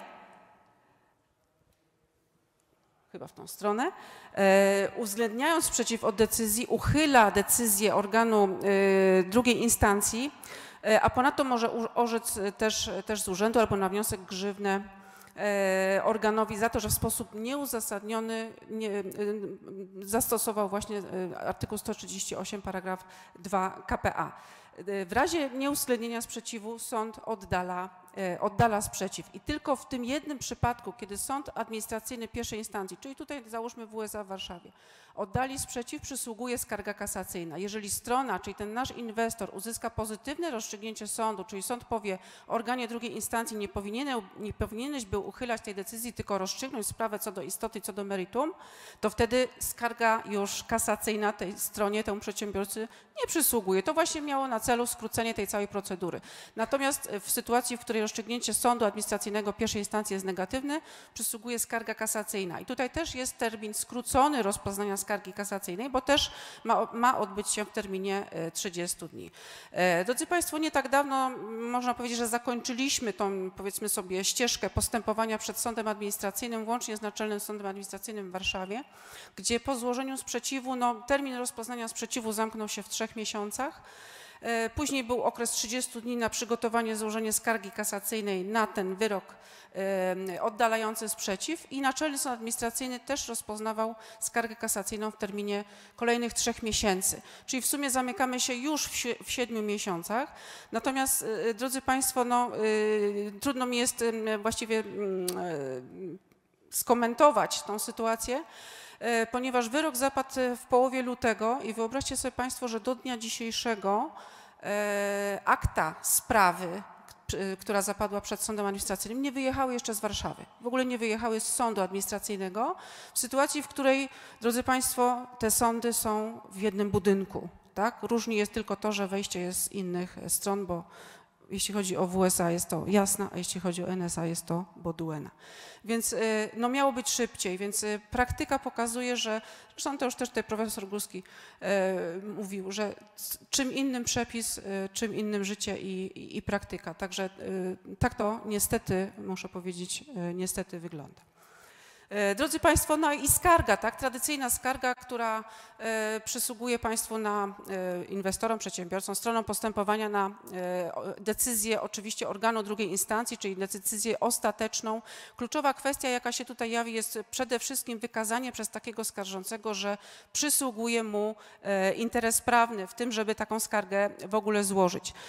Organizacje społeczne już się dzisiaj pojawiały i tutaj zauważcie Państwo, że prawo o postępowaniu przed sądami administracyjnymi konstruuje wymóg, żeby taka organizacja brała udział w, udział w postępowaniu e, przed organami administracji, e, jeśli zamierza złożyć skargę. Przy tych e, przepisach dotyczących choćby decyzji środowiskowych tego wymogu brania udziału nie ma. I tu jest to zagrożenie, o którym cały czas mówimy, że po prostu organizacja, która tylko powstała 12 miesięcy temu i w celach statutowych ma, nie wiem, ochronę środowiska i jeszcze inne szczytne cele, będzie mogła również złożyć skargę do sądu na ostateczną na przykład decyzję środowiskową albo na ostateczne pozwolenie na budowę. Także nie tylko w postępowaniu odwoławczym, ale również przed sądem y, administracyjnym. Oczywiście złożenie skargi nie wstrzymuje wykonania aktu, czyli y, złożenie skargi nie powoduje, że nie możemy korzystać z decyzji ostatecznej. Możemy z niej korzystać, z jej praw i obowiązków. Proszę bardzo. Wrócić do slajdu wcześniejszego, bo to jest dla mnie szczególnie istotne w kontekście obecności pana e, ministra, ugruntowaną linią orzeczniczą sądów administracyjnych. Stety, niestety jest to, że organ pierwszej instancji, który wydał decyzję, nie ma możliwości zaskarżenia do sądu administracyjnego decyzji wydanej przez organ drugiej instancji. Jednostka samorządu terytorialnego, której organ wydawał decyzję w pierwszej instancji, nie ma legitymacji skargowej. Pojawiały się pomysły w tym zakresie. W projekcie nowej ordynacji podatkowej przewidziano, że wójt, że gmina będzie mogła zaskarżyć decyzję w sprawach podatków i opłat lokalnych, jeżeli to dotyczy do, do jej dochodu. Projekt ordynacji przepadł. Związek Miast Polskich już wiele lat temu postulował, przygotował go konkretne propozycje zmian legislacyjnych, aby jednak jednostki samorządu terytorialnego w określonych sytuacjach takie decyzje organów drugiej instancji mogły zaskarżać do sądu administracyjnego, zwłaszcza jeżeli mówimy o decyzjach reformacyjnych. Uchylam i zmieniam rozstrzygnięcie w tym zakresie. Biorąc pod uwagę samodzielność jednostek samorządu terytorialnego, być może warto byłoby wrócić także do tego wątku. Przepraszam, milczę. Drodzy Państwo, wracając jeszcze do tego sprzeciwu, żeby była jasność, sprawa dotyczy zmiany pozwolenia zintegrowanego dla instalacji w zakresie gospodarki odpadami. No, jak Państwo wiecie, te postępowania też trwają, więc już wcześniej, bo od 2018 ten inwestor czekał dwa lata na rozstrzygnięcie w pierwszej instancji, w tej chwili sprawa wróci ponownie. No jak na ten moment nie udało nam się umówić na zapoznanie z całością akt sprawy, bo tych akt sprawy po prostu marszałka jeszcze nie ma. Yy, Drodzy Państwo, yy, mamy w tej chwili jeszcze wstrzymanie. No właśnie, z tym wstrzymaniem wykonania e, też, drodzy Państwo, tak, czyli mamy decyzję organu drugiej instancji, która jest wykonalna, czyli korzystamy z jej praw i obowiązków. I oczywiście jako inwestor, który już nie może się doczekać, żeby mieć decyzję ostateczną, wstrzymanie wykonania mnie absolutnie nie interesuje, raczej ten rygor na etapie pierwszej instancji, żeby móc już działać dalej w, procesie inwestycyjnym. Natomiast e, wstrzymanie wykonania może interesować naszego przeciwnika, powiedzmy sobie, procesowego, na przykład tą organizację społeczną, która dość aktywnie działa po to, żeby zablokować mi dalsze działania związane z, reali- z realizacją inwestycji. Oczywiście wstrzymanie wykonania jest fakultatywne, jak Państwo widzicie na slajdzie. Może nastąpić jeszcze przed, orga- przed organem administracji, który otrzymuje skargę, zanim ją przekaże do sądu administracyjnego i może nastąpić przed sądem e, administracyjnym. Następuje w drodze postanowienia, które przed sądem e, wydane jest postanowieniem e, zaskarżalnym, czyli odmowa wstrzymania wykonania również jest zaskarżalna e, odrębnym środkiem e, zaskarżenia. Tutaj jeśli chodzi o nadanie, e, e, wydanie postanowienia o wstrzymaniu wykonania przez organ, zauważcie Państwo, że organ przy wstrzymaniu wykonania bada, czy aby nie zachodzą przesłanki e, słusznego interesu strony, słusznego interesu społecznego, czy zagrożenia dla życia lub zdrowia ludzi, czyli te, co do których e, mógłby wydać rygor natychmiastowej wykonalności. Więc jeżeli takie przesłanki zachodzą po stronie organu, to takiego wstrzymania no, być nie powinno. Twoja kolej. Dobra, to teraz ja. E, Ludzie płacą grube pieniądze za to, żeby poczuć dodatkową adrenalinę, skacząc na bungee, bez bungee, ze spadochronem, bez spadochronu. Państwo zajmując się prawem administracyjnym, a zwłaszcza prawem odpadowym, macie to szczęście, że praca dostarcza wam tych samych emocji, a nie trzeba za to e, płacić. E, Jednym z elementów dostarczających tych emocji jest właśnie sądownictwo administracyjne, bo sądy administracyjne bywają nieprzeniknione i nieodgadnione. Wynika to innymi z tego, że sąd rozstrzyga w granicach danej sprawy, nie będąc jednak związany z zarzutami i wnioskami. Można wyjść zwycięzcą z sądu, mimo że napisało się kijowatą, skrajnie kijowatą skargę. Sąd administracyjny może powiedzieć, no przepraszam, nie w tą stronę, panie prezesie, Wszystkie z podniesionych przez Pana zarzutów są niezasadne, ale ja jako sąd, niczym królika z kapelusza, dostrzegam inne naruszenia, których nie podniósł Pan w skardze i z tego powodu uchylam decyzję, z tego powodu uchylam decyzję organu drugiej i pierwszej instancji. Problem polega na tym, że bardzo rzadko sąd administracyjny sygnalizuje swoje wątpliwości w trakcie rozprawy. Ci z Państwa, którzy byli na rozprawie w sądzie administracyjnym doskonale wiedzą, że mamy krótkie sprawozdanie sędziego sprawozdawcy, potem każda ze stron skarżący organ boksują się między sobą. Organ nie odnosi się do wątków, które nie zostały podniesione w skardze. Trudno walczyć z zarzutami, których nie ma. Dopiero z uzasadnienia wyroku dowiaduje się, że sąd dopatrzył się jeszcze z czegoś i dopiero na etapie skargi kasacyjnej może z tym polemizować. Element istotny, zwłaszcza w kontekście te orzecznictwa, które było przytaczane przez jednego, drugiego pana profesora. Sąd administracyjny rozpatruje sprawę w oparciu o przepisy prawa materialnego i procedury administracyjnej na dzień wydania zaskarżonej decyzji. Ja mogę mieć wyroki, które pan profesor Bukowski cytował z 2023-2022 roku, ale odnoszące się do interpretacji przepisów z 2019-18 wcześniejszego okresu. To jest szczególnie istotne przy tej częstej zmianie przepisów prawa administracyjnego, przy częstej zmianie procedury. Interpretacja przepisów, która pojawia się w dzisiejszym wyroku, dla dzisiejszego wydawania decyzji przez Urząd Marszałkowski może nie mieć żadnego znaczenia, bo walor tej interpretacji ma charakter historyczny, czego nie zawsze dostrzega strona, przybiegając do urzędu, mówiąc: Mam świeży wyrok, z którego wynika, że można. Być może było można na dzień, kiedy została wydana decyzja, której dotyczył wyrok. Sąd co do zasady nie może wydać decyzji na niekorzyść strony. Paleta instrumentów sądów administracyjnych jest dość ograniczona i tu przeskoczymy na slajd kolejny. Oczywiście Przegrana, skarga niezasadna. W tym momencie mamy oddalenie skargi, rozstrzygnięcia merytoryczne, które mogą się pojawić, to uchylenie decyzji administracyjnej postanowienia. Co do zasady organu drugiej instancji, ale niekiedy orzeczenie może iść głębiej. W tym momencie uchyłka organu drugiej instancji i poprzedzającej jej decyzji organu drugiej instancji. Sąd ma w tym zakresie pewną swobodę orzekania. Może być to stwierdzenie nieważności, jeżeli będziemy mieli do czynienia z przesłankami stwierdzenia nieważności określonymi w artykule 156 Kodeksu Postępowania Administracyjnego. Stwierdzenie wydania decyzji postanowienia z naruszeniem prawa, jeżeli nie mamy możliwości stwierdzenia uchylenia. So, wyrok sądu pierwszej instancji, od którego przysługuje nam możliwość, a przepraszam, jeszcze artykuł 153, który już wcześniej Państwu sygnalizowałem. O ile wytyczne co do interpretacji przepisów, co do wykładni przepisów zawarte w decyzji kasatoryjnej organu drugiej instancji, tej wydawanej na podstawie 138 paragraf 2 KPA nie są wiążące, o tyle 153 PPSA wskazuje na wiążącą wykładnię. Ocena prawna i wskazania co do dalszego postępowania wyrażone w orzeczeniu sądu wiążą w sprawie organy, których działanie, bezczynność, przewlekłe prowadzenie było przedmiotem zaskarżenia, chyba że przepisy prawa uległy zmianie. Bo jeżeli od momentu wydania decyzji, której dotyczy ten konkretny wyrok, uległ zmianie stan prawny, organ nie jest związany tym wyrokiem, ale przepisami obowiązującymi na dzień wydania decyzji. Oczywiście to związanie idzie tak daleko, że gdyby sąd administracyjny, a takie sytuacje się zdarzają, odmówił zastosowania w konkretnej sprawie aktu wykonawczego, w tym momencie związanie ze 153 będzie odnosiło się także do organu, który także organu aktu wykonawczego nie będzie zobowiązany stosować. Dobra. Spróbujmy zdążyć do 17. Zbliżamy się do lądowania. Proszę zapiąć pasy. Za chwilę kończymy. I dosłownie i w przenośni, ponieważ jeśli chodzi o skargę kasacyjną, no to kierujemy ją do Naczelnego Sądu Administracyjnego. Jak już sąd administracyjny wyda wyrok, no to już koniec. Y, Co do zasady, oczywiście pomijam tutaj y, środki nadzwyczajne, ale to, to, jest, y, to należy do rzadkości. Natomiast, drodzy Państwo, skarga kasacyjna jest aktem, w odróżnieniu od tej skargi, o której mówiliśmy do sądu pierwszej instancji, jest pismem bardzo mocno sformalizowanym i bardzo mocno eksperckim. Pamiętajcie też Państwo, że przy skardze kasacyjnej jest ustawowy obowiązek zastępstwa procesowego i tak naprawdę rozstrzygnięcie sądu administracyjnego w NSA dużo zależy od y, y, pełnomocnika i od tego, jakie zawrze zarzuty, jakie podstawy e, naruszenia prawa materialnego wykaże w skardze, jakie zarzuty naruszenia prawa procesowego wykaże w skardze, jeśli chodzi o e, ocenę działania sądu pierwszej instancji, oczywiście i, organów, tak, które, które działały gdzieś, gdzieś wcześniej pośrednio.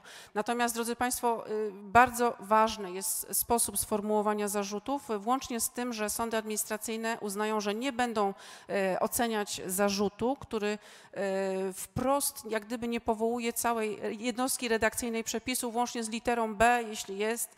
Wyobraźcie sobie Państwo te przepisy e, covidowe, czy chociażby nasze, nasze utrzymanie czystości i porządku, który też już ma przepisy 9Z, XAAA. I jeśli tych jednostek redakcyjnych brakuje, sąd tym się zajmować naczelny nie będzie e, i bardzo często takie wytyki e, pełnomocnikom e, w, w skargach i wyrokach wydawanych, wydawanych czyni. Także jest to kwestia bardzo istotna i właśnie z tego przepisu to wynika.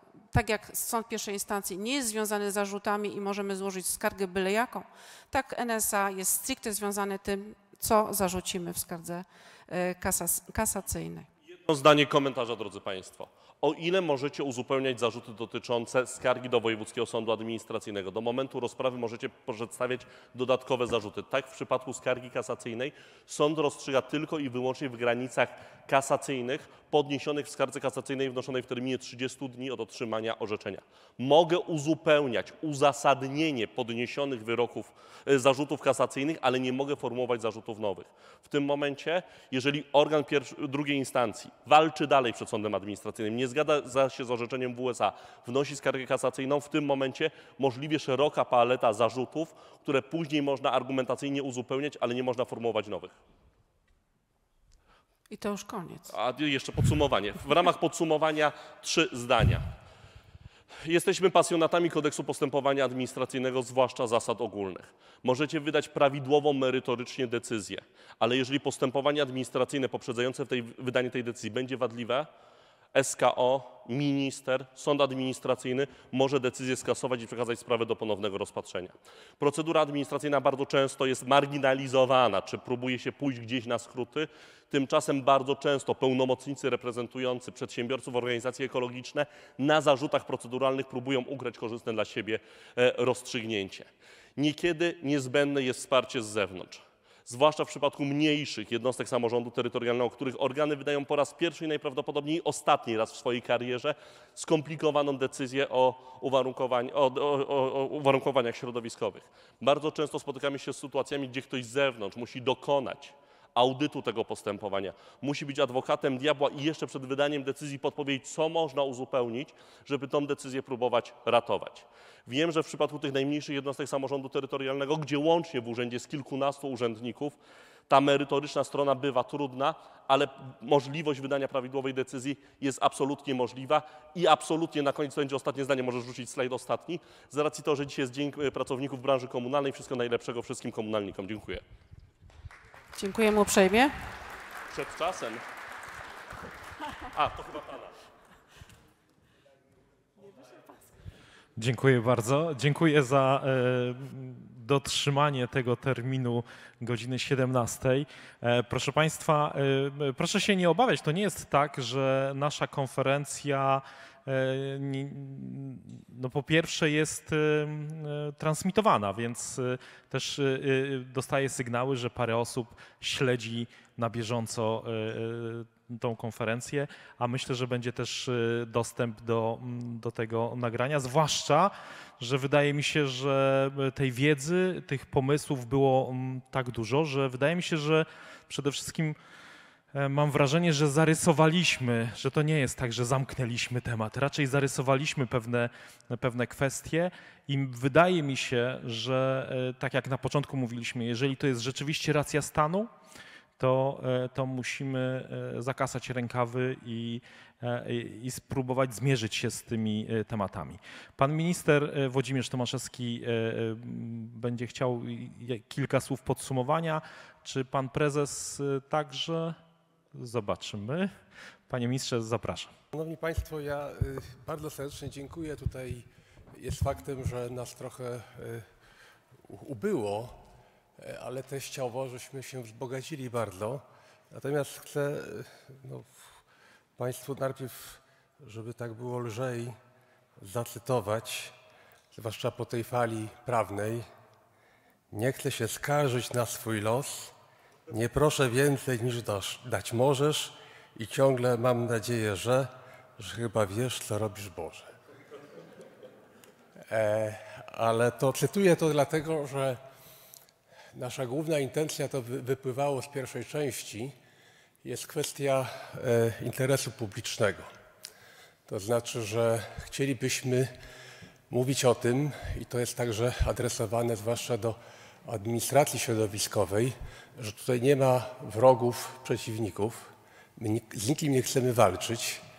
E, e, można powiedzieć, te wszystkie instrumenty prawne oczywiście mogą funkcjonować, ale głównie chcielibyśmy powiedzieć jedno, że chcemy, żeby się wszyscy zaprzyjaźnili z nowymi technologiami, żeby te technologie konkurowały, żeby różne e, podmioty, inwestorzy, spółki samorządowe, same, bezpośrednio samorządy, czy też także inwestorzy prywatni, kooperujący, współpracujący, żeby mogły funkcjonować na rynku, żeby jak najszybciej mogli realizować te inwestycje, które są nam szalenie potrzebne. To, że jest ta potrzeba, to społeczeństwo już teraz doskonale wie.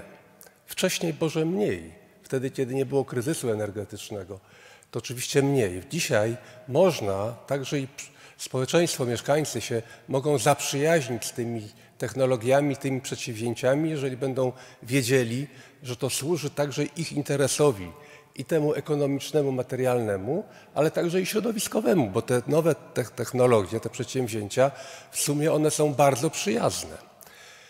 Ja tego we wstępie nie powiedziałem, chociaż po części to ująłem.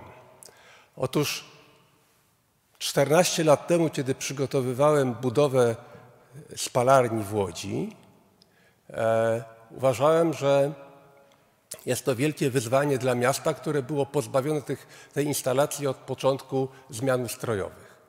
Gdyby ona powstała wtedy, zrezygnowano z niej, no trudno, ale gdyby powstała, to mieszkańcy nie mieliby tych obciążeń finansowych, które ponosili do tej pory, ze względu na, ze względu na to, że trzeba było wywozić te śmiety gdzie indziej. Do tego doszły obciążenia no, słusznie przez Unię Europejską zwiększanych opłat środowiskowych, gdzie się prymitywnie składuje odpady. E, ale tego by, można powiedzieć, nie było. Mieszkańcy byliby tutaj, e, mieliby ulgę. Mimo, że część z nich na jakimś etapie na pewno by kwestionowała, że instalacja, gdzie była planowana przy jednej z elektrowni w Łodzi, elektrociepłowni, miała powstać. E, to się nie stało. Dzisiaj wybrałbym już inną technologię. Ze względów i tych środowiskowych, i tych ekonomicznych. Właśnie jedną z tych, które tutaj były prezentowane. I o tym właśnie musimy rozmawiać. I wierzę, i to jest tak, że była konkluzja zawarta również tak y, między wystąpieniami przez pana dyrektora Podogrodzkiego. Możemy w dwie strony interpretować. Możemy mówić, że spalarniami są również te instalacje do termicznego przekształcenia w postaci e, chociażby zgazowania, ale możemy odwrotnie mówić, tak jak tutaj mówili przedstawiciele samorządu ze swoją instalacją, że oni zawarli porozumienie z samorządem, że oni robią instalację termicznego przekształcania, która nie jest spalarnią. Ale dlaczego mówię o tych różnych interpretacjach? Ponieważ to jest ta elastyczność, która jest przez nas oczekiwana i to jest wspólne zaprzyjaźnianie się inwestorów z tymi, którzy wydają decyzje administracyjne, czyli z administracją środowiskową. Taki jest cel naszej konferencji, żeby po pierwsze zaprzyjaźnić się z tymi y, y, technologiami, wiedzieć o tych technologiach, wykorzystywać je w interesie publicznym, żebyśmy mogli przetwarzać odpady, mając tanie ciepło, tanią energię, móc w przyszłości także te energię magazynować, a w wielkoprzemysłowej skali, e, można powiedzieć, przetwarzać kompletnie bezemisyjnie, przechwytując dwutlenek węgla dla produkcji gazu syntetycznego chociażby. Także to jest, e, myślę, przesłanie takie, ale dobrze, żeśmy prze, przeszli te ćwiczenia, e, tutaj również tych zagrożeń i różnych tam sporów prawnych, ale myślę, że wierzę w to, że po tej konferencji będzie cały ciąg decyzji wydanych e, na inwestycje, a samorządy będą rwać się do tego, żeby e, korzystać z pieniędzy Narodowego Funduszu, ale jednocześnie także tworzyć montaże finansowe i realizować te przedsięwzięcia w interesie publicznym. E, o tych korzyściach mówiłem wcześniej. Bardzo Państwu serdecznie dziękuję za cierpliwość. Wierzę, że zostanie to wszystko udokumentowane i później będziemy to rozpowszechniać. Także cel konferencji na pewno się spełnił, chociaż przed nami pewna kontynuacja, to znaczy pewne kontakty, e, możliwość zasięgania opinii, jakiś tam, e, jakaś forma, mm, można powiedzieć, doradztwa, które w tym zakresie powinno również się rozwijać ale ta sfera energetyczna, kiedyś niedoceniana przez wszystkie strony, e, dzisiaj na pewno będzie inaczej oglądana i przez mieszkańców, społeczność, i także przez samorządy, które będą, e, tak powiem, takim inicjatorem inwestycyjnym, ale tutaj partnerstwo z prywatnymi podmiotami też jest ważne. Dziękuję serdecznie.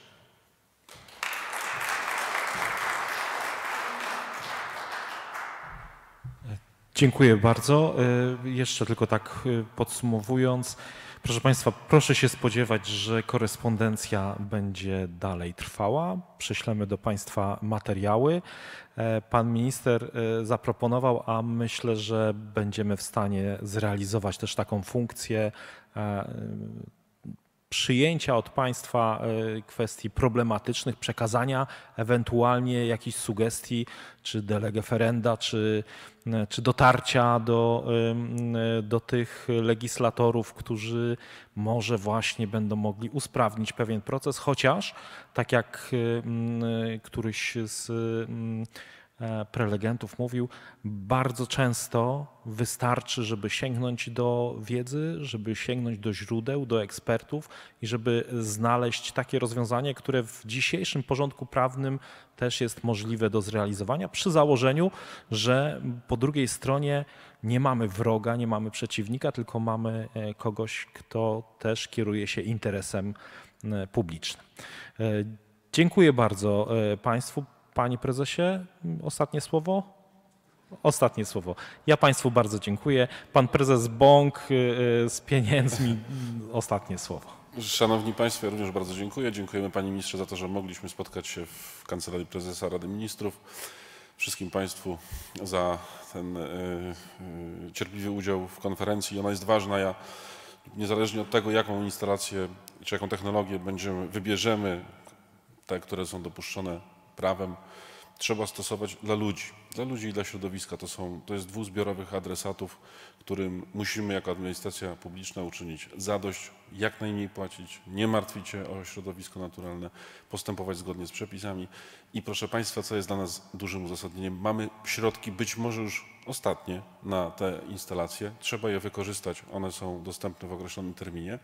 Druga sprawa, to dostajemy kilka, mamy kilkadziesiąt pism, które są od samorządów i które e, samorządów, które wołają do nas, dajcie nam 100% dotacji na usuwanie porzuconych odpadów. Nierzadko, a w zasadzie w większości jest to frakcja palna na przykład. W związku z tym warto, e, nie bójmy się instalacji. Mam nadzieję, że Państwo jako uczestnicy tych procesów, czy e, podmioty, które, instytucje, które wydają decyzje, wrażliwie podejdziecie do kwestii e, dopuszczenia realizacji tych inwestycji. Dziękuję bardzo.